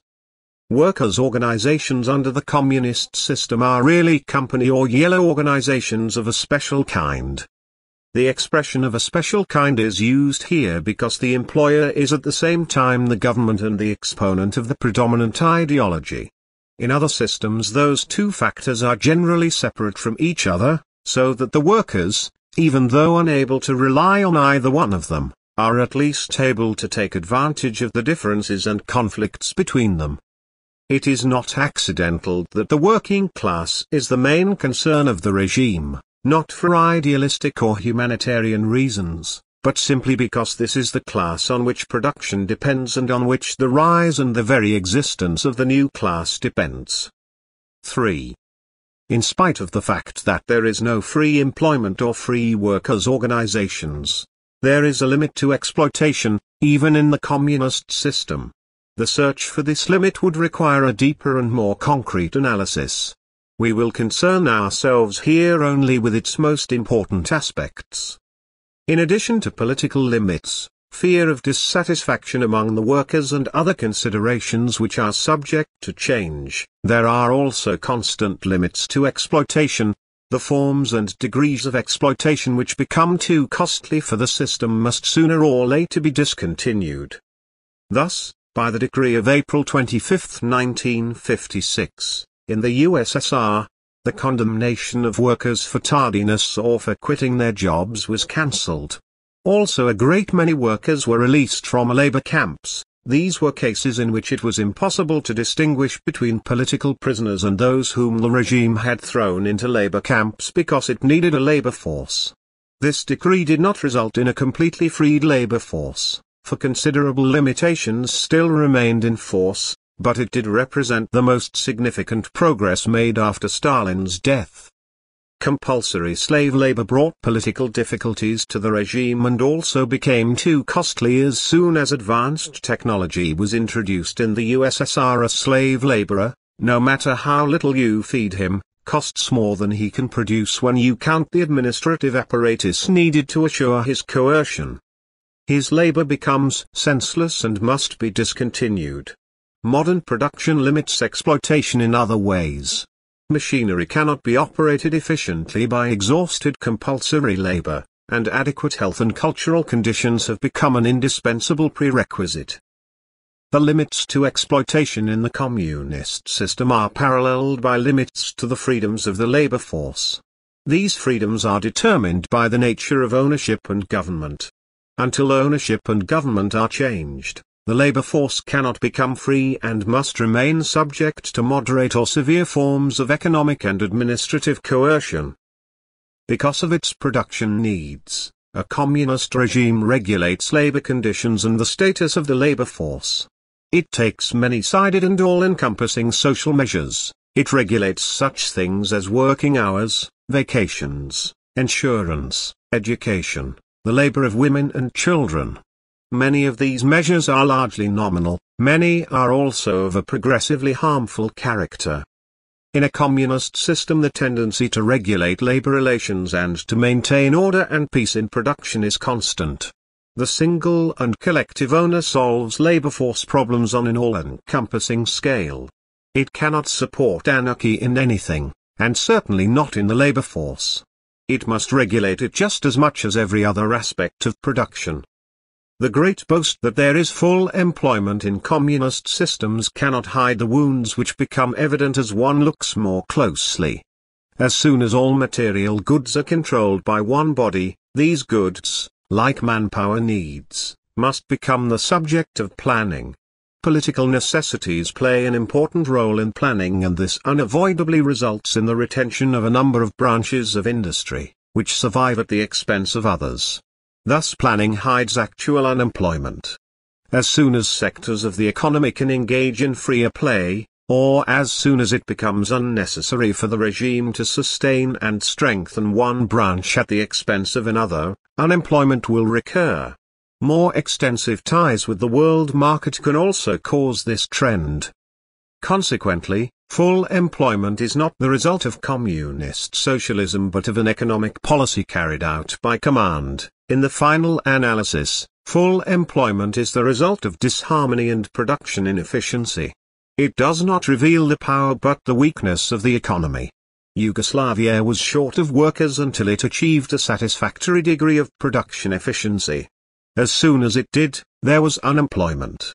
Unemployment would be even higher if Yugoslavia attained maximum production efficiency. In communist economies full employment conceals unemployment. The poverty of all conceals the unemployment of some, just as the phenomenal progress of some sectors of the economy conceals the backwardness of others. By the same token, this type of monopoly ownership and government is able to prevent economic collapse, but incapable of preventing chronic crises. The selfish interests of the new class and the ideological character of the economy make it impossible to maintain a healthy and harmonious system. 4. Marx was not the first to visualize the economy of future society on a planned basis. But he was the first, or among the first, to recognize that a modern economy unavoidably tends toward planning because, in addition to social reasons, it is being established on the basis of scientific technology. Monopolies were the first to plan on a gigantic national and international scale. Today, Planning is a general phenomenon and an important element of the economic policy of most governments, even though it has a different character in industrially developed countries from that in industrially undeveloped ones. Planning becomes necessary when production reaches an advanced stage and when social, international, and other conditions are subject to similar trends. It does not have much connection with anyone's theories, let alone those of Marx which were constructed on a far lower level of social and economic relations. When the USSR became the first country to embark upon national planning, its leaders, who were Marxists, connected this planning with Marxism. The truth is this, although Marx's teachings were the idealistic basis of the revolution in Russia, his teachings also became the cover for later measures taken by the Soviet leaders, all of the historical and specific reasons for Soviet planning were attributed to corresponding theories. Marx's theory was the closest and most acceptable because of the social basis and the past of the communist movement. Although leaning heavily on Marx in the beginning, communist planning has a more profound idealistic and material background. How can an economy be administered other than as a planned economy when it has or is going to have a single owner? How could such tremendous investments be made for the purpose of industrializing if they were not planned? Something must be needed before it can become an ideal. So it is with communist planning. It is dedicated to the development of those branches of the economy which will ensure strengthening of the regime. This is the general rule, although in every communist country, especially those which become independent of Moscow, there are exceptions to this rule. Of course, the development of the national economy as a whole is important for the strengthening of the regime, for it is impossible permanently to separate progress in one branch of production from another. Planning emphasis in every communist system is always directed toward branches of the economy that are considered to be of decisive importance in maintaining the political stability of the regime. These branches are ones that enhance the role, power, and privileges of the bureaucracy. They also are the ones that strengthen the regime in its relations to other countries and make it possible for the regime to industrialize to a greater degree. Up to now, they have been branches of heavy and war industries. This does not mean that the situation cannot change in individual countries. Recently atomic energy, especially in the USSR, has begun to take first place in the plan, I should say that this is happening because of military, foreign and political considerations rather than for any other. Everything is subordinated to these aims. Consequently, many branches of the economy are lagging and working inefficiently, disproportions and difficulties are inevitable, and excessive production costs and chronic inflation are rampant. According to André Philip, in The New Leader, October 1, 1956, Investments in heavy industry in the USSR increased from the 53.3% of total investments in 1954 to 60% of total investments in 1955. 21% of the net national income is being invested in industry, with a concentration on heavy industry, although heavy industry only contributed 7.4% to the increase in income per capita, 6.4% of which was due to increased production. It is understandable why, under such conditions, the standard of living is the last concern of the new owners, even though, as Marx himself maintains, men are the most important factor in production. According to Edward Crankshaw, who is close to the British Labour Party, a desperate battle for survival must be fought in the USSR by those who earn less than 600 rubles monthly. Harry Schwartz, the New York Times expert on the Soviet Union, has estimated that approximately 8 million workers earn less than 300 rubles monthly, and the Tribune, representing the point of view of the British Labour Party's left wing, adds the comment that this, and not the equality of sexes, is the reason for the large number of women employed at heavy labour. The recent 30% wage increase in the USSR has applied to these low-wage categories. This is the way it is in the USSR it is not much different in other communist countries, not even in countries like Czechoslovakia which are technologically very advanced. Once an exporter of agricultural products, Yugoslavia now imports them. According to official statistics, the standard of living of blue and white collar workers is lower than before World War II, when Yugoslavia was an undeveloped capitalist country. Communist planning, devoted to political class interests, and totalitarian dictatorship supplement each other. For ideologic reasons, communists invest intensively in certain branches of the economy. All planning revolves around these branches. This leads to deep displacements in the economy which cannot be paid for by income from nationalized farms taken over from capitalists and large landowners, but must be paid for mainly through the imposition of low wages and the pillaging of peasants through the compulsory crop purchase system. It might be said that if the USSR had not done such planning, or if it had not concentrated on the development of heavy industry, it would have entered World War II unarmed and would have been the easily conquered slave of the Hitler invasion. This is correct, but only to a certain degree. For guns and tanks are not the only strength of a country. If Stalin had not had imperialistic aims in his foreign policy and tyrannical aims in his internal policy, no grouping of powers would have left his country standing alone before the invader. This is clear, the ideological approach to planning and development of the economy was not essential for the development of a war industry.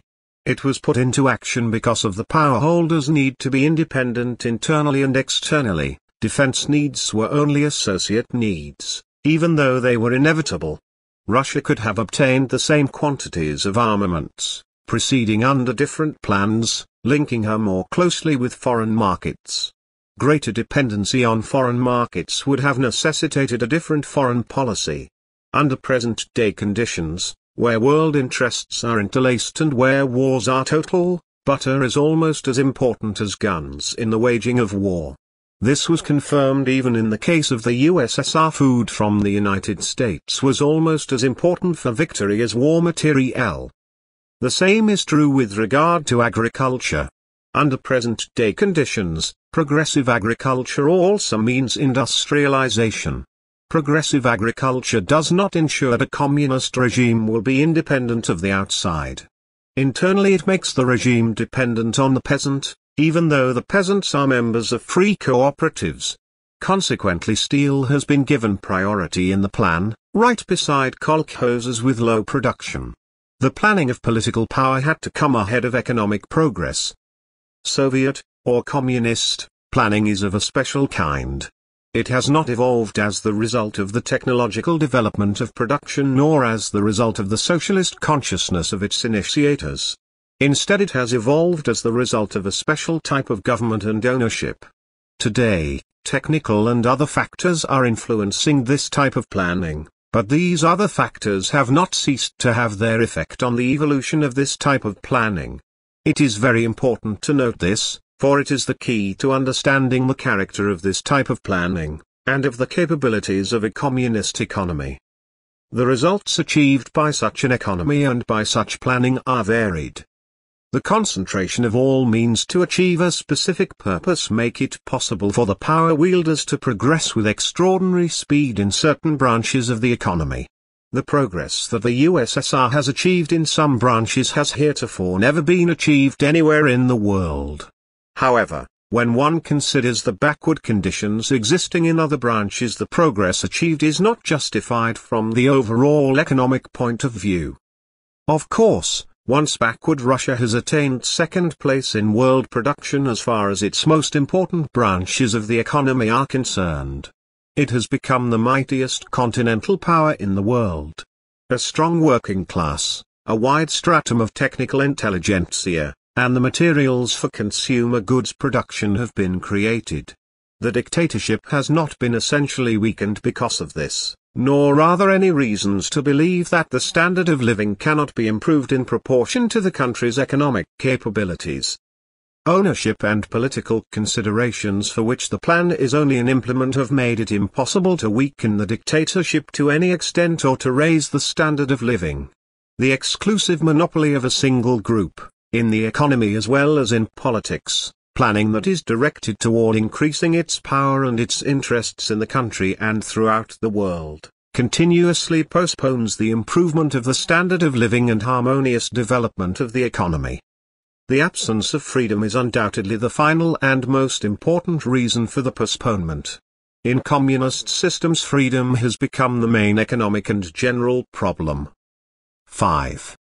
The communist planned economy conceals within itself an anarchy of a special kind. In spite of the fact that it is planned, the communist economy is perhaps the most wasteful economy in the history of human society. Such claims may seem strange, especially if one has in mind the relatively rapid development of individual branches of the economy, and of the economy as a whole. However, they have a solid basis. Wastefulness of fantastic proportions was unavoidable even if this had not been a group which considered everything, including the economy, from its own narrow ownership and ideological point of view. How could a single group of this kind administer a complex modern economy effectively and thriftily, an economy which, in spite of the most complete planning, showed varied and often contradictory internal and external tendencies from day to day? The absence of any type of criticism, even of any type of important suggestion, inevitably leads to waste and stagnation. Because of this political and economic omnipotence, wasteful undertakings cannot be avoided even with the best of intentions. Very little attention is paid to what the cost of these undertakings is to the economy as a whole. How great are the costs to a nation of an agriculture which is stagnant because of the superstitious communist fear of the peasant and unreasonable investments in heavy industry? What is the cost of capital invested in inefficient industries? What is the cost of a stagnant transportation system? What is the cost of poorly paid workers, who consequently gold brick and work slowly? What is the cost of poor quality production? There is no counting these costs nor can they be calculated. Just as they administer the economy, the communist leaders handle everything in a way contrary to their own teaching, that is, from their personal viewpoint.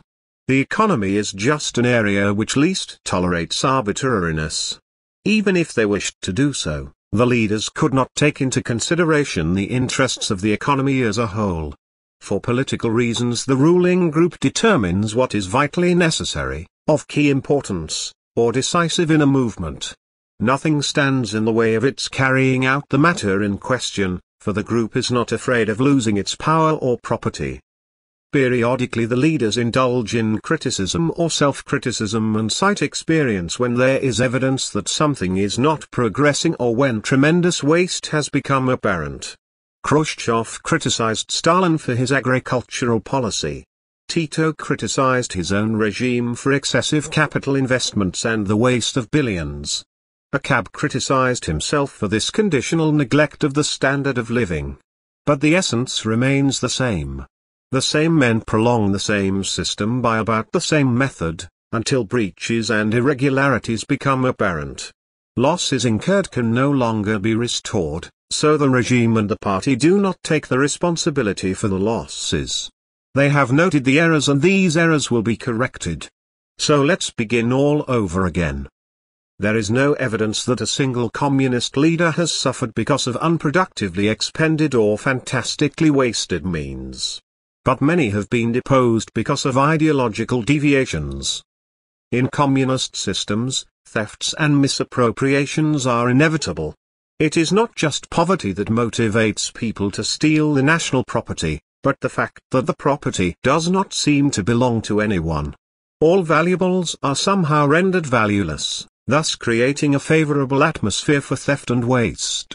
In 1954, in Yugoslavia alone, over 20,000 cases of theft of socialist property were discovered.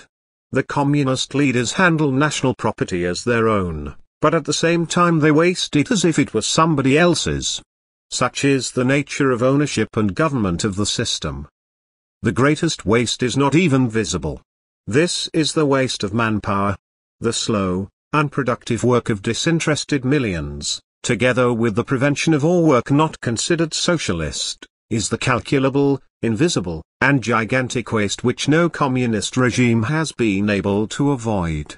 Even though they are adherents of Smith's theory that labor creates value, a theory which Marx adopted, these power wielders pay the least attention to labor and manpower, regarding them as something of very little value which can be readily replaced. The fear which communists have of the renewal of capitalism, or of economic consequences that would arise from narrow class ideological motives, has cost the nation tremendous wealth and put a brake on its development. Entire industries are destroyed because the state is not in a position to maintain or develop them, only that which is the state's is considered socialist. How far and how long can a nation carry on like this? The moment is approaching when industrialization, which first made communism inevitable, will through further development make the communist form of government and ownership superfluous. The waste is tremendous because of the isolation of communist economies. Every communist economy is essentially autarkic. The reasons for this autarky lie in the character of its government and ownership. No communist country, not even Yugoslavia, which was obliged to cooperate to a greater extent with non-communist countries because of its conflict with Moscow, has been successful in developing foreign trade beyond the traditional exchange of goods. Planned production on a larger scale in cooperation with other countries has not been attained.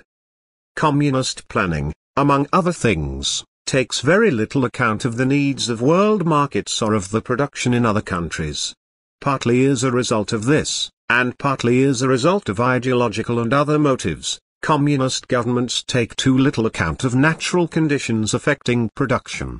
They often construct industrial plants without having sufficient raw materials available for them, and almost never pay attention to the world level of price and production. They produce some products at several times the production cost in other countries. Simultaneously, other branches of industry which could surpass the world average in productivity, on which could produce at lower prices than the world average, are neglected. Entire new industries are being developed, even though world markets are surfeited with the items they will produce. The working people have to pay for all this in order to make the oligarchs independent. This is one aspect of the problem common to communist regimes. Another is the senseless race of the leading socialist country the U.S.S.R. to overtake and pass the most highly developed countries. What does this cost? And where does it lead? Perhaps the USSR can overtake some branches of the economy of the most highly developed countries. By infinite waste of manpower, by low wages, and by neglect of the other branches of industry, this may be possible. It is quite another question whether this is economically justifiable. Such plans are aggressive in themselves, what does the non-communist world think of the fact that the USSR is determined to hold first place in the production of steel and crude oil at the cost of a low standard of living? What is left of coexistence and peace-loving cooperation if they consist of competition in heavy industry and of very small trade exchanges? What is left of cooperation if the communist economies develop autarkically, but penetrate the world mostly for ideological reasons? Such plans and relations waste domestic and world manpower and wealth and are unjustified from every viewpoint except that of the communist oligarchy. Technical progress and changing vital needs make one branch of the economy important one moment and another the next, this is true for nations and for the world. What will happen if, 50 years from now, steel and petroleum lose the significance they hold today? The communist leaders take no account of this and many other things. Efforts at linking the communist economies, the Soviet first of all, to the rest of the world, and at the penetration of the world by these economies, are far behind the actual technical and other capabilities of these economies.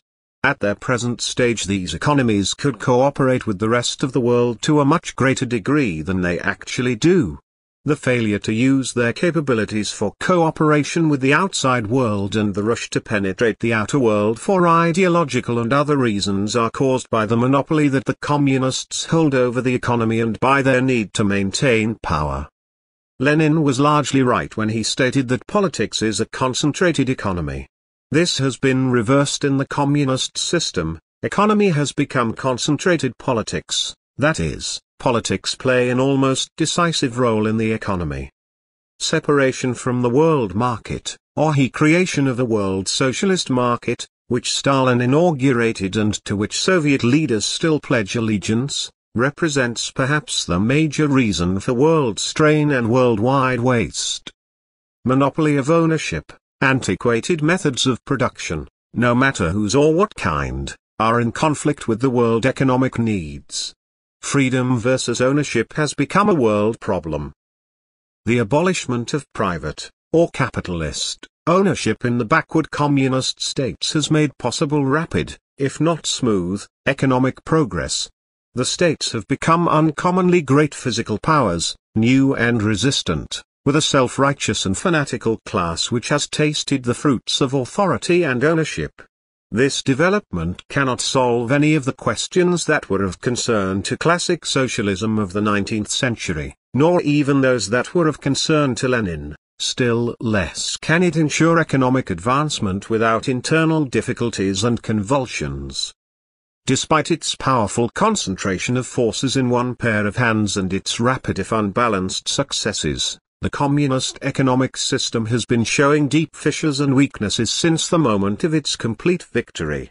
Even though it has not yet reached the height of its power it is already running into difficulties.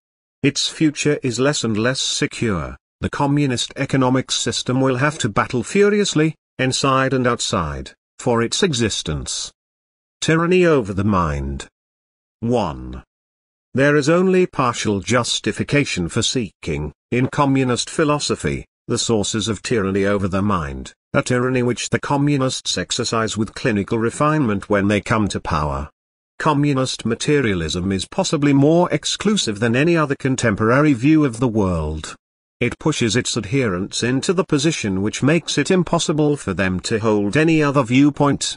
If this view were not connected with specific forms of government and ownership, the monstrous methods of oppression and destruction of the human mind could not be explained by the view itself.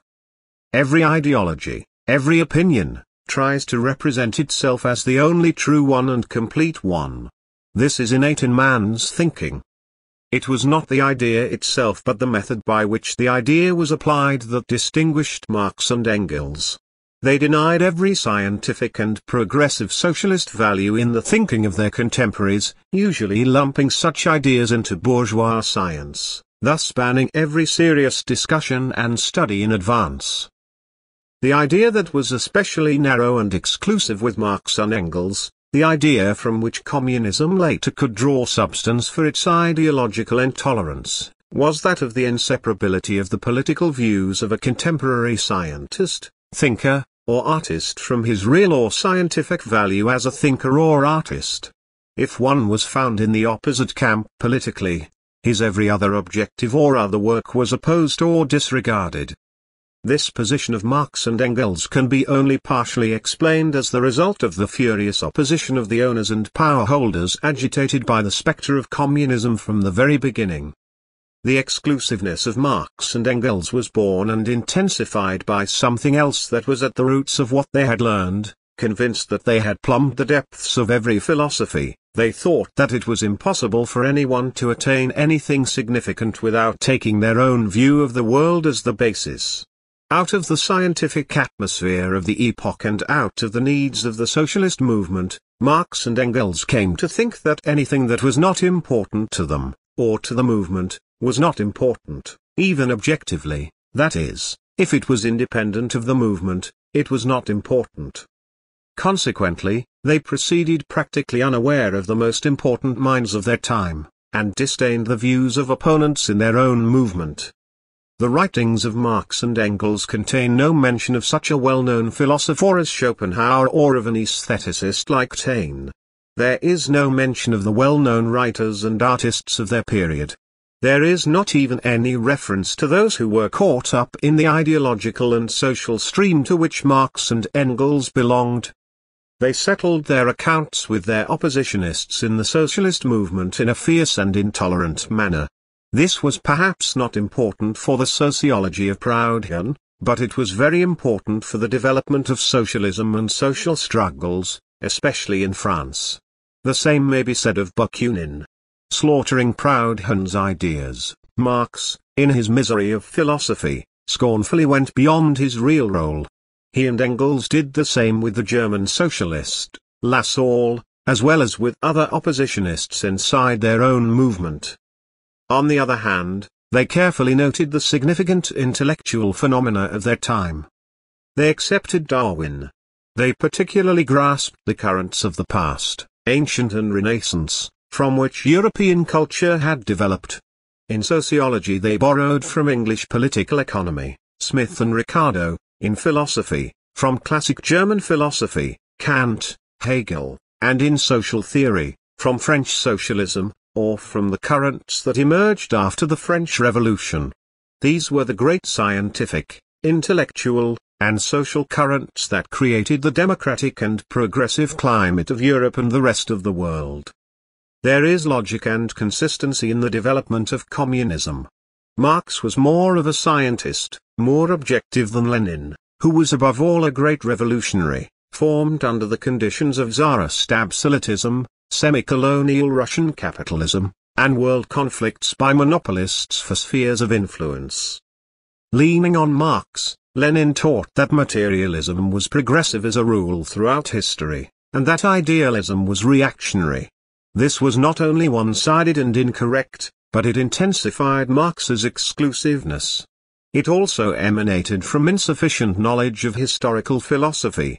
In 1909, When Lenin wrote his Materialism and Empirio-Criticism, he was not closely acquainted with any great philosopher, classical or modern.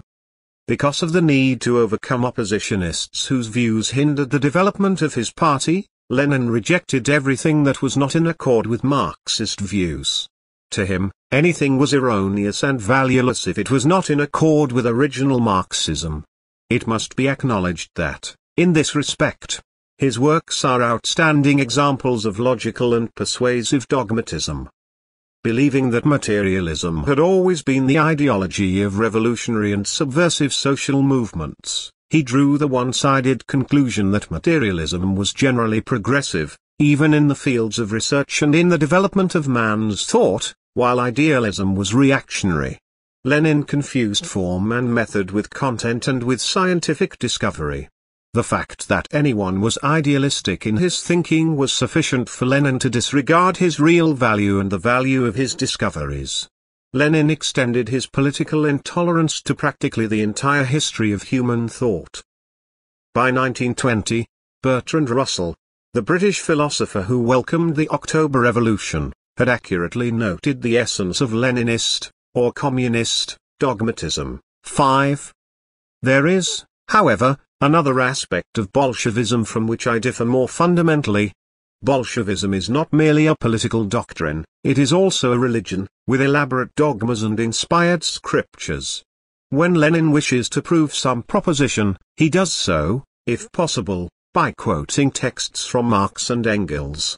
A full-fledged communist is not merely a man who believes that land and capital should be held in common, and their produce distributed as nearly equally as possible.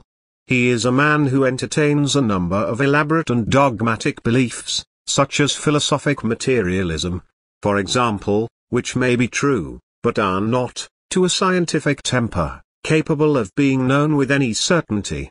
This habit, of militant certainty about objectively doubtful matters, is one from which, since the Renaissance, the world has been gradually emerging, into that temper of constructive and fruitful skepticism which constitutes the scientific outlook. I believe the scientific outlook to be immeasurably important to the human race. If a more just economic system were only attainable by closing men's minds against free inquiry, and plunging them back into the intellectual prison of the Middle Ages, I should consider the price too high. It cannot be denied that, over any short period of time, Dogmatic belief is a help in fighting. But this was Lenin's period. Stalin went further, he developed Lenin, but without having Lenin's knowledge or depth. Careful research would lead to the conclusion that this man, whom Khrushchev himself today acknowledges to have been the best Marxist of his time, had not even read Marx's Das Kapital, the most important work on Marxism. Practical soul that he was, and supported by his extreme dogmatism, it was not even necessary for him to be acquainted with Marx's economic studies to build his brand of socialism. Stalin was not closely acquainted with any philosopher.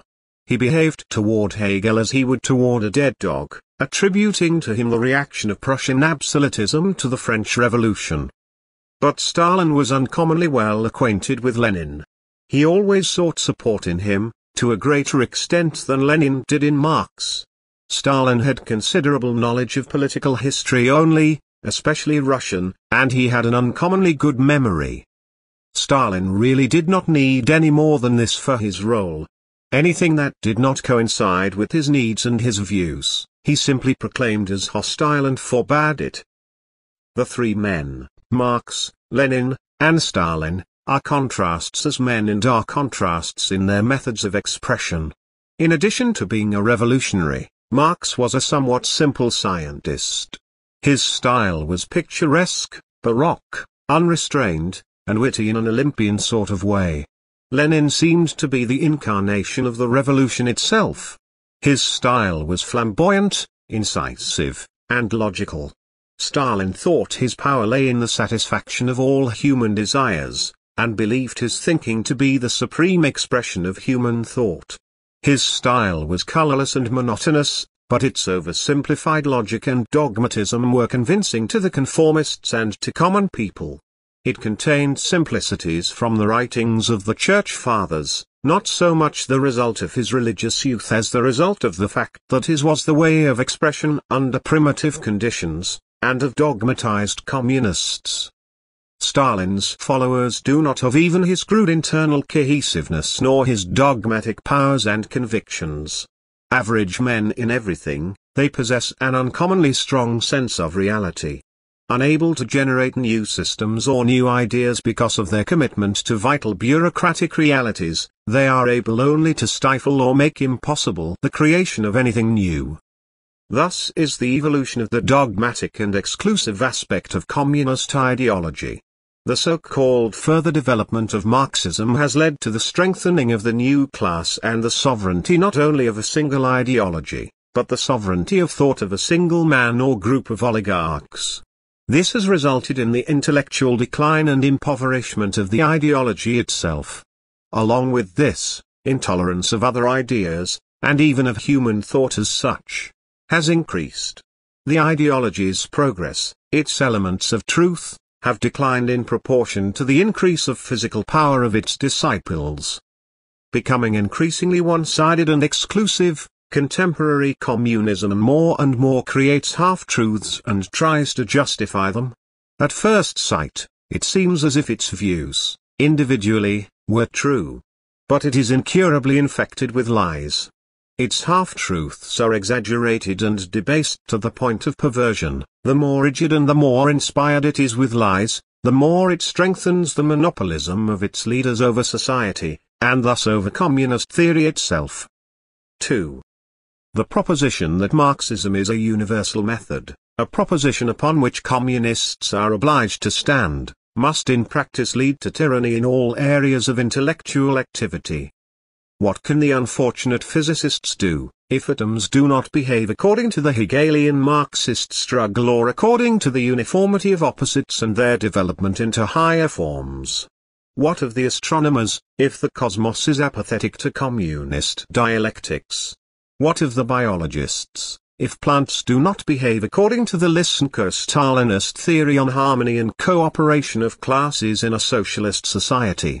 Because it is not possible for these scientists to lie naturally, they must suffer the consequences of their heresies. To have their discoveries accepted they must make discoveries confirming the formulas of Marxism-Leninism. Scientists are in a constant dilemma as to whether their ideas and discoveries will injure official dogma. They are therefore forced into opportunism and compromises with regard to science. The same is true of other intellectuals. In many ways contemporary communism is reminiscent of the exclusiveness of religious sects of the Middle Ages. The observations on Calvinism written by the Serbian poet, Jovan Dusic, in his Tugai Vedrine, Sorrows and Calms, seem to relate to the intellectual atmosphere in a communist country. Dot and this Calvin, jurist and dogmatician, what he did not burn on the funeral pyre, he hardened in the soul of the people of Geneva. He introduced religious tribulation and pious renunciation in these homes which are even today filled with this cold and darkness, planted a hatred of all merriment and rapture, and damned poetry and music by decree. As a politician and tyrant at the head of the republic, he forged, like shackles, his iron laws over life in the state, and even regulated family feelings. Of all the figures which the Reformation fostered, Calvin is probably the most calloused of the revolutionary figures, and his Bible is the most depressing textbook for living.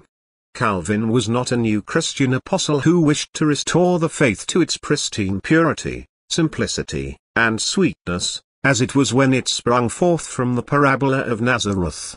This Calvin was the Arian ascetic, who, severing himself from the regime, also severed himself from love, the basic principle of his dogma. He created a people, earnest and full of virtue, but also full of hatred of life and full of disbelief in happiness. There is no harsher religion or more fearful prophet. Of the people of Geneva, Calvin made paralytics forever incapable of any joy. There are no people in the world to whom religion has brought as much tribulation and dreariness. Calvin was an eminent religious writer, as important to the purity of the French language as Luther was important to the purity of the German language, the translator of the Bible. But he was also the creator of a theocracy which was no less like a dictatorship than was the papal monarchy. While announcing that he was freeing man's spiritual personality, he degraded man's civil personality to the blackest slavery. He confused the people and failed to brighten life in any way. He changed many things, but completed nothing and contributed nothing. Almost 300 years after Calvin, in Geneva, Stendhal observed how young men and young women carried on conversations only about the pastor and his last sermon, and how they knew his sermons by heart. Contemporary communism also contains some elements of the dogmatic exclusiveness of the Puritans under Cromwell and of the political intolerance of the Jacobins. But there are essential differences. The Puritans rigidly believed in the Bible and the Communists believe in science. Communist power is more complete than that of the Jacobins. Further, the differences emanate from the capabilities, no religion or dictatorship has been able to aspire to such all-around and all-inclusive power as that of the communist systems.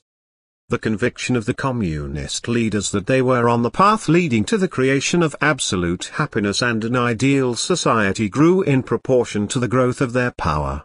It has been said in jest that the communist leaders created a communist society, for themselves. In fact, they do identify themselves with society and its aspirations. Absolute despotism equates itself with the belief in absolute human happiness, though it is an all-inclusive and universal tyranny. Progress itself has transformed the communist power wielders into boosters of the human consciousness. Their concern for human consciousness has increased as their power has increased, along with the building of socialism. Yugoslavia has not bypassed this evolution. Some of the Yugoslav leaders, too, stressed the high level of consciousness of our people during the revolutionary period, that is, while our people, or some of them, actively supported these leaders. Now, however, the socialist consciousness of the same people, according to these leaders, is very low and, consequently, must wait for democracy in order to be raised. Yugoslav leaders openly speak of the fact that they will bestow democracy when there is growth of socialist consciousness, a kind of consciousness which they trust will automatically be attained through industrialization. Until then, these theoreticians of a democracy which is doled out in small doses, men who practice something entirely contrary to democracy, maintain that they have the right, in the name of future happiness and freedom, to prevent even the faintest manifestations of ideas or of any consciousness which is unlike theirs. Perhaps only in the beginning were Soviet leaders forced to maneuver with such shallow promises of democracy in the future. They now simply maintain that this freedom has already been created in the USSR of course, even they sense that freedom is at work under them. They are constantly elevating consciousness, they urge men to produce, they cram minds with arid Marxist formulas and the arid political views of the leaders. Worse still, they force men constantly to acknowledge their devotion to socialism and their beliefs in the infallibility and reality of the promises of their leaders. A citizen in the communist system lives oppressed by the constant pangs of his conscience, and the fear that he has transgressed. He is always fearful that he will have to demonstrate that he is not an enemy of socialism, just as in the Middle Ages a man constantly had to show his devotion to the church. The school system and all social and intellectual activity work toward this type of behavior. From birth to death a man is surrounded by the solicitude of the ruling party, a solicitude for his consciousness and conscience. Journalists, ideologists, paid writers, special schools, approved ruling ideas, and tremendous material means are all enlisted and engaged in this uplifting of socialism. In the final analysis, all newspapers are official. So are the radio and other similar media. The results are not great. In no case are they proportionate to the means and measures employed, except for the new class which would, in any case, be convinced. However, considerable results are attained in making it impossible to manifest a consciousness other than the official one, and in combating opposing opinions. Even under communism, men think, for they cannot help but think. What is more, they think differently from the prescribed manner. Their thinking has two faces, one for themselves, their own, the other for the public, the official. Even in communist systems, men are not so stupefied by uniform propaganda that it is impossible for them to arrive at the truth or at new ideas.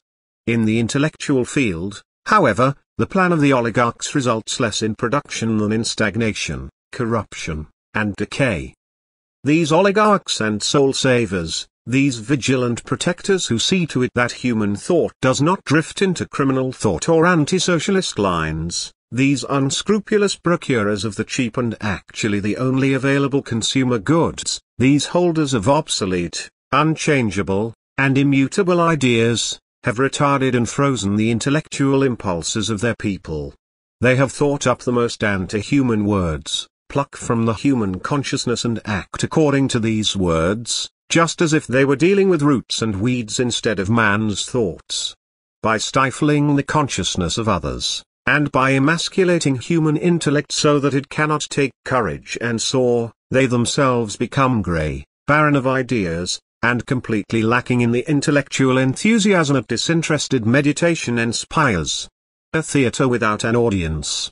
The actors play and go into raptures over themselves. They think as automatically as they eat, their brains cook thoughts in response to the most elementary needs. This is how it is with these high priests who are simultaneously policemen and owners of all the media which the human intellect can use to communicate its thoughts, press, movies, radio, television, books, and the like, as well as of all substance that keeps a human being alive, food and a roof over his head. Are there not reasons then for comparing contemporary communism with religious sects? 3. Nevertheless, Every communist country achieves technical progress, even though of a special kind and in special periods. Industrialization, rapid as it is, creates a large technical intelligentsia, which, even if it is not especially high in quality, attracts talents and stimulates the inventive intellect. The reasons that help to achieve industrialization rapidly in specific branches of the economy also act as an incentive for inventiveness. The USSR has not lagged to any extent in war technology either in World War II or since.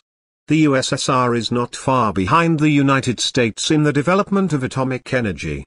Technology is advanced in spite of the fact that a bureaucratic system makes it difficult to adopt innovations, inventions sometimes lie for years in the warehouses of state establishments. The disinterest of producing organizations often deadens inventiveness still more. Being very practical men, the communist leaders immediately establish cooperation with technicians and scientists, not paying much attention to their bourgeois views. It is clear to the leaders that industrialization cannot be accomplished without the technical intelligentsia, and that this intelligentsia cannot by itself become dangerous. As in every other field, Communists have a simplified and generally half-correct theory with relation to this intelligentsia. Some other class always pays the specialists, while they serve it. Consequently, why shouldn't the proletariat, or the new class, also do this?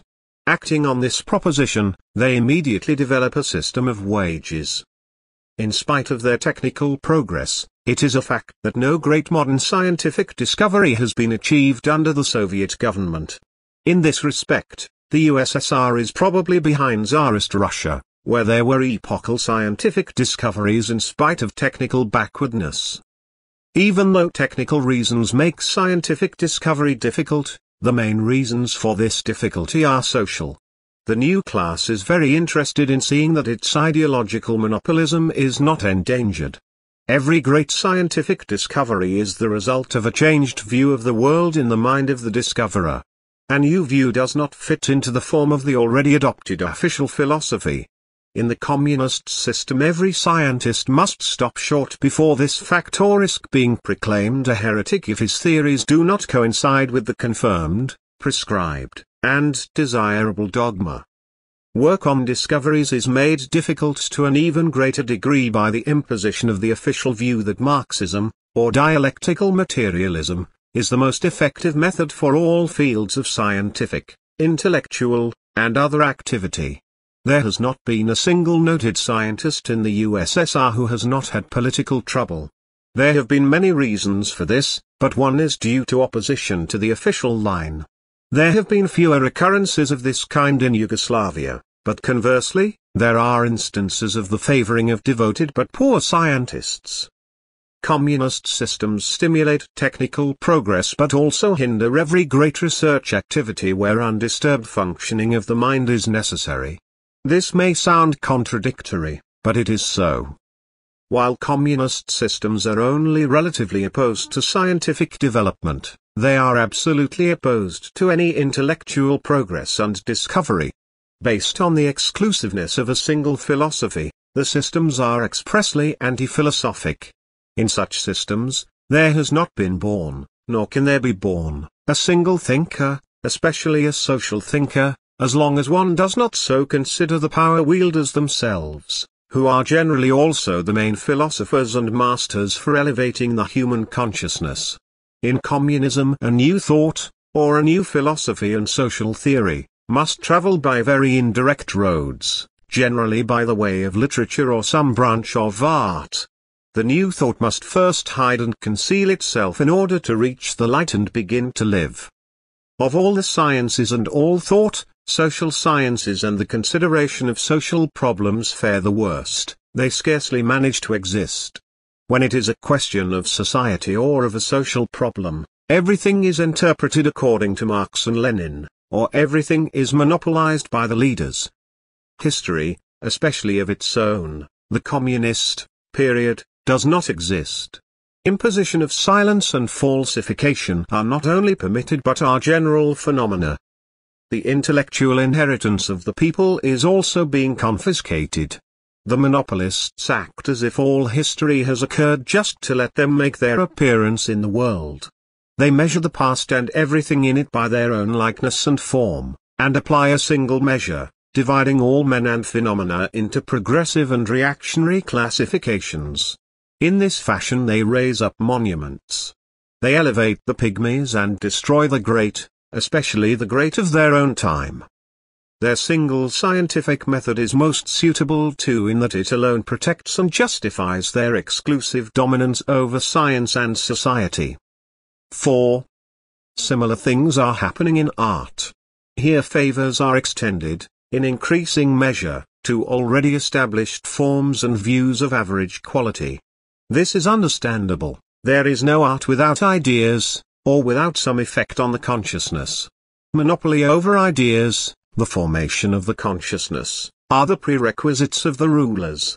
Communists are traditionalists in art, mostly because of the need to maintain their monopoly over the minds of the people but also because of their ignorance and one-sidedness.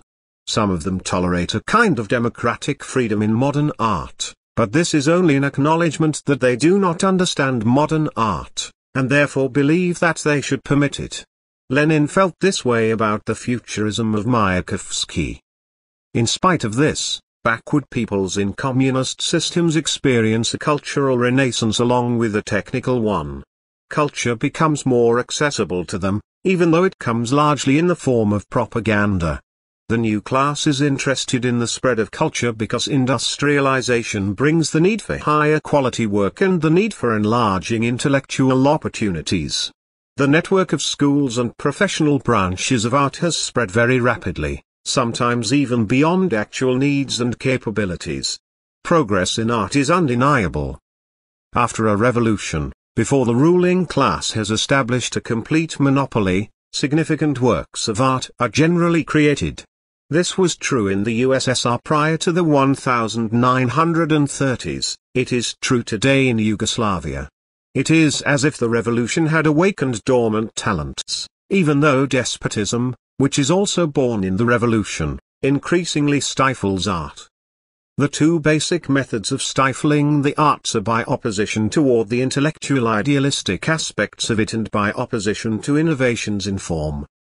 In Stalin's time things reached the point where all forms of artistic expression were forbidden except those that Stalin himself liked. Stalin did not have particularly good taste, he was hard of hearing, and liked octosyllabic and alexandrine verse. Ducha has stated that Stalin's style became the national style. The adoption of official views on art forms became as obligatory as the adoption of official ideas. It has not always been like this in communist systems, nor is it inevitable that it should be so. In 1925, in the USSR, a resolution was adopted stating that the party as a whole can in no way tie devotion to a cause in the field of literary form. By this the party did not renounce its so-called ideological aid, that is, its ideological and political control over artists. This was the maximum democracy attained by communism in the field of art. Yugoslav leaders are in the same position today. After 1953, when the abandonment of democratic forms in favor of bureaucracy began, the most primitive and reactionary elements were encouraged. A mad hunt for petty bourgeois intellectuals was initiated, which openly aimed at controlling art forms. Overnight, the whole intellectual world turned against the regime.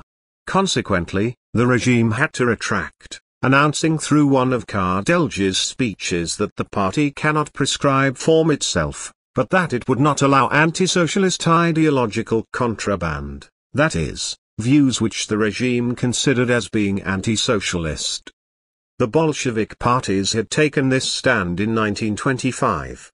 This constituted the democratic limits of the Yugoslav regime toward art. However, the internal attitudes of most of the Yugoslav leaders were far from changed by this. They privately consider the entire intellectual and art world as insecure petty bourgeois, or, putting it mildly, ideologically confused.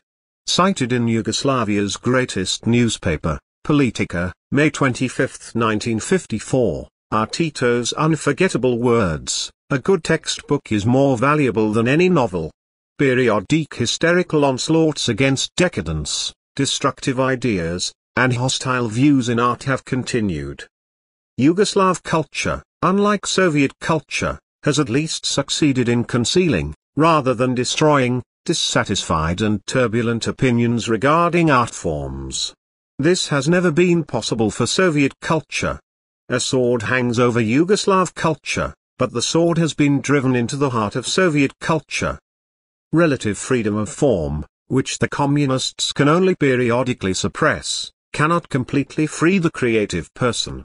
Art, even though indirectly, must also express new ideas through form itself. Even in communist systems where art is allowed the greatest freedom, the contradiction between promised free form and compulsory control of ideas remains unresolved. This contradiction crops out from time to time, sometimes in attacks on contraband ideas, sometimes in the work of artists because they are forced to use particular forms. It crops out essentially because of conflict between the uncurbed monopolistic aspirations of the regime and the irresistible creative aspirations of the artists. It is, actually, the same conflict which exists between creativeness in science and communist dogmatism, it has merely been carried over into the field of art. Any new thought or idea must first be examined in essence, approved or disapproved, and fitted into a harmless frame. As with other conflicts, the communist leaders cannot resolve this one. But they can, as we have seen, periodically extricate themselves, usually at the expense of real freedom of artistic creation. In communist systems, it has not been possible, because of this contradiction, to develop genuine subjects for art or to develop art theory. A work of art, by its very nature, is usually a criticism of a given situation and of given relations. In communist systems, therefore, artistic creation based on actual subjects is not possible. Only praise of a given situation or criticism of the system's opponents is permitted. Under these terms art can have no value whatever. In Yugoslavia officials and some artists complain about the fact that there are no works of art which can show our socialist reality. In the USSR, on the other hand, tons of works of art based on actual subjects are created, but since they do not reflect the truth, they do not have any value and are rapidly rejected by the public, later even coming under official criticism. The method is varied but the final result is the same. 5. The theory of so-called socialist realism reigns in all communist states. In Yugoslavia this theory has been crushed and is now held only by the most reactionary dogmatists. In this area, as in others, the regime has been strong enough to forestall the development of disagreeable theories but has been too weak to impose its own views. It can be said that the same goes for the other East European countries. The theory of socialist realism is not even a complete system. Gorky was the first to use this term, probably inspired by his realist method. His views were that in rude contemporary socialist conditions, art must be inspired with new or socialist ideas and must depict reality as faithfully as possible. Everything else that this theory advocates, typicalness, emphasis on ideology, party solidarity, etc., has either been taken over from other theories or thrown in because of the political needs of the regime.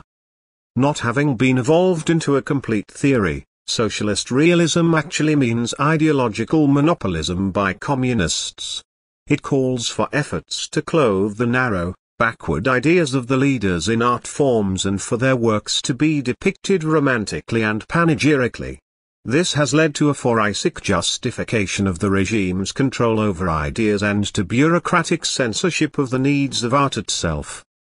The forms of this control vary in different communist countries, from party bureaucratic censorship to ideological influence. Yugoslavia, for instance, has never had censorship. Control is exercised indirectly by this method, in publishing enterprises, artists' associations, periodicals, newspapers, and the like. Party members submit everything they consider suspicious to the proper authorities. Censorship, or really self-censorship, has sprouted from that very atmosphere. Even though party members may push something or other through, the self-censorship which they and other intellectuals must exercise over themselves forces them to dissemble everything and make unworthy insinuations.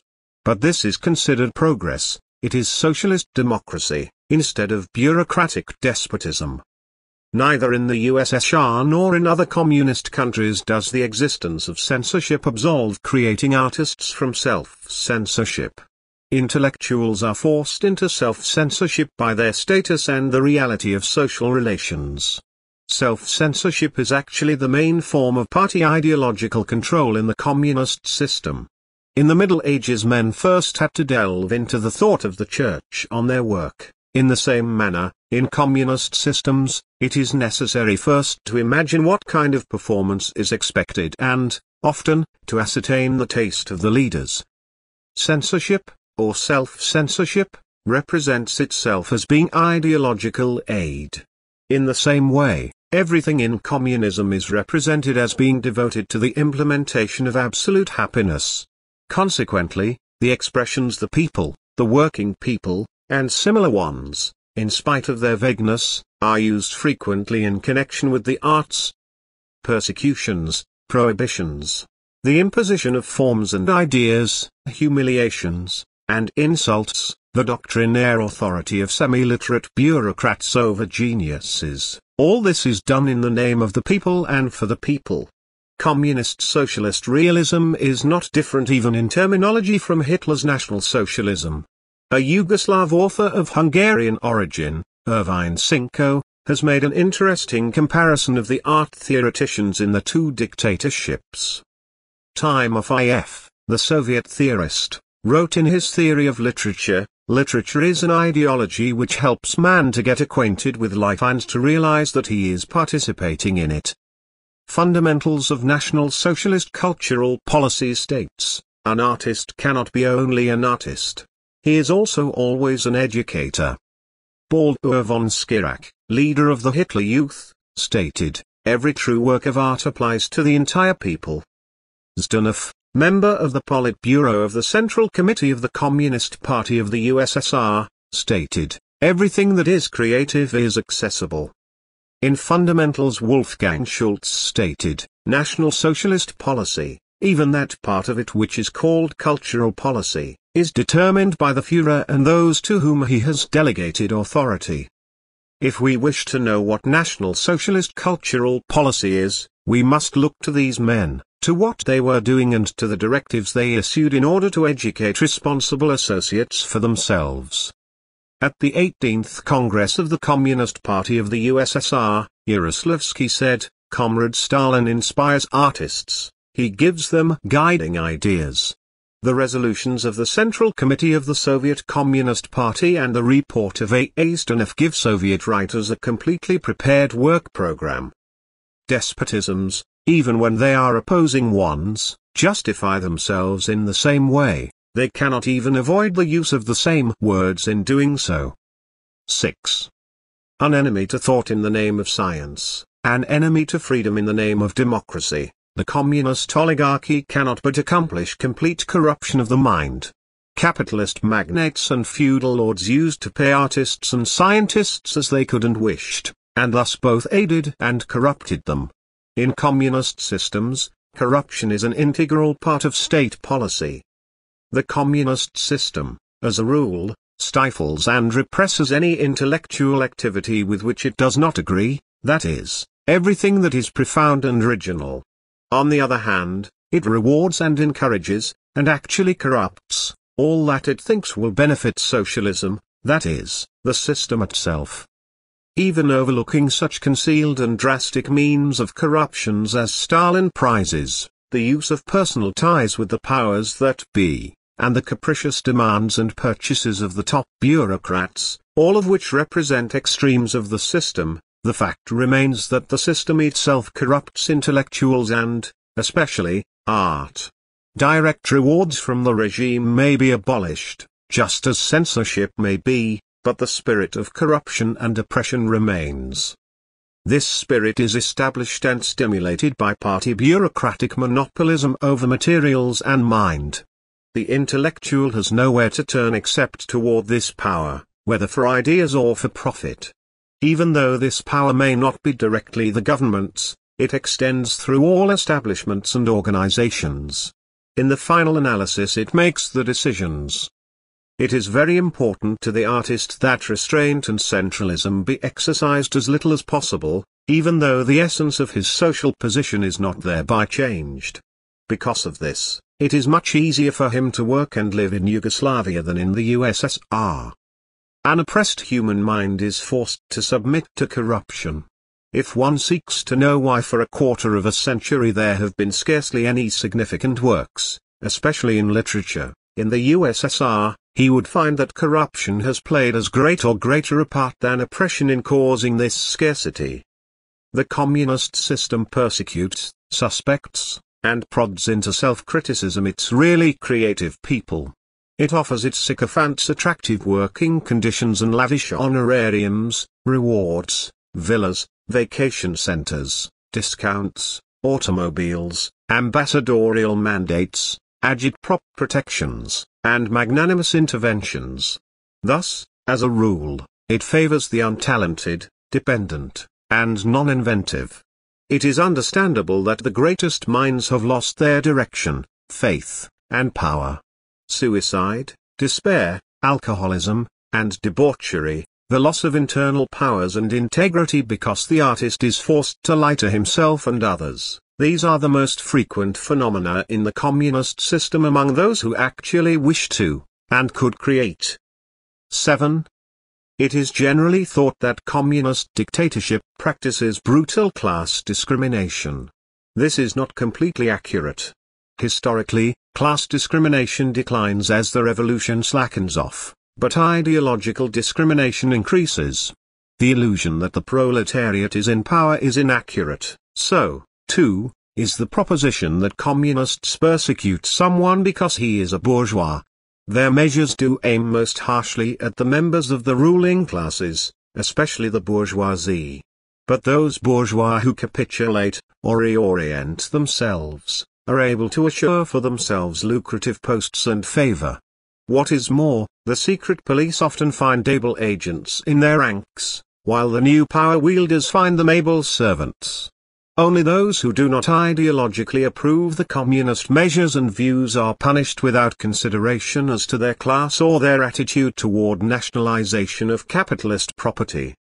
Persecution of democratic and socialist thought which is at variance with that of the ruling oligarchy is fiercer and more complete than persecution of the most reactionary followers of the former regime. This is understandable. The last named are less dangerous since they look to a past which has little likelihood of returning and reconquering. Whenever communists come to power, their assault on private ownership creates the illusion that their measures are primarily directed against the ownership classes for the benefit of the working class. Subsequent events prove that their measures were not taken for this purpose but in order to establish their own ownership. This must manifest itself predominantly as ideological rather than class discrimination. If this were not true, if they really strove for actual ownership by the working masses, then class discrimination actually would have prevailed. The fact that ideological discrimination prevails leads, at first sight, to the conclusion that a new religious sect has risen, a sect which rigidly sticks to its materialistic and atheistic prescriptions and forcibly imposes them on others. Communists do behave like a religious sect even though they are not really one. This totalitarian ideology is not only the result of certain forms of government and of ownership. For its part, the ideology aided in their creation and supports them in every way. Ideological discrimination is a condition for the continuance of the communist system. It would be wrong to think that other forms of discrimination, race, caste, national, are worse than ideological discrimination. They may seem more brutal to all outward appearances, but they are not as refined or complete.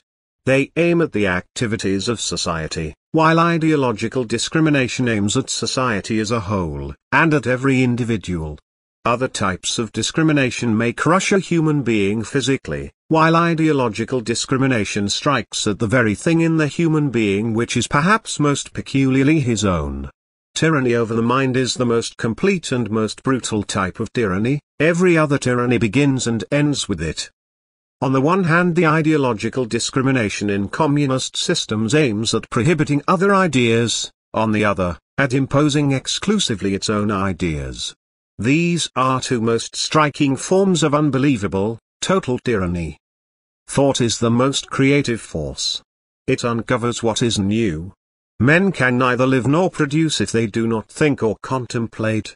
Even though they may deny it, communists are forced to accept this fact in practice. Thus they make it impossible for any thought other than their own to prevail. Man may renounce much, but he must think and he has a deep need to express his thoughts. It is profoundly sickening to be compelled to remain silent when there is need for expression. It is tyranny at its worst to compel men not to think as they do, to compel men to express thoughts that are not their own. The limitation of freedom of thought is not only an attack on specific political and social rights, but an attack on the human being as such. Man's imperishable aspirations for freedom of thought always emerge in concrete from. If they have not yet become apparent in communist systems, this does not mean that they do not exist. Today they lie in dark and apathetic resistance, and in the unshapen hopes of the people. It is as if totality of oppression were erasing differences in national strata, uniting all people in the demand for freedom of thought and for freedom in general. History will pardon communists for much, establishing that they were forced into many brutal acts because of circumstances and the need to defend their existence. But the stifling of every divergent thought, the exclusive monopoly over thinking for the purpose of defending their personal interests, will nail the communists to a cross of shame in history. Footnotes 5. From Bolshevism, Practice and Theory, New York, Harcourt. Brace and Howe? The aim and the means. 1. All revolutions and all revolutionaries use oppressive and unscrupulous means in abundance. However, earlier revolutionaries were not as conscious of their methods as the communists have been. They were unable to adapt and use their methods to the degree that the communists have done. You don't need to pick and choose the means to use against enemies of the movement. You must punish not only the traitors, but also the indifferent. You must punish all who are inactive in the Republic, all who do nothing for it. These words of Saint Just might have been uttered by some communist leader of today. But Saint Just flung them out in the heat of the revolution, to preserve its destiny. The communists speak these words and act according to them constantly, from the beginning of their revolution until they reach complete power, and even in their decline. Although communist methods surpass any of those of other revolutionaries in range, duration, and severity, during a revolution the communists have not as a rule used all the means that their antagonists used. However, even though the methods of the communists might have been less bloody, they became increasingly more inhumane the farther away they got from the revolution. Like every social and political movement, Communism must use methods primarily suited to the interests and relations of the powers that be. Other considerations, including moral ones, are subordinated. Here, we are interested only in the methods used by contemporary communism, which may, according to conditions, be mild or severe, human or inhuman, but which are different from those used by other political and social movements and distinguish communism from other movements, revolutionary or not. This distinction does not lie in the fact that communist methods are perhaps the most brutal ones recorded in history. It is true that brutality is their most obvious but not their most intrinsic aspect. A movement which had as its aim the transformation of the economy and of society by means of tyranny had to resort to brutal methods. But all other revolutionary movements had and wanted to use the same methods. Yet, the fact that their tyranny was of shorter duration was the reason that they could not use all these methods. In addition, their oppression could not be as total as that of the communists, because it came about under circumstances which did not permit it to be as total. It would be even less justifiable to seek the reasons for communist methods in the fact that communists lack ethical or moral principles.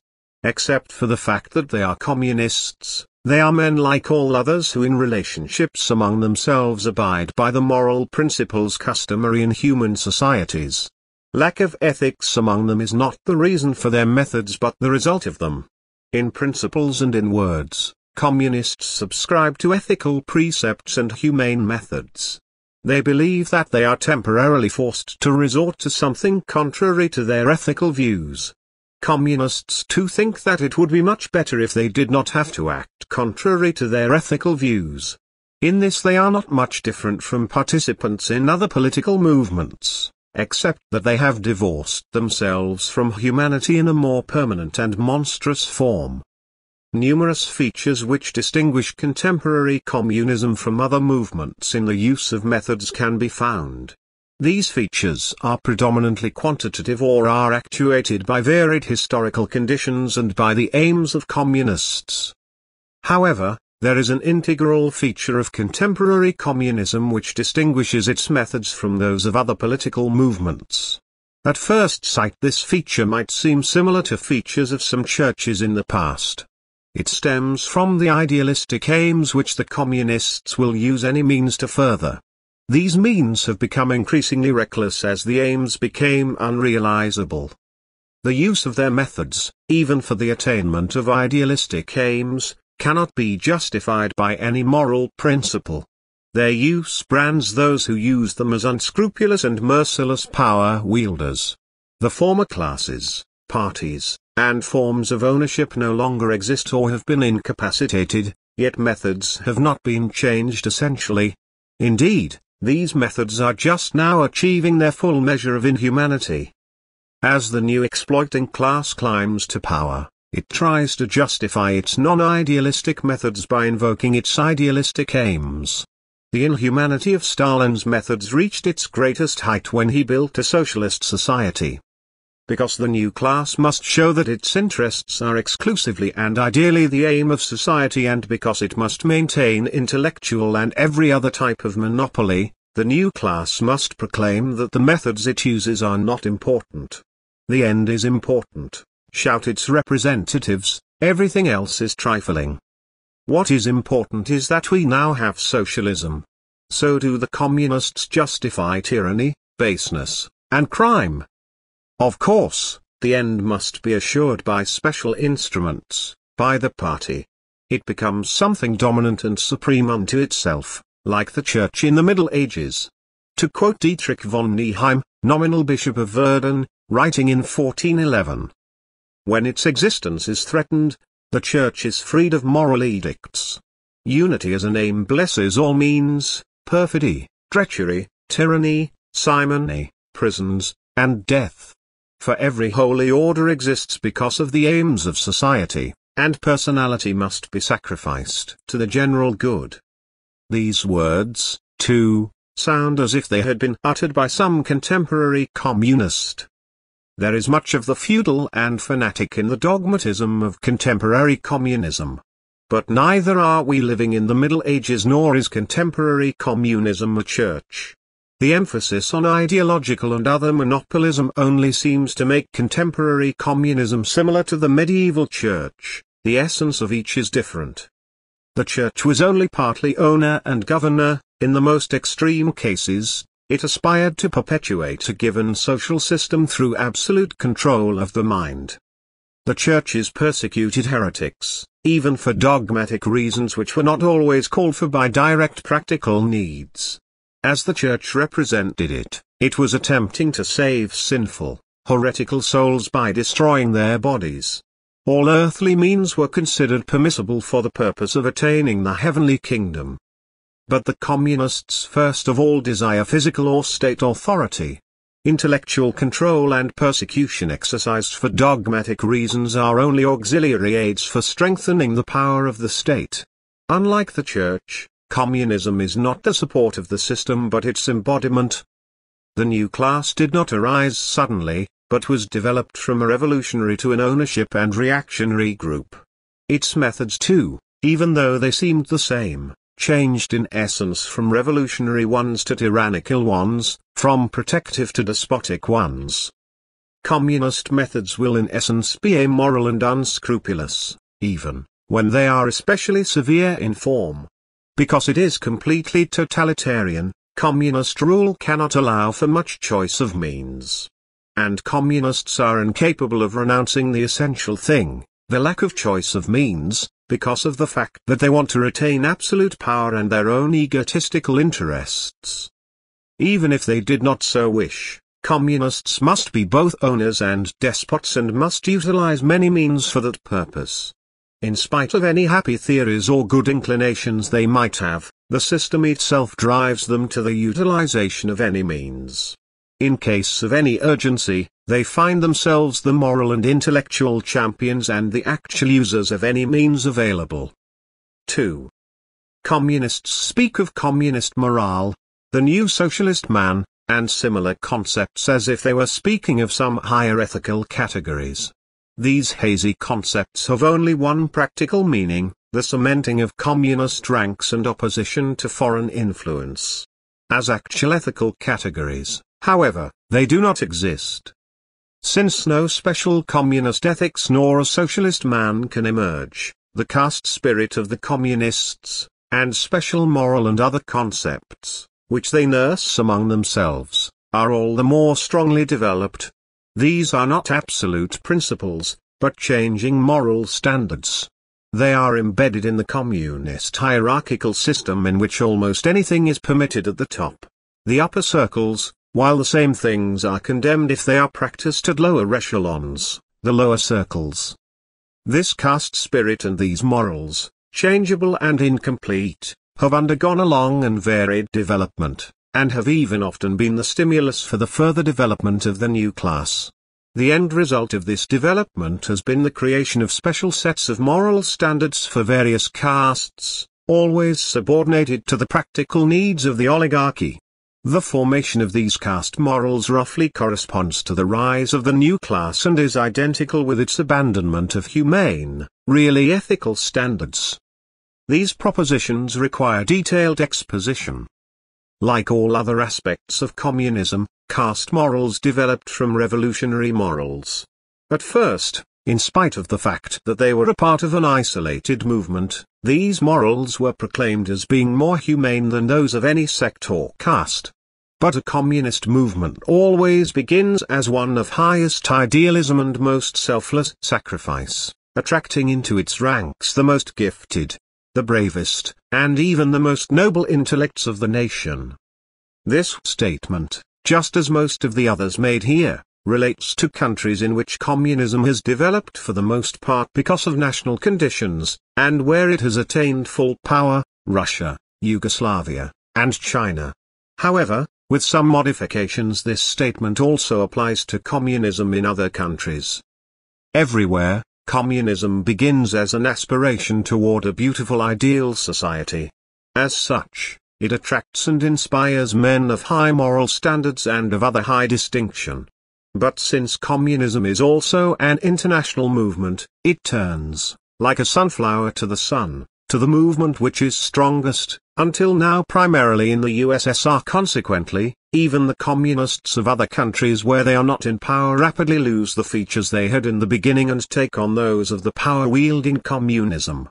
As a result, the communist leaders in the West, and in other places, have accustomed themselves to play as easily with the truth and ethical principles as the communists in the USSR. Every communist movement at first also has high moral features which isolated individuals may retain even longer and which provoke crises when leaders initiate amoral proceedings and arbitrary turnabouts. History does not have many movements that, like communism, began their climb with such high moral principles and with such devoted, enthusiastic, and clever fighters, attached to each other not only by ideas and suffering, but also by selfless love, comradeship, solidarity, and that warm and direct sincerity that can be produced only by battles in which men are doomed either to win or die. Cooperative efforts, thoughts, and desires, even the most intense effort to attain the same method of thinking and feeling, the finding of personal happiness and the building of individuality through complete devotion to the party and workers' collective, enthusiastic sacrificing for others, care and protection for the young, and tender respect for the old. These are the ideals of true communists when the movement is in its inception and still truly communist. Communist woman too is more than a comrade or co-fighter. It can never be forgotten that she, on entering the movement, decided to sacrifice all, the happiness of both love and of motherhood. Between men and women in the movement, a clean, modest and warm relationship is fostered, a relationship in which comradely care has become sexless passion. Loyalty, mutual aid, frankness about even the most intimate thoughts, these are generally the ideals of true, ideal communists. This is true only while the movement is young, before it has tasted the fruits of power. The road to the attainment of these ideals is very long and difficult. Communists and communist movements are formed from varied social forces and centers. Internal homogeneity is not attained overnight, but through the fierce battles of varied groups and fractions. If conditions are favorable, the group or fraction which wins the battle is the one which has been most aware of the advance toward communism and which, when taking over power, is also the most moral. Through moral crises, through political intrigues and insinuations, mutual calumniation, unreasoning hatred and barbaric encounters, through debauchery and intellectual decadence, the movement slowly climbs, crushing groups and individuals, discarding the superfluous, forging its core and its dogma, its morals and psychology, atmosphere, and manner of work. When it becomes truly revolutionary, the communist movement and its followers achieve, for a moment, the high moral standards described here. This is a moment in communism when it is difficult to separate words from deeds, or more accurately, when the leading, most important, truest, and ideal communists sincerely believe in their ideals and aspire to put them into practice in their methods and in their personal life. This is the moment on the eve of the battle for power, a moment which occurs only in movements which arrive at this unique point. True, these are the morals of a sect, but they are morals on a high plane. The movement is isolated, it often does not see the truth, but this does not mean that the movement does not therefore aim at, or that it does not love, truth.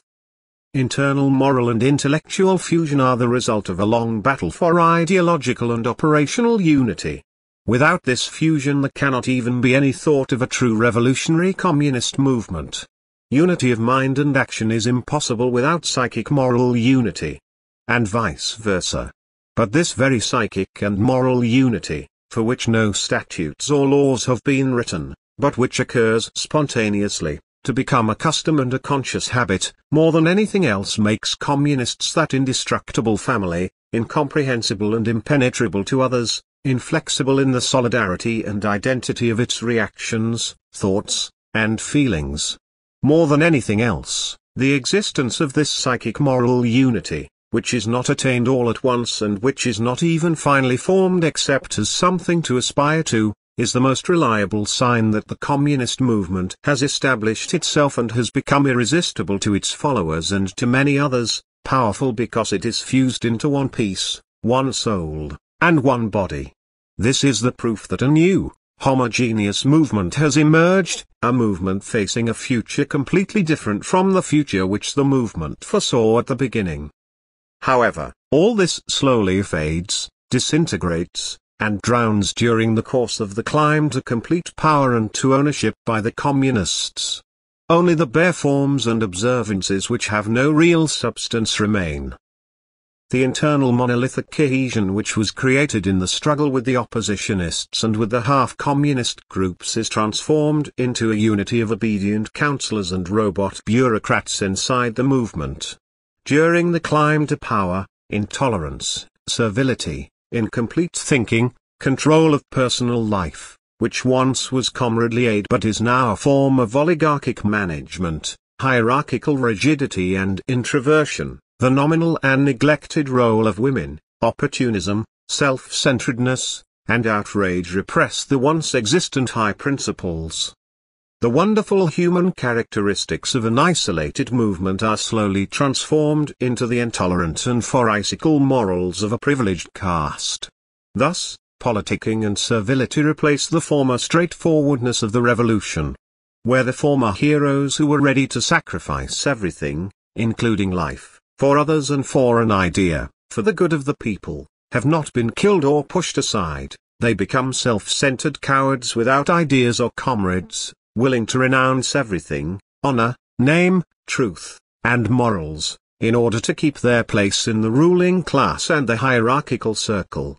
The world has seen few heroes as ready to sacrifice and suffer as the communists were on the eve of and during the revolution. It has probably never seen such characterless wretches and stupid defenders of arid formulas as they become after attaining power.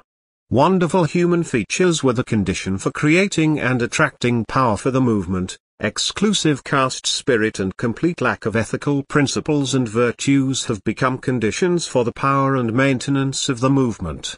Honor, sincerity, sacrifice, and love of the truth were once things that could be understood for their own sakes, now, deliberate lies, sycophancy, slander, deception, and provocation gradually become the inevitable attendants of the dark, intolerant, and all-inclusive might of the new class, and even affect relations between the members of the class. 3. Whoever has not grasped this dialectic of the development of communism has not been able to understand the so-called Moscow trials nor can he understand why the communists' periodic moral crises, caused by the abandonment of the sacred and consecrated principles of the day before yesterday, cannot have the great significance that such crises have for ordinary people or other movements. Khrushchev acknowledged that Trojans played the main role in the confessions and the self-condemnation of Stalin's purges. He claimed that drugs were not used, although there is evidence that they were. But the most potent drugs for forcing confessions were in the makeup of the criminal himself. Common criminals, that is, those who are not communists, do not go into trances and make hysterical confessions and pray for death as a reward for their sins. This was done only by men of a special stamp the communists. They were first morally shocked by the violence and immorality of the beatings and accusations leveled at them secretly by the top party leadership, in whose complete amorality they could not believe, even if they had occasionally found fault with them before. Suddenly, they found themselves uprooted, their own class in the person of communist leadership had left them, innocent as they were, the class itself had even nailed them to the cross as criminals and traitors. Long ago they had been educated to believe and had proclaimed that they were connected in every fiber of their being to the party and its ideals. Now, uprooted, they found themselves completely bereft. They either did not know or had forgotten or renounced all of those outside the communist sect and its narrow ideas. Now it was too late to get acquainted with anything but communism. They were entirely alone. Men cannot fight or live outside of society. This is his immutable characteristic, one which Aristotle noted and explained, calling it political being. What else is left to a man from such a sect who finds himself morally crushed and uprooted, exposed to refined and brutal torture, except to aid the class and his comrades with his confessions? Such confessions, he is convinced, are necessary to the class to resist the anti-socialist opposition and imperialists. These confessions are the one great and revolutionary contribution left that the victim, lost and wrecked, can make. Every true communist has been educated and has educated himself and others in the belief that fractions and fractional battles are among the greatest crimes against the party and its aims. It is true that a communist party which was divided by fractions could neither win in the revolution nor establish its dominance. Unity at any price and without consideration for anything else becomes a mystical obligation behind which the aspirations of the oligarchs for complete power entrench themselves. Even if he has suspected this, or even known on it, the demoralized communist oppositionist has still not freed himself of the mystic idea of unity. Besides, he may think that leaders come and go, and that these too, the evil, the stupid, the egotistical, the inconsequential and the power-loving, will disappear, while the goal will remain. The goal is everything. Has it not always been thus in the party? Trotsky himself, who was the most important of all the oppositionists, did not go much further in his reasoning. In a moment of self-criticism, he shouted that the party is infallible, for it is the incarnation of historical necessity, of a classless society. In attempting to explain, in his exile, the monstrous amorality of the Moscow trials, he leaned on historical analogies, Rome, before the conquest of Christianity, and the Renaissance, at the beginning of capitalism, in both of which also appeared the inevitable phenomena of perfidious murders, calumnies, lies, and monstrous mass crimes. So it must be during the transition to socialism, he concluded, these were the remnants of the old class society which was still evident in the new. However, he did not succeed in explaining anything through this, he only succeeded in appeasing his conscience, in that he did not betray the dictatorship of the proletariat, or the Soviets, as the one form of the transition into the new and classless society. If he had gone into the problem more deeply, he would have seen that, in communism as in the Renaissance and other periods in history, when an ownership class is breaking a trail for itself, moral considerations play a smaller and smaller role as the difficulties of the class increase and as its domination needs to become more complete.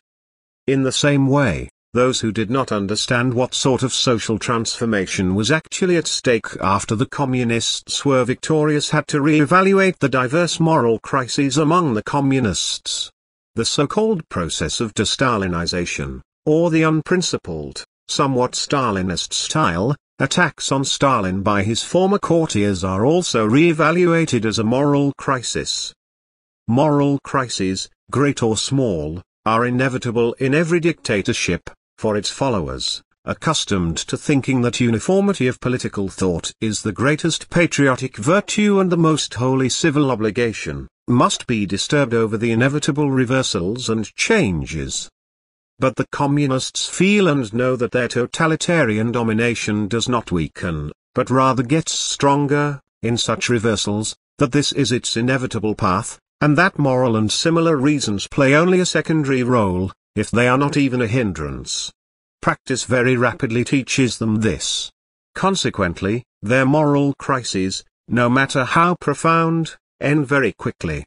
Of course, the communists cannot be selective in the means they use if they desire to achieve the real aim to which they aspire, and which they conceal under the cover of the ideal aim. 4. Moral downgrading in the eyes of other men does not yet mean that communism is weak. Generally, until now, it has meant the reverse. The various purges and Moscow trials strengthened the communist system and Stalin.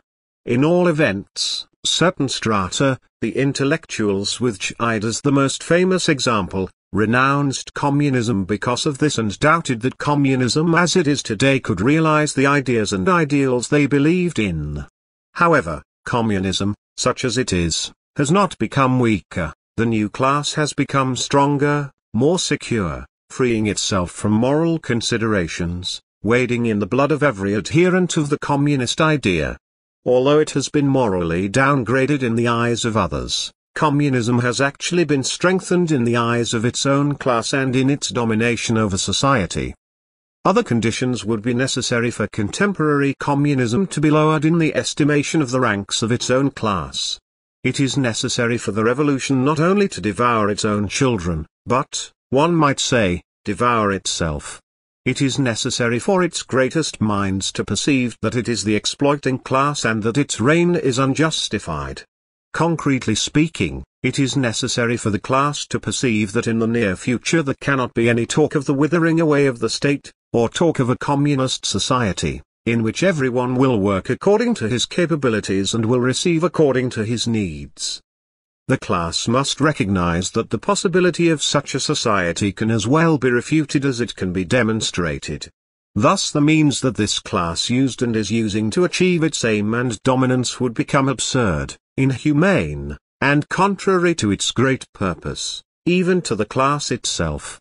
This would mean that there were cleavages and vacillations, which could not longer be checked, among the ruling class.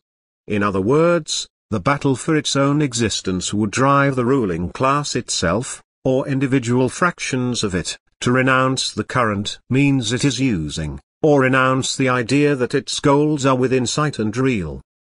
There is no prospect of such a development here as a purely theoretic proposition, in any of the communist countries, least of all in the post-Stalin USSR the ruling class is still a compact one there.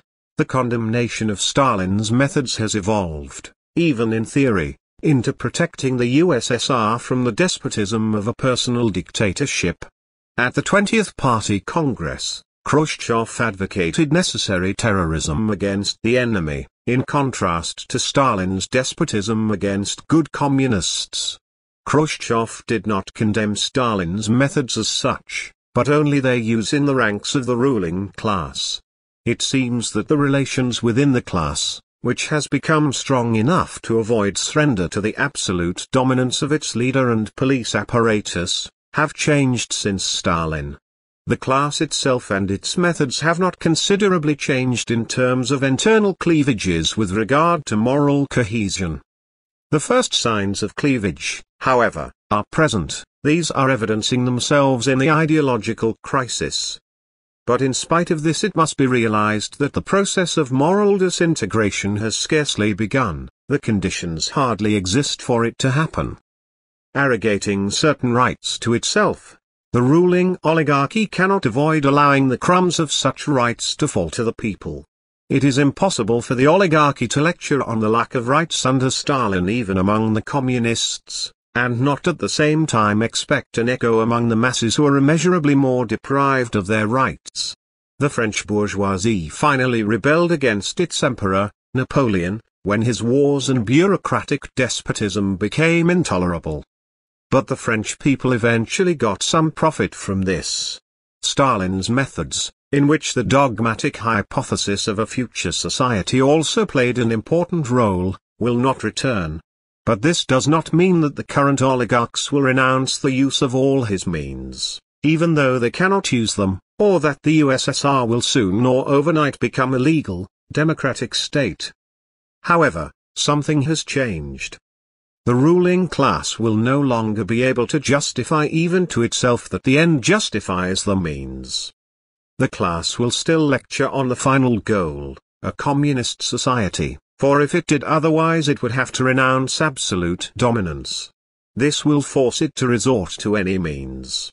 Every time that it does resort to them, it will also have to condemn their use. A stronger power, fear of public opinion in the world, fear that it will bring harm to itself and its absolute domination, will sway the class and hold back its hand. Feeling itself sufficiently strong to destroy the cult of its creator, or the creator of the system, Stalin, it simultaneously gave the death blow to its own ideal basis. Completely dominant. The ruling class has begun to abandon and lose the ideology, the dogma which brought it to power. The class has begun to split up into fractions. At the top everything is peaceful and smooth, but below the top, in the depths, and even in its ranks, new thoughts, new ideas, are bubbling and future storms are brewing. Because it had to renounce Stalin's methods, the ruling class will not be able to preserve its dogma. The methods were actually only the expression of that dogma, and, indeed, of the practice on which the dogma was based. It was not goodwill, still less humanity, which prompted Stalin's associates to perceive the harmfulness of Stalin's methods. It was urgent necessity that prompted the ruling class to become more understanding. But, by avoiding the use of very brutal methods, the oligarchs cannot help but plant the seed of doubt about their goals. The end once served as moral cover for the use of any means. Renouncing the use of such means will arouse doubts as to the end itself. As soon as means which would ensure an end are shown to be evil, the end will show itself as being unrealizable. For the essential thing in every policy is first of all the means, assuming that all ends appear good. Even the road to hell is paved with good intentions. 5. Throughout history there have been no ideal ends which were attained with non-ideal, inhumane means, just as there has been no free society which was built by slaves. Nothing so well reveals the reality and greatness of ends as the methods used to attain them.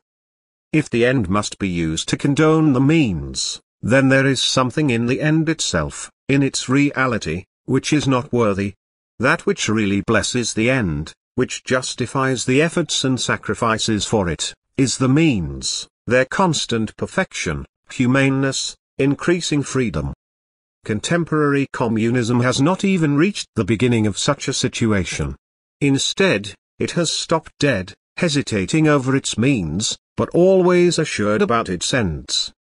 No regime in history which was democratic, or relatively democratic while it lasted, was predominantly established on the aspiration for ideal ends, but rather on the small everyday means in sight. Along with this, each such regime achieved, more or less spontaneously, great ends.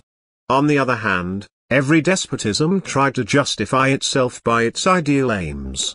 Not a single one achieved great ends absolute brutality, or the use of any means, is in accord with the grandiosity, even with the unreality, of communist aims.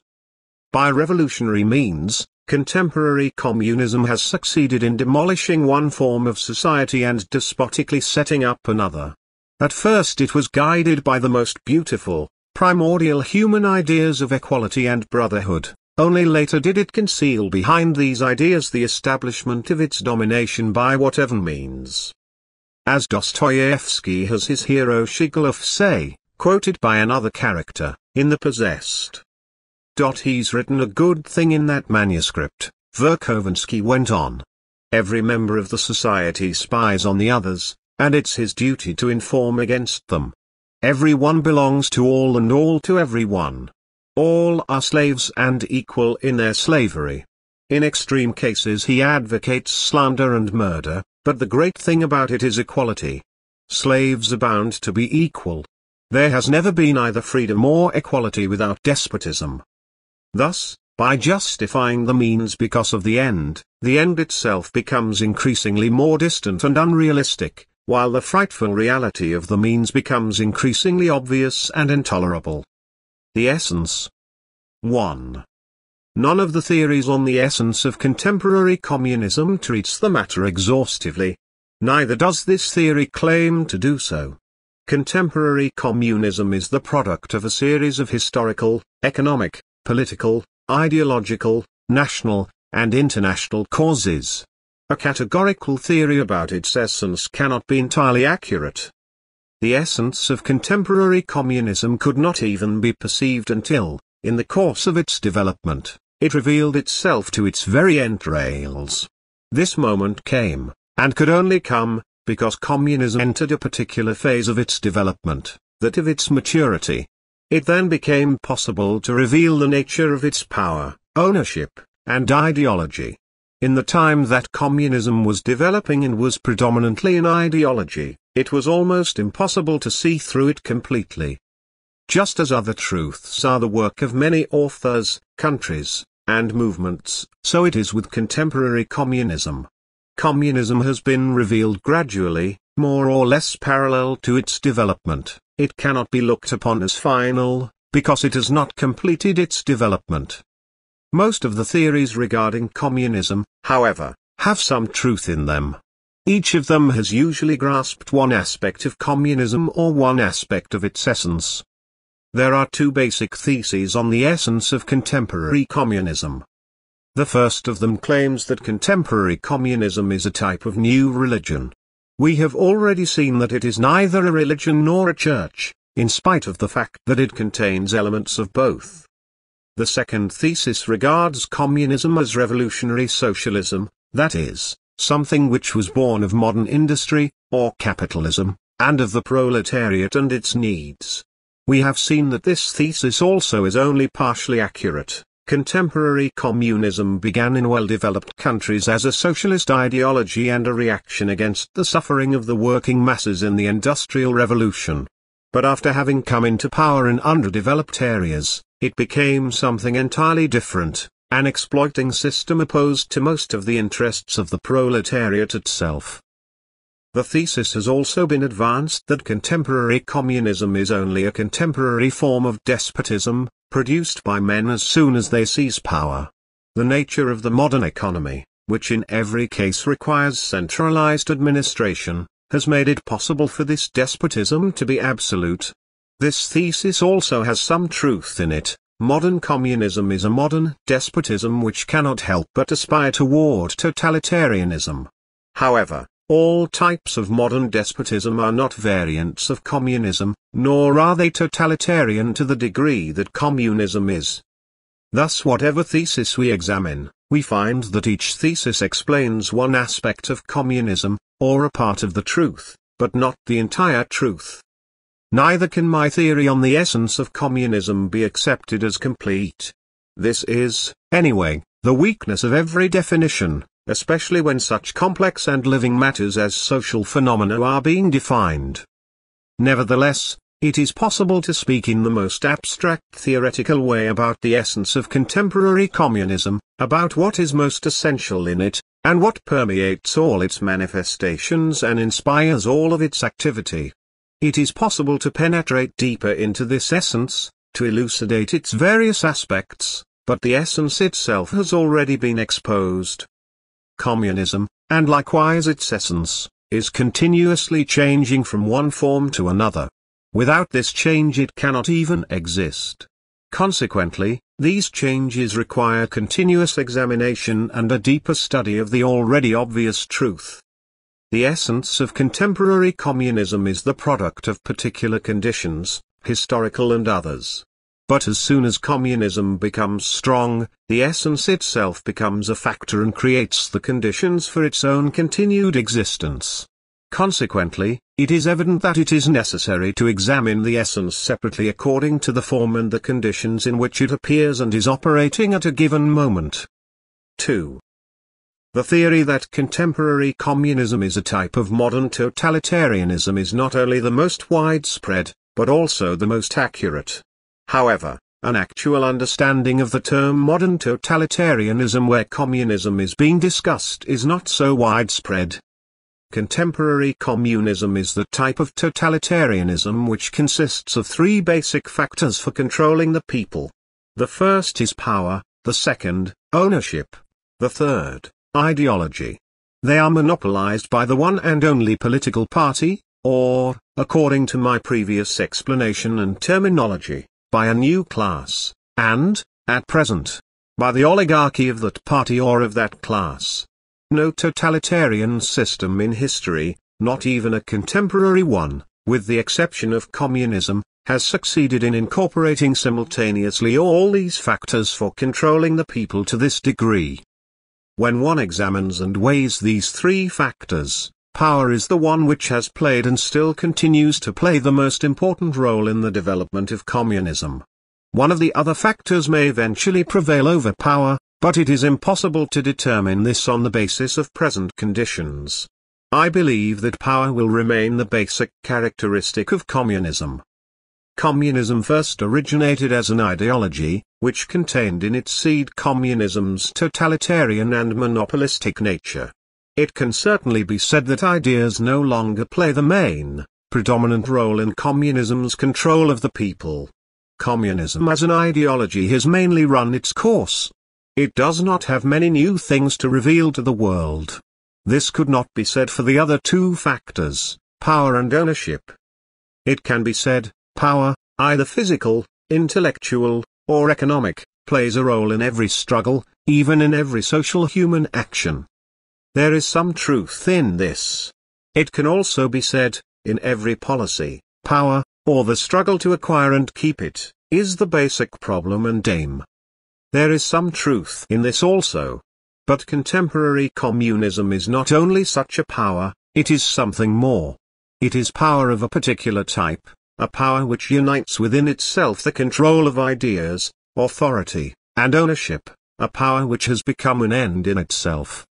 To date, Soviet communism, the type which has existed the longest and which is the most developed, has passed through three phases. This is also more or less true of other types of communism which have succeeded in coming to power, with the exception of the Chinese type, which is still predominantly in the second phase. The three phases are, revolutionary, dogmatic, and non-dogmatic communism.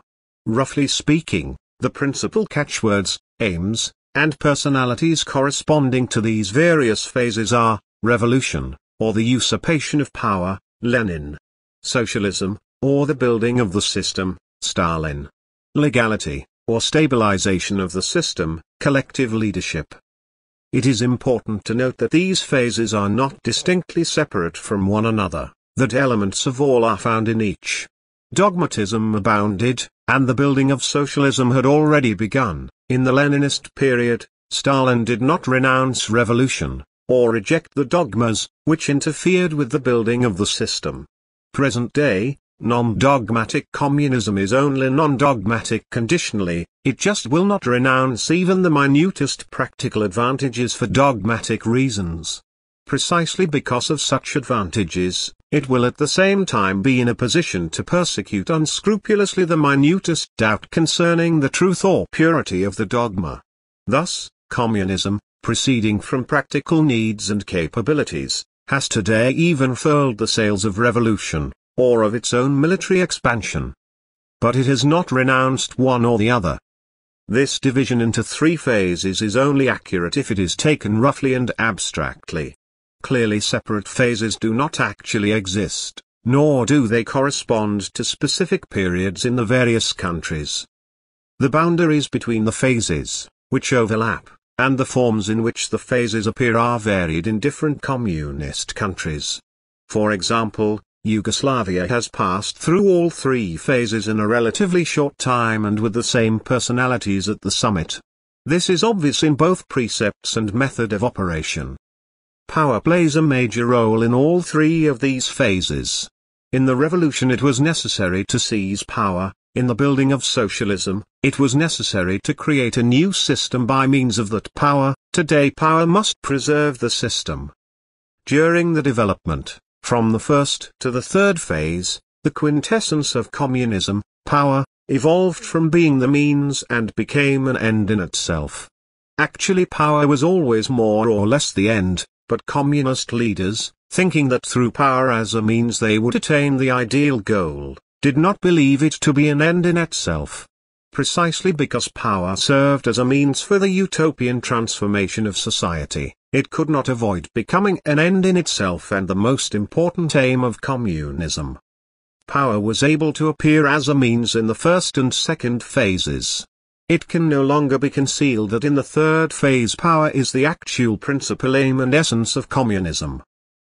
Because of the fact that communism is being extinguished as an ideology, it must maintain power as the main means of controlling the people. In revolution, as in every type of war, it was natural to concentrate primarily on power. The war had to be won. During the period of industrialization, concentrating on power could still be considered natural, the construction of industry, or a socialist society, for which so many sacrifices had been made, was necessary. But as all this is being completed, it becomes apparent that in communism power has not only been a means but that it has also become the main, if not the sole, end.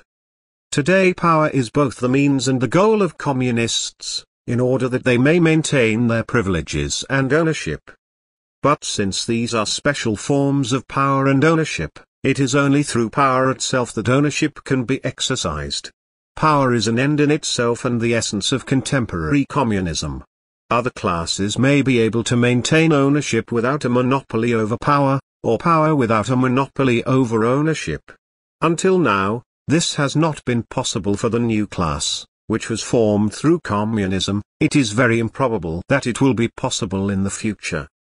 Throughout all three of these phases, power has concealed itself as the hidden, invisible, unspoken, natural and principal end. Its role has been stronger or weaker depending on the degree of control over the people required at the time. In the first phase, ideas were the inspiration and the prime mover for the attainment of power, in the second phase, Power operated as the whip of society and for its own maintenance, today, collective ownership is subordinated to the impulses and needs of power.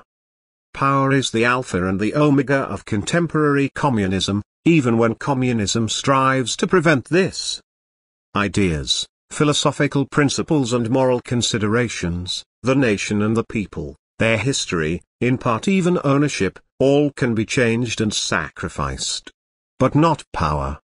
Because this would signify communism's renunciation of itself, of its own essence. Individuals can do this. But the class, the party, the oligarchy cannot. This is the purpose and the meaning of its existence. Every type of power besides being a means is at the same time and end, at least for those who aspire to it.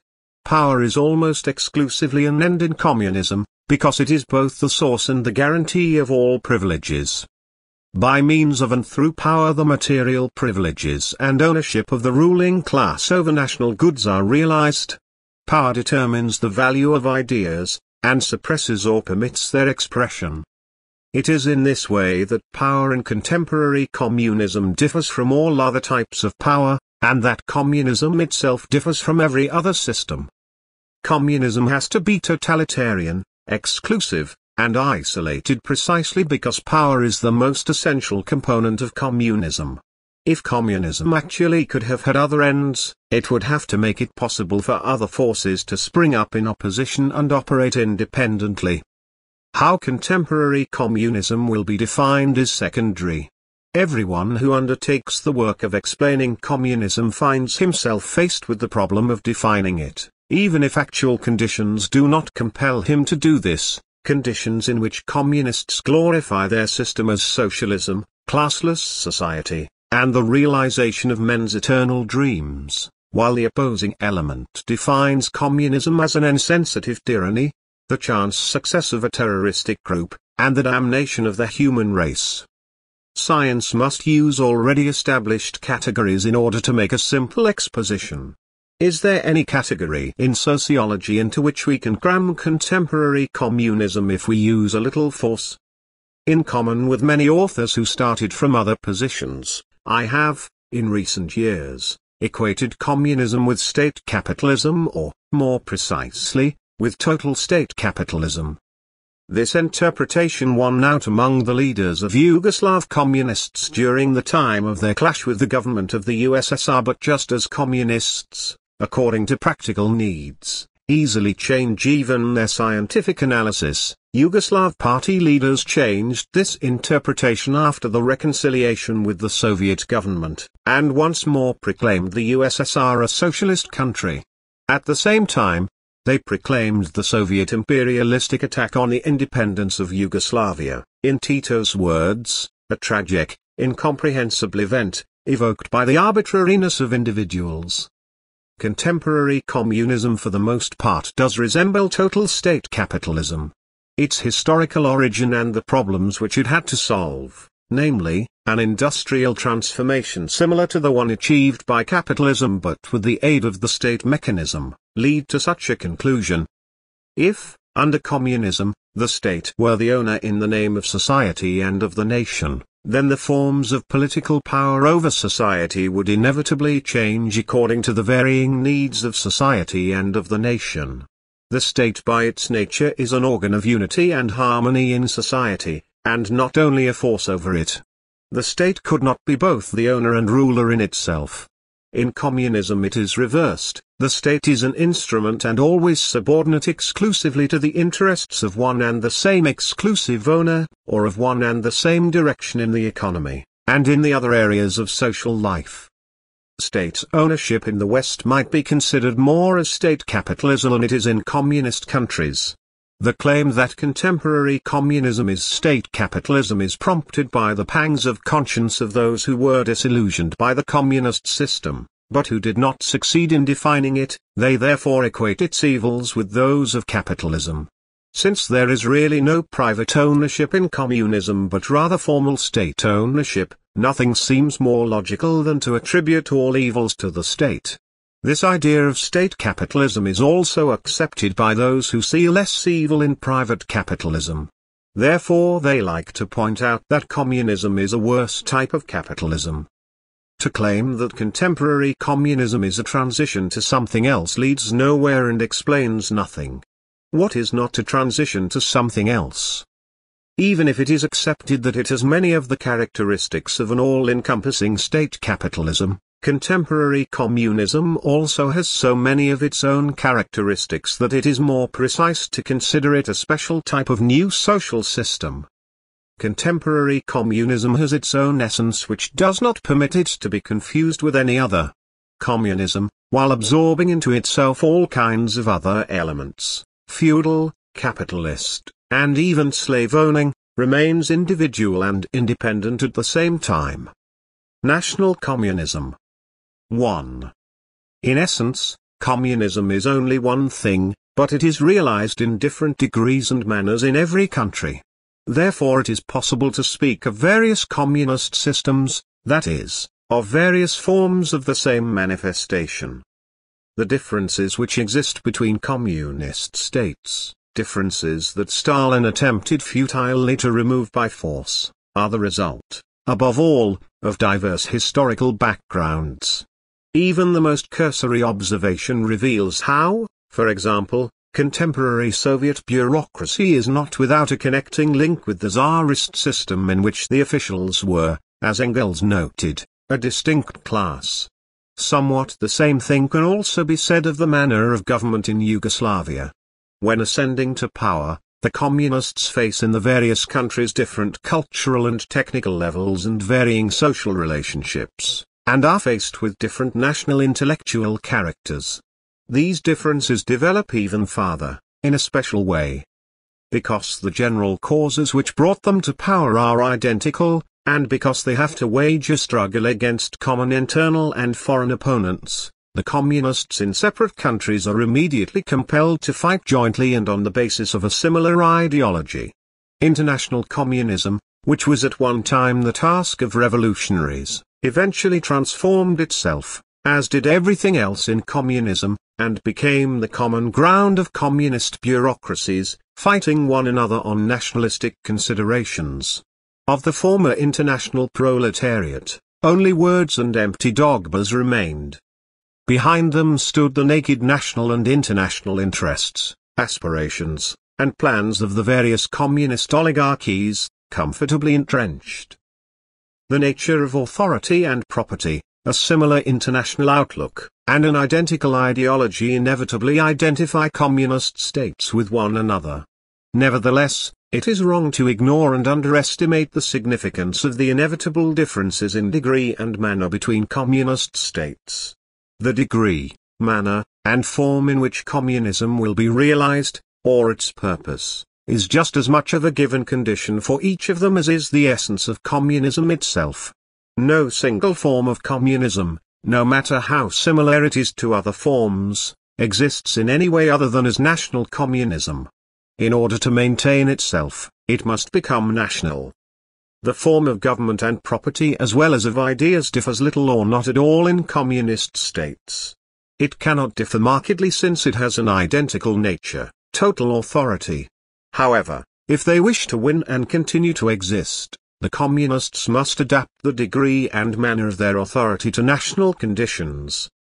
The differences between communist countries will, as a rule, be as great as the extent to which the communists were independent in coming to power. Concretely speaking, only the communists of three countries, the Soviet Union, China, and Yugoslavia, independently carried out revolutions or, in their own way and at their own speed, attained power and began the building of socialism. These three countries remained independent as communist states even in the period when Yugoslavia was, as China is today, under the most extreme influence of the Soviet Union, that is, in brotherly love and in eternal friendship with it. In a report at a closed session of the 20th Congress, Khrushchev revealed that a clash between Stalin and the Chinese government had barely been averted. The case of the clash with Yugoslavia was not an isolated case, but only the most drastic and the first to occur. In the other communist countries the Soviet government enforced communism by armed missionaries its army. The diversity of manner and degree of the development in these countries has still not attained the stage reached in Yugoslavia and China.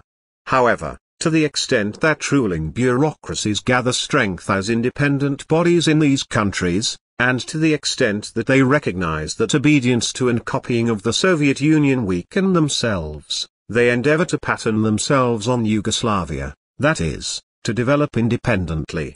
The communist East European countries did not become satellites of the USSR because they benefited from it, but because they were too weak to prevent it. As soon as they become stronger, or as soon as favorable conditions are created, a yearning for independence and for protection of their own people from Soviet hegemony will rise among them, with the victory of a communist revolution in a country a new class comes into power and into control. It is unwilling to surrender its own hard-gained privileges, even though it subordinates its interests to a similar class in another country, solely in the cause of ideological solidarity. Where a communist revolution has won victory independently, a separate, distinct path of development is inevitable. Friction with other communist countries, especially with the Soviet Union as the most important and most imperialistic state, follows. The ruling national bureaucracy in the country where the victorious revolution took place has already become independent in the course of the armed struggle and has tasted the blessings of authority and of nationalization of property. Philosophically speaking, it has also grasped and become conscious of its own essence, its own state, its authority, on the basis of which it claims equality. This does not mean that this involves only a clash, when it comes to that, between two bureaucracies. A clash also involves the revolutionary elements of a subordinated country, because they do not usually tolerate domination and they consider that relationships between communist states must be as ideally perfect as predicted in dogma. The masses of the nation, who spontaneously thirst for independence, cannot remain unperturbed in such a clash. In every case the nation benefits from this, it does not have to pay tribute to a foreign government, and the pressure on the domestic government, which no longer desires, and is not permitted, to copy foreign methods, is also diminished. Such a clash also brings in external forces, other states and movements. However, the nature of the clash and the basic forces in it remain. Neither Soviet nor Yugoslav communists stopped being what they are not before, nor during, nor after their mutual bickerings. Indeed, the diverse types of degree and manner with which they ensured their monopoly led them mutually to deny the existence of socialism in the opposite camp. After they settled their differences, they again acknowledged the existence of socialism elsewhere, becoming conscious that they must respect mutual differences if they wanted to preserve that which was identical in essence and most important to them. The subordinate communist governments in East Europe can, in fact must, declare their independence from the Soviet government. No one can say how far this aspiration for independence will go and what disagreements will result. The result depends on numerous unforeseen internal and external circumstances. However, there is no doubt that a national communist bureaucracy aspires to more complete authority for itself. This is demonstrated by the anti-Tito processes in Stalin's time in the East European countries. It is shown also by the current unconcealed emphasis on one's own path to socialism, which has recently come to light sharply in Poland and Hungary. The Central Soviet government has found itself in difficulty because of the nationalism existing even in those governments which it installed in the Soviet republics, Ukraine, Caucasia, and still more so with regard to those governments installed in the East European countries. Playing an important role in all of this is the fact that the Soviet Union was unable, and will not be able in the future, to assimilate the economies of the East European countries. The aspirations toward national independence must of course have greater impetus. These aspirations can be retarded and even made dormant by external pressure or by fear on the part of the communists of imperialism and the bourgeoisie, but they cannot be removed. On the contrary, their strength will grow. It is impossible to foresee all of the forms that relations between communist states will assume. Even if cooperation between communist states of different countries should in a short time result in mergers and federations, so can clashes between communist states result in war. An open, armed clash between the USSR and Yugoslavia was averted not because of the socialism in one or the other country, but because it was not in Stalin's interest to risk a clash of unforeseeable proportions. Whatever will happen between communist states will depend on all those factors which ordinarily affect political events. The interests of the respective communist bureaucracies, expressed variously as national or as united, along with the unchecked tendency toward ever-increasing independence on a national basis, will, for the time being, play an important role in the relationships among the communist countries. 2. The concept of national communism had no meaning until the end of World War II, when Soviet imperialism was manifested not only with regard to the capitalist but the communist states as well. This concept developed above all from the Yugoslav. Clash. The renunciation of Stalin's methods by the collective leadership of Khrushchev-Bulganin may perhaps modify relations between the USSR and other communist countries, but it cannot resolve them. In the USSR operations are not concerned solely with communism but are simultaneously concerned with the imperialism of the great Russian, Soviet, state. This imperialism can change in form and method, but it can no more disappear than can the aspirations of communists of other countries for independence. A similar development awaits the other communist states. According to strength and conditions, they too will attempt to become imperialistic in one way or another. In the development of the foreign policy of the USSR there have been two imperialistic phases. Earlier policy was almost exclusively a matter of expansion by revolutionary propaganda in other countries. At that time there were powerful imperialistic tendencies, as regards the Caucasus, in the policies of its highest leaders. But, in my opinion, there is no satisfactory reason for the revolutionary phase to be categorically considered imperialistic, since at that time it was more defensive than aggressive. If we do not consider the revolutionary phase as imperialistic, then imperialism began, roughly speaking, with the victory of Stalin, on with the industrialization and establishment of the authority of a new class in the 1930s. This change was clearly shown on the eve of the war when Stalin's government was able to go into action and leave behind pacifist and anti-imperialistic phases. It was even expressed in the change of foreign policy, in place of the jovial and, to a certain extent, principled Litvinov. The unscrupulous and reserved Molotov appeared. The basic cause of an imperialistic policy is completely hidden in the exploitative and despotic nature of the new class. In order that that class might manifest itself as imperialistic, it was necessary for it to attain a prescribed strength and to appear in appropriate circumstances. It already had this strength when World War II began. The war itself abounded in possibilities for imperialistic combinations. The small Baltic states were not necessary for the security of so large a state as the USSR, particularly in modern war. These states were non-aggressive and even allies, however. They were an attractive morsel for the insatiable appetite of the great Russian communist bureaucracy. In World War II communist internationalism, up to that time an integral part of Soviet foreign policy, came into conflict with the interests of the ruling Soviet bureaucracy. With that, the necessity for its organization ceased. The idea of dissolution of the Communist International, Comintern, was conceived, according to Georgy Dimitrov, after the subjugation of the Baltic countries, and in the period of cooperation with Hitler, although it was not effected until the second phase of the war during the period of alliance with the Western states. The Cominform, consisting of the East European and the French and Italian Communist parties, was created on Stalin's initiative in order to guarantee Soviet domination in the satellite countries and to intensify its influence in Western Europe. The Cominform was worse than the former Communist International which, even if it was absolutely dominated by Moscow, at least formally represented all of the parties. The Cominform evolved in the field of real and apparent Soviet influence. The clash with Yugoslavia revealed that it was assigned to subordinate to the Soviet government those communist states and parties which had begun to weaken because of the internal growth of national communism. After the death of Stalin the Cominform was finally dissolved.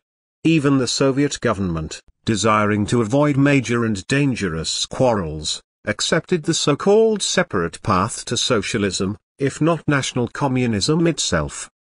These organizational changes had profound economic and political causes. As long as the communist parties in East Europe were weak and the Soviet Union was not sufficiently strong economically, the Soviet government would have had to resort to administrative methods to subjugate the East European countries, even if there had been no Stalinist arbitrariness and despotism. Soviet imperialism, by political, police and military methods, had to compensate for its own economic and other weaknesses. Imperialism in the military form, which was only an advanced stage of the old Tsarist military feudal imperialism, also corresponded to the internal structure of the Soviet Union in which the police and administrative apparatus, centralized in one personality, played a major role. Stalinism was a mixture of a personal communist dictatorship and militaristic imperialism, these forms of imperialism developed, joint stock companies, absorption of the exports of the East European countries by means of political pressure at prices below the world market, artificial formation of a socialist world market, control of every political act of subordinate parties and states, transformation of the traditional love of communists toward the socialist fatherland into deification of the Soviet state, Stalin, and Soviet practices. But what happened? A change within the ruling class was quietly completed in the Soviet Union itself. Similar changes, in another sense, also occurred in the East European countries. New national bureaucracies long for ever increasing consolidation of power and property relations, but at the same time they fall into difficulties because of the hegemonic pressure of the Soviet government. If earlier they had had to renounce national characteristics in order to come to power, now such action had become a hindrance to their further ascendancy to power. In addition, it became impossible for the Soviet government to adhere to the exorbitant and hazardous Stalinist foreign policy of military pressure and isolation and, simultaneously, during the period of the general colonial movements, to hold the European countries in infamous bondage. The Soviet leaders had to concede, after long vacillation and indecisive argumentation, that the Yugoslav leaders were falsely indicted as Hitlerite and American spies just because they defended the right to consolidate and build a communist system in their own way. Tito became the most significant personality in contemporary communism. The principle of national communism was formally acknowledged. But with that Yugoslavia also ceased to be the exclusive creator of innovations in communism. The Yugoslav revolution subsided into its groove, and a peaceful and matter-of-fact rule began. With that the love between yesterday's enemies did not become greater, nor were the disagreements terminated. This was merely the beginning of a new phase. Now the Soviet Union entered into the predominantly economic and political phase of its imperialistic policy. Or so it appears, judging from current facts. Today national communism is a general phenomenon in communism. To varying degrees all communist movements, except that of the USSR against which it is directed, are gripped by national communism. In its time, in the period of Stalin's ascendancy, Soviet communism also was national communism. At that time Russian communism abandoned internationalism, except as an instrument of its foreign policy. Today Soviet communism is compelled, even if indefinitely, to acknowledge a new reality in communism. Changing internally, Soviet imperialism was also compelled to alter its views toward the external world. From predominantly administrative controls, it advanced toward gradual economic integration with the East European countries. This is being accomplished by means of mutual planning in important branches of economy, in which the local communist governments today mainly voluntarily concur, still sensing themselves weaker externally and internally. Such a situation cannot remain for long, because it conceals a fundamental contradiction. On the one hand national forms of communism become stronger, but on the other, Soviet imperialism does not diminish. Both the Soviet government and the governments of the East European countries, including Yugoslavia, by means of accords and cooperation, are seeking solutions to mutual problems which influence their very nature, preservation of a given form of authority and of property ownership. However, even if it is possible to effect cooperation with respect to property ownership, it is not possible with respect to authority. Although conditions for further integration with the Soviet Union are being realized, those conditions which lead to the independence of the East European communist governments are being realized even more rapidly. The Soviet Union has not renounced authority in these countries, nor have the governments of these countries renounced their craving to attain something similar to Yugoslav independence. The degree of independence that will be attained will depend on the state of international and internal forces. Recognition of national forms of communism, which the Soviet government did with clenched teeth, has immense significance and conceals within itself very considerable dangers for Soviet imperialism. It involves freedom of discussion to a certain extent, this means ideological independence too. Now the fate of certain heresies in communism will depend not only on the tolerance of Moscow, but on their national potentialities deviation from Moscow that strives to maintain its influence in the communist world on a voluntary and ideologic basis cannot possibly be checked. Moscow itself is no longer that which it was. It single-handedly lost the monopoly of the new ideas and the moral right to prescribe the only permissible line. Renouncing Stalin, it ceased to be the ideological center. In Moscow itself the epoch of great communist monarchs and of great ideas came to an end, and the reign of mediocre communist bureaucrats began. Collective leadership did not anticipate that any difficulties and failures were awaiting it in communism itself, either externally or internally. But what could it do? Stalin's imperialism was exorbitant and overly dangerous, and what was even worse, ineffective. Under him not only the people generally, but even the communists, grumbled, and they did so at the time of a very strained international situation. The world center of communist ideology no longer exists, it is in the process of complete disintegration. The unity of the world communist movement is incurably injured. There are no visible possibilities whatsoever that it can be restored. However, just as the shift from Stalin to collective leadership did not alter the nature of the system itself in the USSR, so too national communism has been unable, despite ever-increasing possibilities for liberation from Moscow, to alter its internal nature, which consists of total control and monopoly of ideas, and ownership by the party bureaucracy. Indeed, it significantly alleviated the pressure and slowed down the rate of establishment of its monopoly over property, particularly in the rural areas. But national communism neither desires nor is able to transform itself into something other than communism, and something always spontaneously draws it toward its source, toward the Soviet Union. It will be unable to separate its fate from that which links it with the remaining communist countries and movements. National modifications in communism jeopardize Soviet imperialism, particularly the imperialism of the Stalin epoch, but not communism either as a whole or in essence. On the contrary, where communism is in control these changes are able to influence its direction and even to strengthen it and make it acceptable externally. National communism is in harmony with non-dogmaticism, that is, with the anti-Stalinist phase in the development of communism. In fact, it is a basic form of this phase. 3.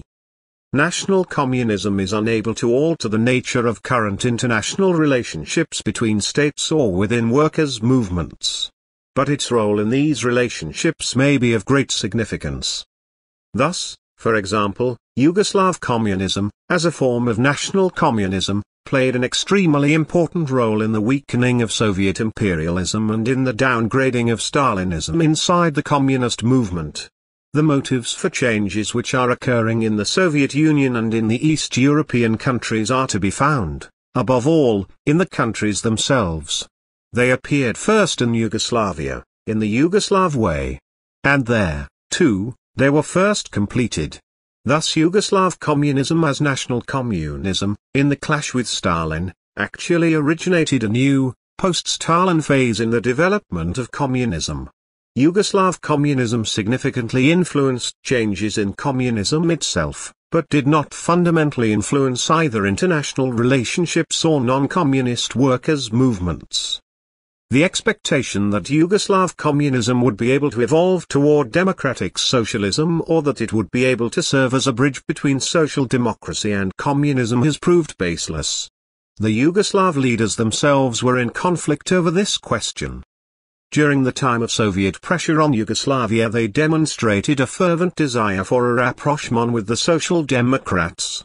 However, in 1956, during the period of peace with Moscow, Tito announced that both the Cominform and the Socialist International were unnecessary, despite the fact that the Socialist International unselfishly defended Yugoslavia while the Cominform laboriously attacked Yugoslavia preoccupied with a policy of so-called active coexistence, which for the most part corresponds to their interests of the moment. The Yugoslav leaders declared that both organizations, the Cominform and the Socialist International, were immoderate solely because they were allegedly the product of two blocs. The Yugoslav leaders confused their desires with reality and confused their momentary interests with profoundly historic and socialistic differences. At any rate, the Cominform was the product of Stalinist efforts for the creation of an Eastern military bloc. It is impossible to deny the fact that the Socialist International is linked with the Western Bloc, on with the Atlantic Pact, since it operates within the framework of the West European countries. But it would exist even without that bloc. It is, above all, an organization of socialists of the developed European countries in which political democracy and similar relationships exist. Military alliances and blocs are temporary manifestations, but the Western socialism and Eastern communism reflect much more enduring and basic tendencies. Contrasts between communism and a social democracy are not the result of different principles only, these least of all, but of the opposing directions of economic and intellectual forces.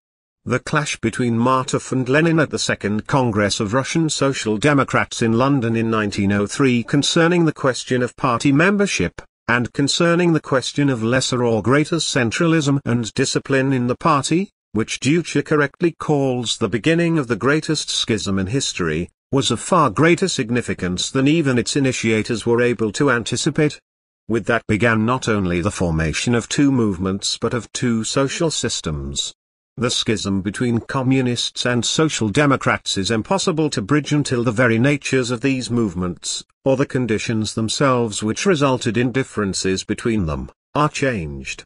In the course of a half-century, despite periodic and separate rapprochements, the differences have on the whole increased, and their natures have become still more individualized.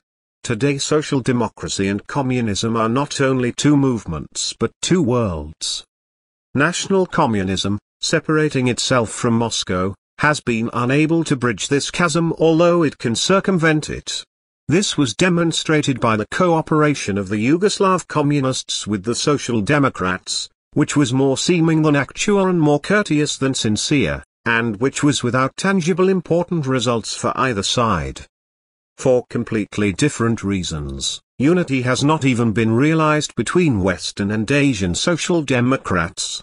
The differences between them were not as great in essence, or in principle, as they were in practice. For national reasons of their own, Asian socialists had to remain separated from West European socialists. Even when they are opponents of colonialism, Western socialists, though they play no leading role, are representatives of countries which, solely because they are more developed, exploit the undeveloped countries. The contrast between Asian and Western social democrats is a manifestation of contrasts between underdeveloped and developed countries, carried over into the ranks of the socialist movement. Despite the fact that concrete forms of this contrast have to be sharply defined, proximity in essence, as far as can be deduced today, is obvious and inevitable. 4. National communism similar to that in Yugoslavia could be of immense international significance in communist parties of non-communist states. It could be of even greater significance than in communist parties which are actually in power. This is relevant above all to the communist parties in France and Italy, which encompass a significant majority of the working class and which are, along with several parties in Asia, the only ones of major significance in the non-communist world. Until now, the manifestations of national communism in these parties have been without major significance and impetus. However, they have been inevitable. They could, in the final analysis, lead to profound and essential changes in these parties. These parties have to contend with the Social Democrats, who are able to channel the dissatisfied masses toward themselves by means of their own socialist slogans and activity. This is not the only reason for the eventual deviation of these parties from Moscow. Lesser reasons may be seen in the periodic and unanticipated reversals of Moscow and of the other ruling communist parties. Such reversals lead these and other non-ruling communist parties into a crisis of conscience to spit on what until yesterday they extolled then suddenly to change their line. Neither oppositionist propaganda nor administrative pressure will play a fundamental role in the transformation of these parties. The basic causes for deviation of these parties from Moscow may be found in the nature of the social system of the countries in which they operate. If it becomes evident, and it appears likely, that the working class of these countries is able through parliamentary forms to arrive at some improvement in its position, and also to change the social system itself, the working class will abandon the communists regardless of its revolutionary and other traditions. Only small groups of communist dogmaticists can look dispassionately at the disassociation of the workers, serious political leaders in a given nation will endeavor to avoid it even at the cost of weakening ties with Moscow parliamentary elections which give a huge number of votes to communists in these countries do not accurately express the actual strength of communist parties. To a significant degree they are an expression of dissatisfaction and delusion. Stubbornly following the communist leaders, the masses will just as easily abandon them the moment it becomes obvious to them that the leaders are sacrificing national institutions, or the concrete prospects of the working class, to their bureaucratic nature, or to the dictatorship of the proletariat and ties with Moscow. Of course, all of this is hypothesis. But even today these parties are finding themselves in a difficult situation. If they really wish to be adherents of parliamentarianism, their leaders will have to renounce their anti-parliamentary nature, or change over to their own national communism which would, since they are not in control, lead to disintegration of their parties.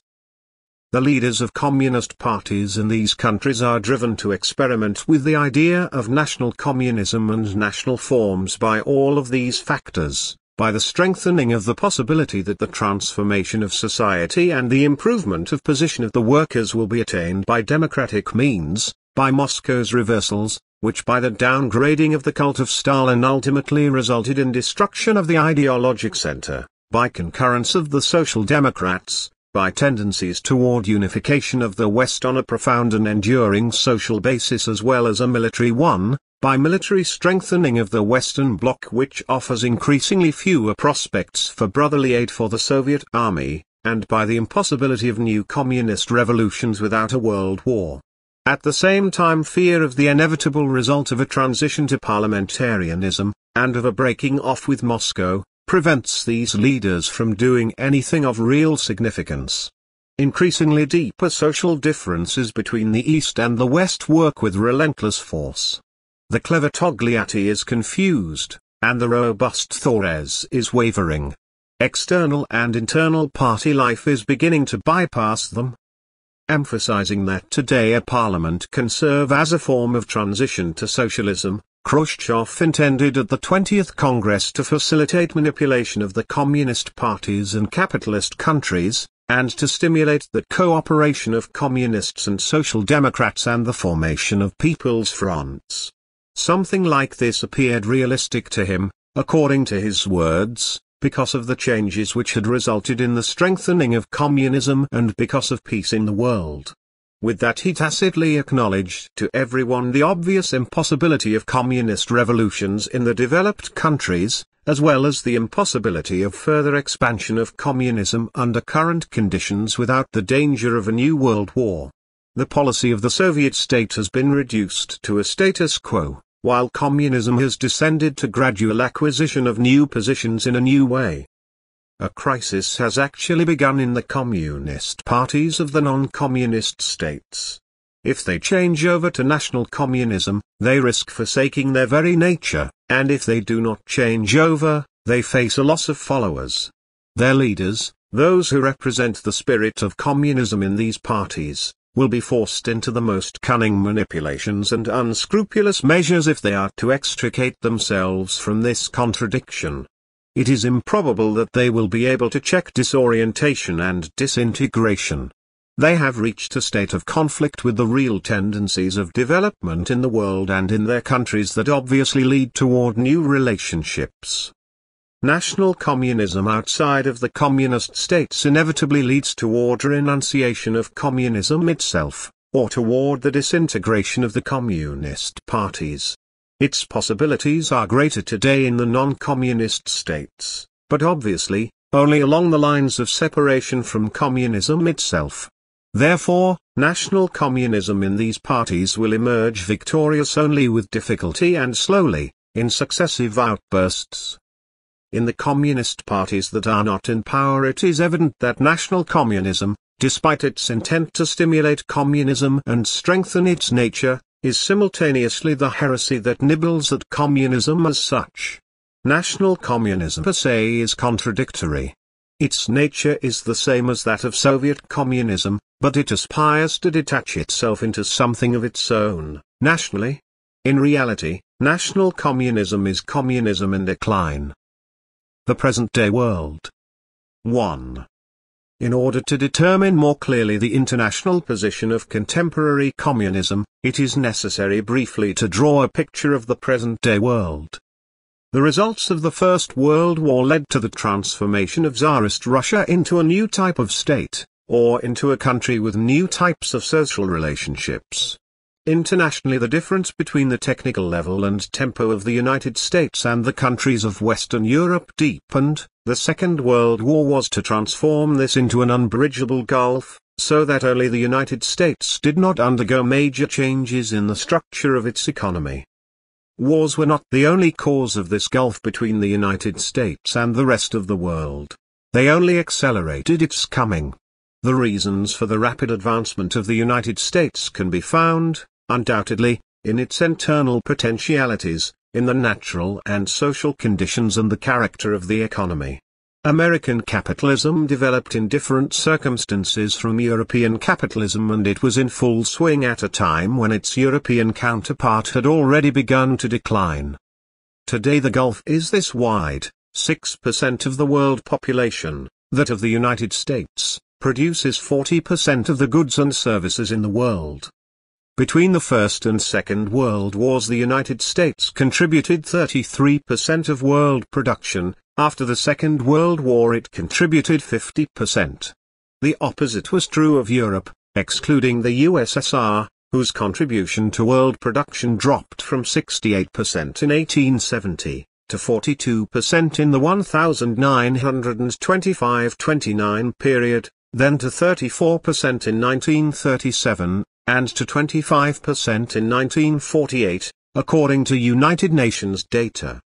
The development of modern industry in colonial economies was also of special importance, and it was to make it possible for most of them, ultimately, to gain their freedom after the Second World War.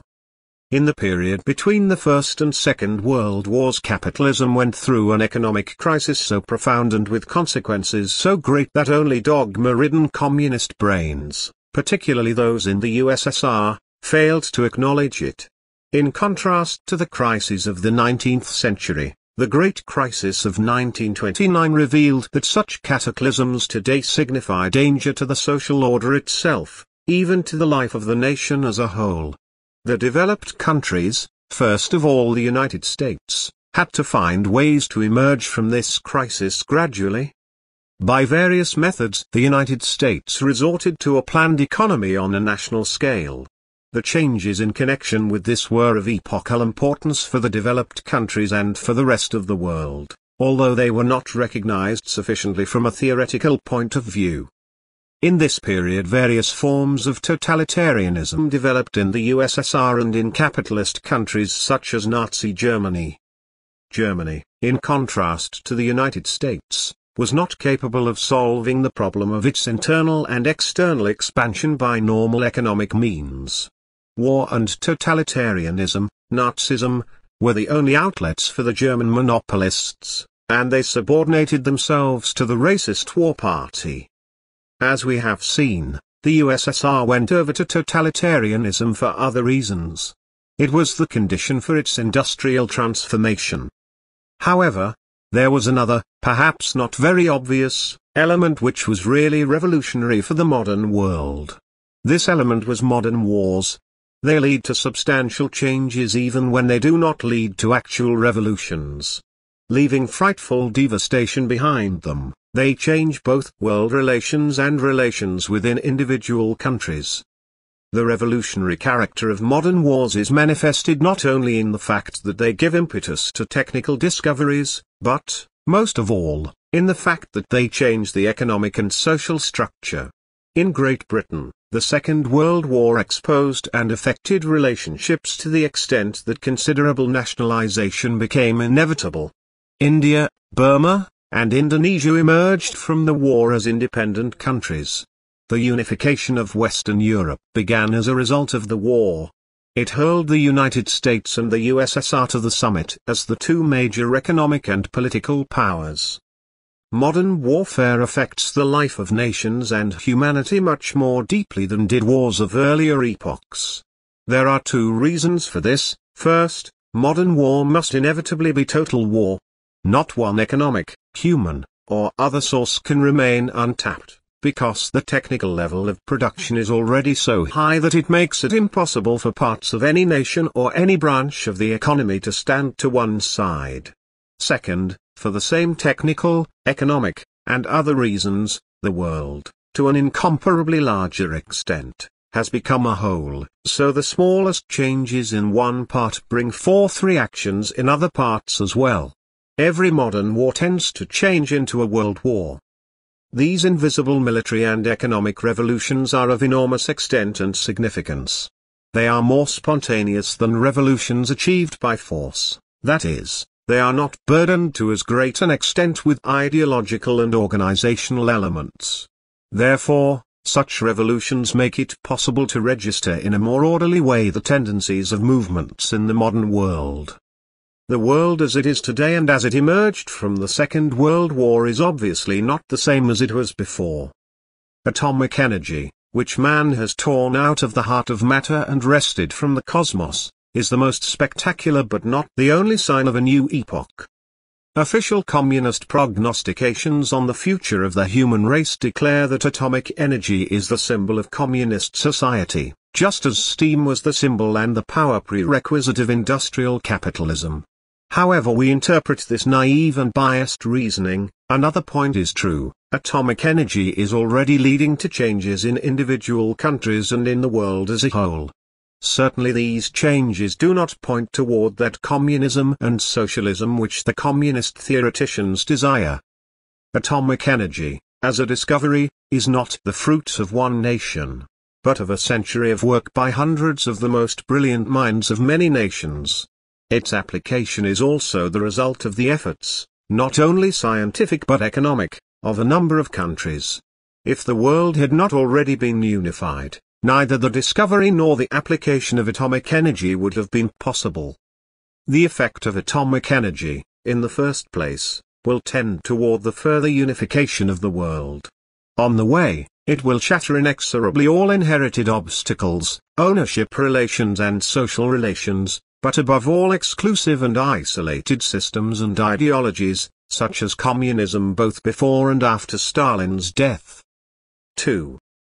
The tendency toward the unification of the world is the basic characteristic of our time. This does not mean that the world did not earlier have a tendency toward unity, in a different way. The tendency toward binding the world together by means of the world market was already dominant in the mid-19th century. It, too, was an epoch of capitalist economies and national wars. World unity of one kind was being achieved then, through national economies and national wars. The further unification of the world was effected by the shattering of pre-capitalist forms of production in the undeveloped regions and their division among the developed countries and their monopolies. This was the period of monopolistic capitalism, colonial conquests, and wars in which internal connections and interests of the monopolies often played a role more decisive than national defense itself. The tendencies at that time toward world unity were achieved mainly through conflicts and associations of monopolistic capital. This was a higher level of unity than unity of the market. Capital poured out of national sources, penetrated, took hold, and dominated the entire world. The present tendencies toward unity are apparent in other areas. They may be found in a very high level of production, in contemporary science, and in scientific and other thought. Further advancement of unity is no longer possible on exclusively national foundations or through the division of the world into individual, monopolistic spheres of influence. The trends toward this new unity, unity of production, are being built on the foundations already attained in earlier stages, that is, on the unity of the market and the unity of capital. They conflict, however, with already strained and inadequate national, governmental, and, above all, social relations. While the former unities were achieved by means of national struggles or through conflicts and wars over spheres of interest, contemporary unity is being formed, and can only be formed, by the destruction of the social relationships of previous periods. No one can say conclusively in what manner the coordination and unification of world production will be effected, whether by war or by peaceful means. But there can be no doubt that its tendency cannot be checked. The first method of unification, war, would hasten unification by force, that is, by the domination of one or another group. But it would inevitably leave behind it the sparks of new conflagrations, discord, and injustice. unification by means of war would take place at the expense of the weak and defeated. Even if war should bring order into given relationships it would leave behind it unresolved conflicts and deeper misunderstandings. Because the present world conflict is unfolding mainly on the basis of opposition between systems, it is more of the character of a class conflict than of opposition between nations and states. That is the reason for its unusual severity and sharpness. Any future war would be more of a world and civil war between governments and nations. Not only would the course of the war itself be frightful, its effects on further free development would be terrible too. The unification of the world by peaceful means, although a slower way, is the only steady, wholesome, and just way. It appears that the unification of the contemporary world will be effected through the opposition of systems, in contrast to the types of opposition, national, through which unification was achieved in earlier periods. This does not mean that all contemporary conflicts are merely due to conflicts between systems. There are other conflicts, including those from former epochs. Through the conflict of systems the tendency toward world unity of production is revealing itself most clearly and actively. It would be unrealistic to expect the unity of world production to be achieved in the near future. The process will take a long time, since it will be the fruit of the organized efforts of the economic and other leading powers of humanity, and because complete unity of production actually cannot be achieved. The earlier unities were never attained as something final, this unity too is being established only as a tendency, as something toward which production, at least that of the most developed countries, aspires. 3. The ending of the Second World War had already confirmed the tendency to division of systems on a world scale. All the countries which fell under Soviet influence, even parts of countries, Germany, Korea, achieved more or less the same system. It was the same on the Western side. The Soviet leaders were fully aware of this process. I remember that at an intimate party in 1945 Stalin said, in modern war, the victor will impose his system, which was not the case in past wars. He said this before the war was over, at a time when love, hope, and trust were at their peak among the Allies. In February 1948 he said to us, the Yugoslavs, and to the Bulgarians, they, the Western powers, will make a country of their own out of West Germany and we will make one of our own out of East Germany. This is inevitable. Today it is fashionable, and to some extent justifiable, to evaluate Soviet policy as it was before and after Stalin's death. However, Stalin did not invent the systems, nor do those who succeeded him believe in them less than he did. What has changed since his death is the method by which Soviet leaders handle relations between systems, not the systems themselves.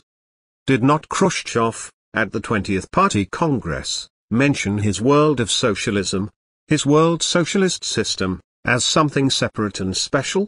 In practice this means nothing more than insistence upon a division into systems, into the further exclusiveness of communism's own system and hegemonistic control.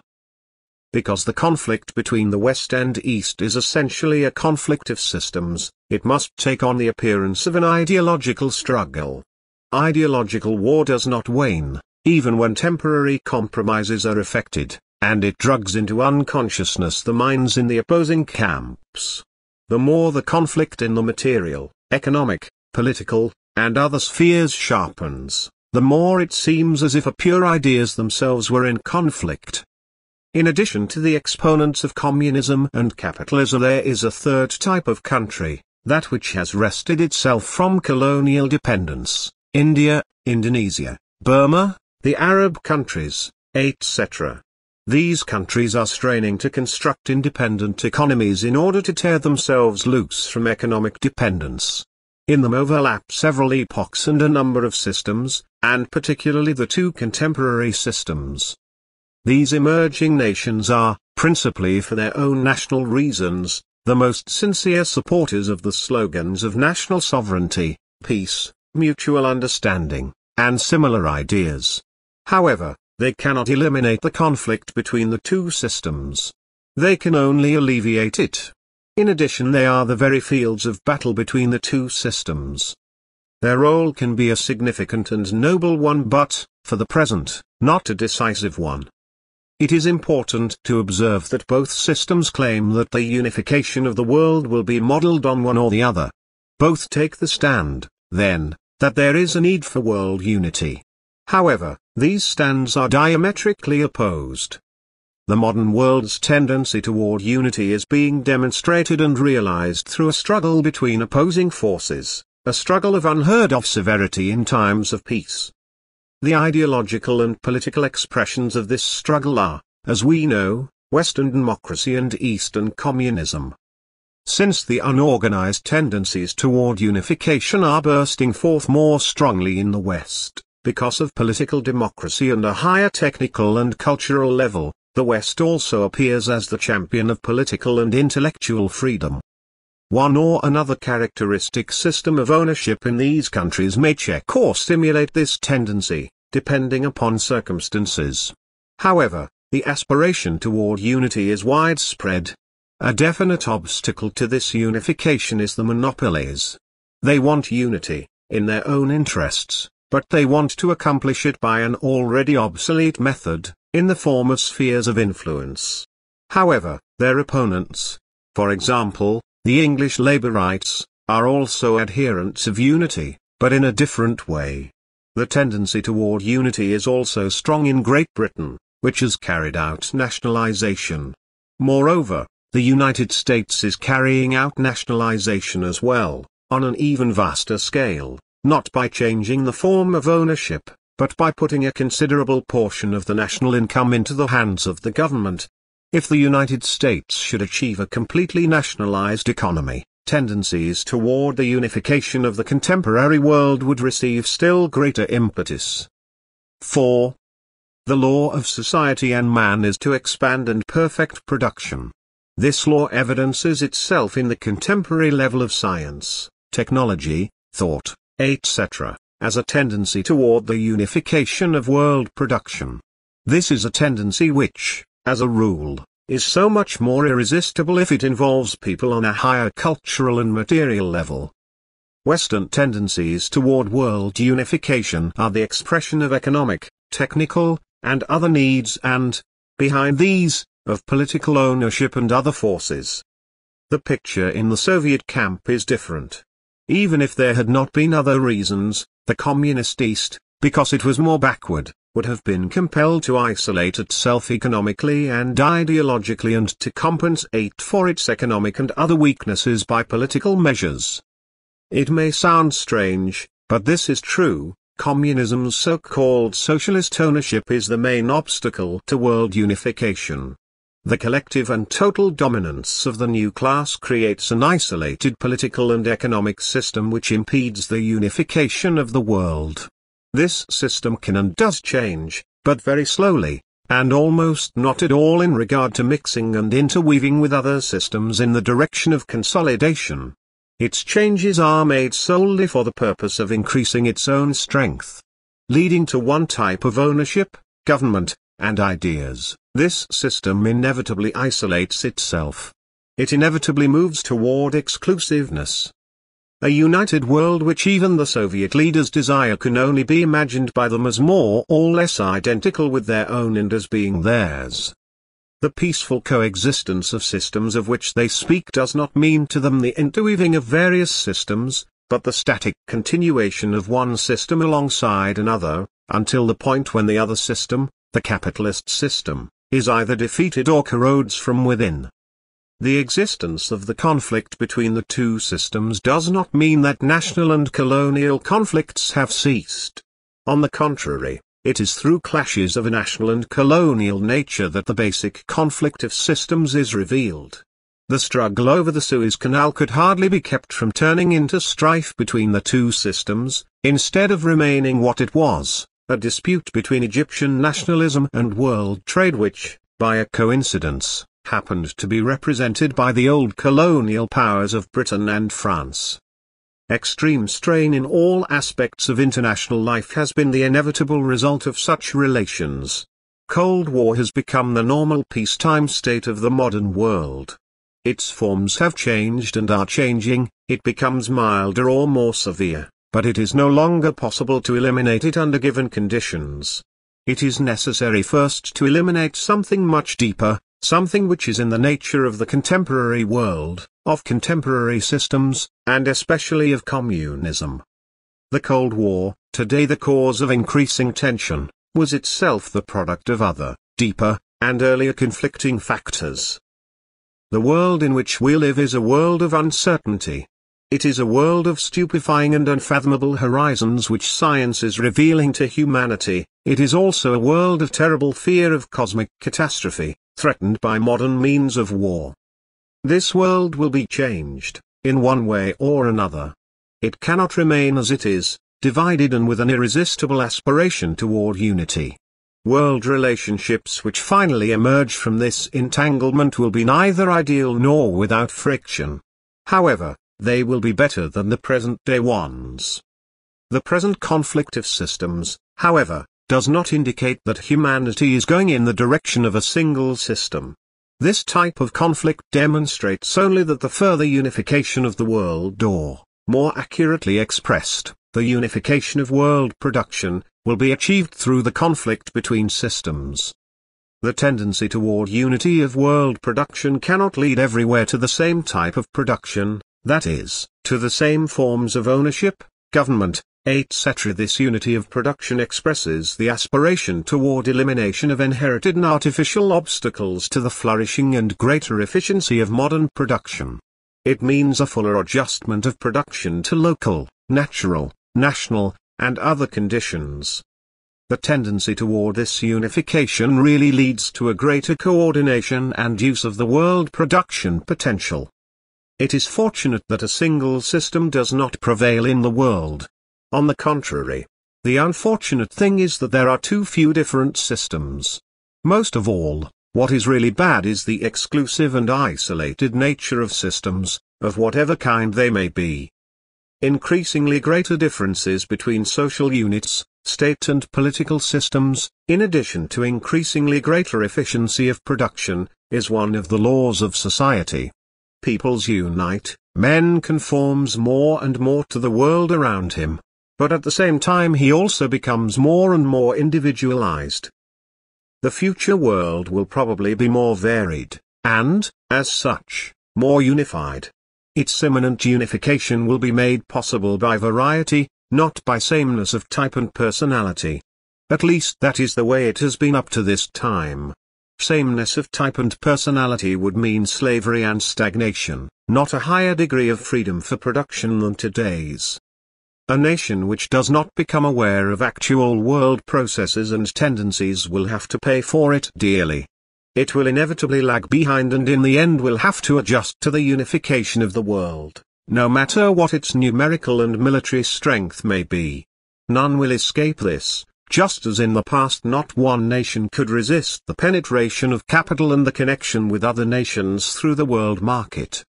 That is also the reason why today every autarchical, or exclusive, national economy, whatever its form of ownership or political order, or even its technical level, must fall into unresolvable contradictions and stagnation.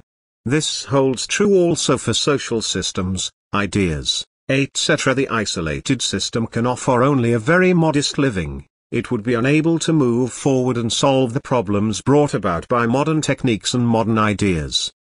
Incidentally, world development has already demolished the communist Stalinist theory of the possibility of construction of a socialist, or communist, society in one country, and has brought about the strengthening of the totalitarian despotism, or the absolute dominance of a new exploiting class.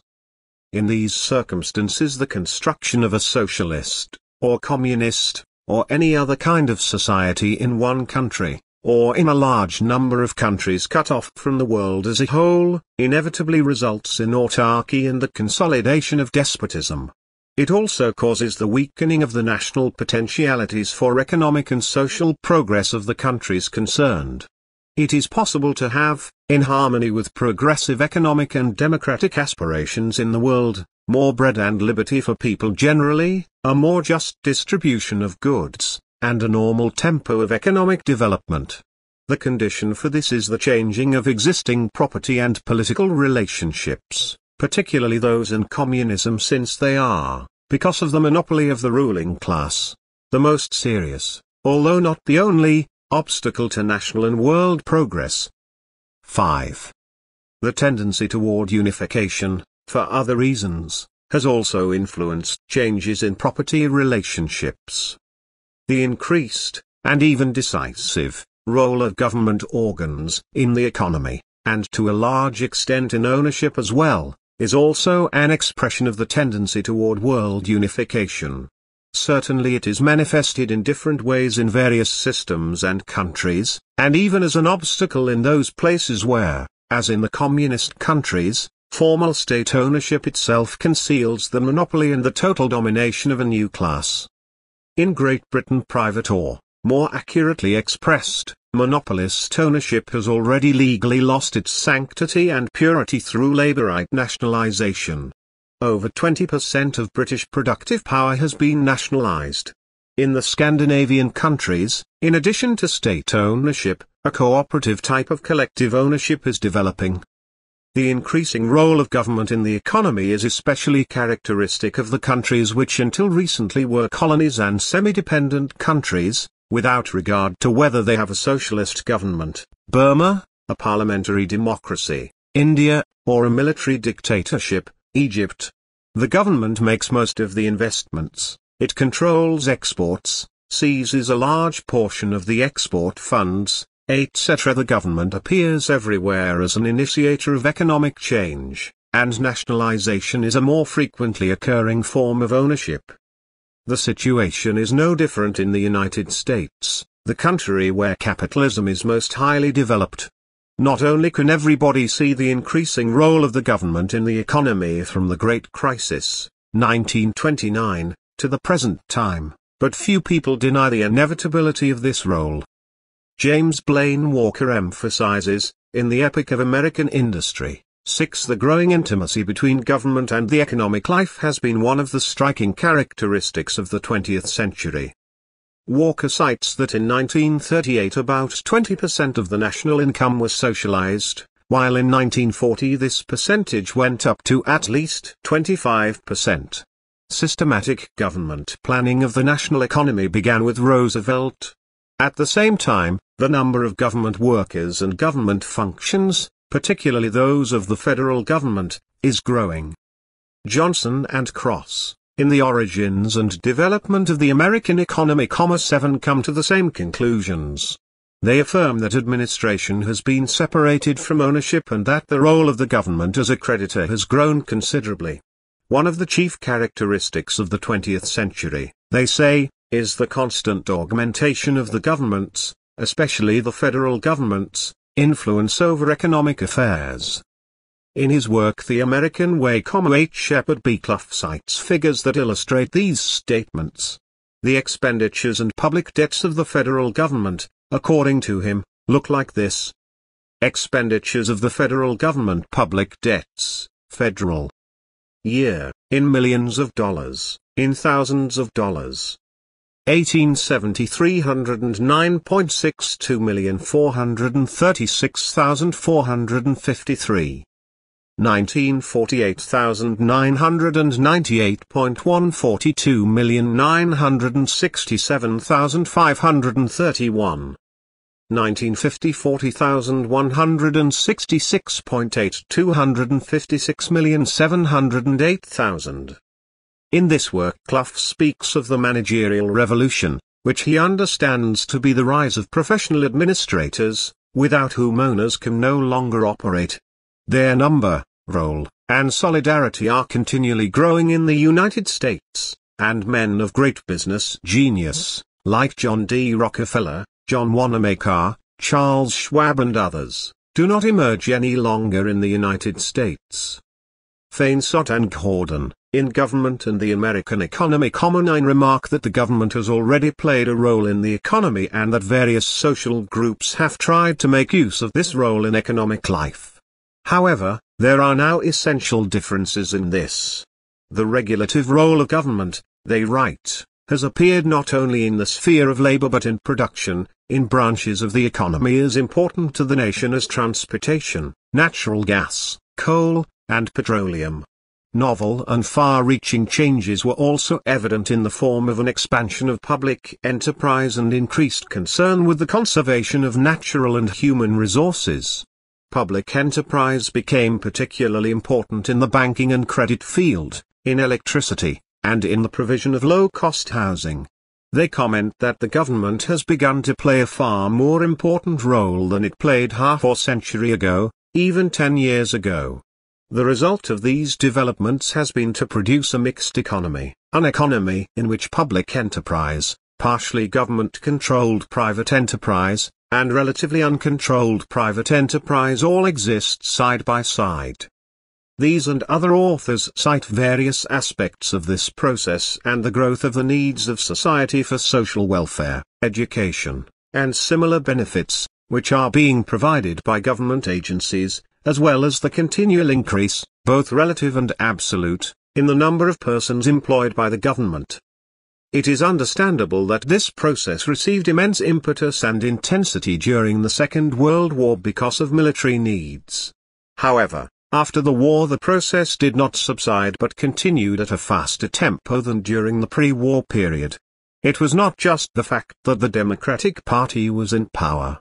Even the Republican government of Eisenhower, which was elected to power in 1952 on the slogan of a return to private initiative, could not change anything essentially. The same thing happened with the Conservative government in Great Britain, it did not succeed in bringing about denationalisation except in the steel industry. Its role in the economy, by comparison with that of the Labour government, has not essentially decreased, although it has not increased either. The interference of the government in the economy is obviously the result of objective tendencies which had already penetrated the people's consciousness a long time ago. All serious economists, beginning with Keynes, have advocated the intervention of the state in the economy. Now this is more or less an actuality throughout the world. State intervention and state ownership are today an essential and in some places a determining factor in the economy. One could almost conclude from this that there is no distinction or source of conflict in the fact that in the Eastern system the state plays the major role, while in the Western system private ownership, or ownership by monopolies and companies, plays a major role. Such a conclusion seems all the more warranted since the role of private ownership in the West is gradually declining, the role of the state growing. However, this is not the case. Aside from the other differences between systems, there is an essential difference in state ownership and in the role of the state in the economy. Though state ownership is technically present to some extent in both systems, they are two different, even contradictory types of ownership. This applies to the role of the state in the economy, too. Not a single Western government acts like an owner with relation to the economy. In fact, a Western government is neither the owner of nationalized property nor the owner of funds which it has collected through taxes. It cannot be an owner because it is subject to change. It must administer and distribute this property under the control of a parliament. In the course of distribution of property, the government is subject to various influences, but it is not the owner. All it does is administer and distribute, well or badly, property which does not belong to it. This is not the case in communist countries. The government both administers and distributes national property. The new class, or its executive organ, the party oligarchy, both acts as the owner and is the owner. The most reactionary and bourgeois government can hardly dream of such a monopoly in the economy. Surface similarities in ownership in the West and the East are in fact real and deep differences, even conflicting elements. 6. Even after the First World War, forms of ownership were probably an essential reason for the conflicts between the West and the USSR monopolies then played a much more important role and they could not accept the idea that one part of the world, specifically the U.S.S.R. was escaping from their domain. The communist bureaucracy had just recently become the ruling class. Ownership relationships have always been vital to the USSR in its dealings with other countries. Wherever possible its peculiar type of ownership and political relationship was imposed by force. No matter how much it developed its business connections with the rest of the world, it could not go beyond the mere exchange of goods, which had been developed during the period of national states. This was also true of Yugoslavia in the period of its break with Moscow. Yugoslavia could not develop any kind of significant economic cooperation except for the exchange of goods, although she had and continues to have helps of achieving this. Her economy has remained isolated too. There are other elements which complicate this picture and these relationships. If the strengthening of Western tendencies toward world unity of production might not mean aid to undeveloped countries, in practice it would lead to the ascendancy of one nation, the United States, or, at best, a group of nations. By the very element of exchange, the economy and the national life of the undeveloped countries are exploited and forced to be subordinated to the developed countries. This means that the undeveloped countries can only defend themselves by political means, and by shutting themselves in if they wish to survive. This is one way the other way is to receive aid from the outside, from the developed countries. There is no third way. Up to now there has been barely the beginning along the second way, aid in insignificant amounts. Today the difference between the American and the Indonesian worker is greater than that between the American worker and the wealthy American stockholder. In 1949 every inhabitant of the United States earned an average of at least $1,440. The Indonesian worker earned 153rd as much, only $27, according to United Nations data and there is general agreement that the material and other differences between developed and undeveloped countries do not diminish, on the contrary, they increase. The inequality between the Western developed countries and the undeveloped countries reveals itself as being mainly economic. Traditional political domination by governors and local lords is already on its way out. Now, as a rule, the economy of an undeveloped but politically independent, national government is subordinate to some other country. Today no single people can willingly accept such subordinate relationships, just as no single people can willingly renounce the advantages made possible by greater productivity. To ask American or West European workers, not to mention owners, willingly to renounce the benefits offered them by a high level of technology and more productive work is as unthinkable as it would be to persuade a poor Asiatic that he should be happy that he receives so little for his work. Mutual aid between governments and the gradual elimination of economic and other inequalities between peoples must be born of need in order to become the child of goodwill. In the main, economic aid has thus far been extended only in those cases where undeveloped countries, with low purchasing power and low production, have become a burden to the developed countries. The current conflict between the two systems is the main obstacle to the extension of real economic aid. This is not only because huge sums are being spent for military and similar needs, contemporary relationships also hinder the flourishing of production, and its tendency toward unification, thus blocking aid to underdeveloped countries and the progress of the developed countries themselves. Material and other differences between the developed and the undeveloped countries have also been registered in their internal life. It would be completely inaccurate to interpret democracy in the West only as an expression of solidarity of rich nations in looting the poor ones. The Western countries were democratic long before the time of colonial extra profits though on a lower level than that of today. The only connection between present-day democracy in the Western countries and that of the period when Marx and Lenin were alive lies in the fact of continuous development between the two periods. The similarity between past and present democracy is not greater than that between liberal or monopolistic capitalism and modern statism. In his work, In Place of Fear, the British socialist Aneurin Bevan observed, it is necessary to distinguish between the intention of liberalism and its achievements.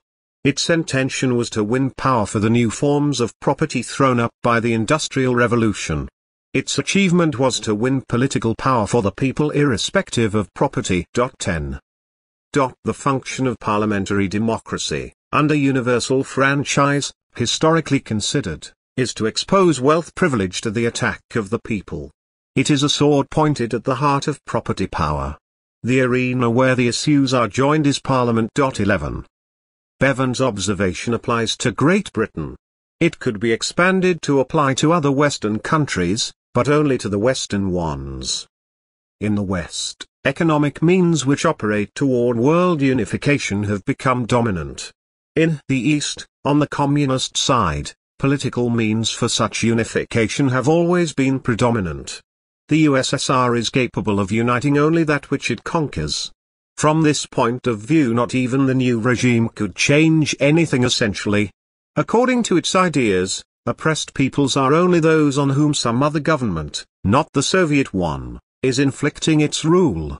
The Soviet government subordinates its aid to others, even in the case of loans, to its political requirements. The Soviet economy has not yet reached the point which would drive it to world unification of production. Its contradictions and difficulties stem mainly from internal sources. The system itself can still survive despite its isolation from the outside world. This is enormously expensive, but it is achieved by the widespread use of force. But this situation cannot last long. The limit must be reached. And this will be the beginning of the end of unlimited domination by the political bureaucracy, or by the new class. Contemporary communism could help achieve the goal of world unification most of all by political means, by internal democratization and by becoming more accessible to the outside world. However, it is still remote from this. Is it actually capable of such a thing? What kind of picture does communism have of itself and of the outside world? Once, during the period of monopolies, the Marxism which Lenin modified conceived the internal and external relationships into which Tsarist Russia and similar countries had fallen with a degree of accuracy. With this picture to spur it on, the movement headed by Lenin fought and won. In Stalin's time this same ideology, again modified, was realistic to the extent that it defined, almost accurately, the position and role of the new state in international relations. The Soviet state, or the new class, was in a good position externally and internally, subordinating to itself all that it could acquire. Now the Soviet leaders have a hard time orienting themselves. They are no longer capable of seeing contemporary reality. The world which they see is not the one that really exists. It is either the one that used to exist or the one that they would wish to have exist.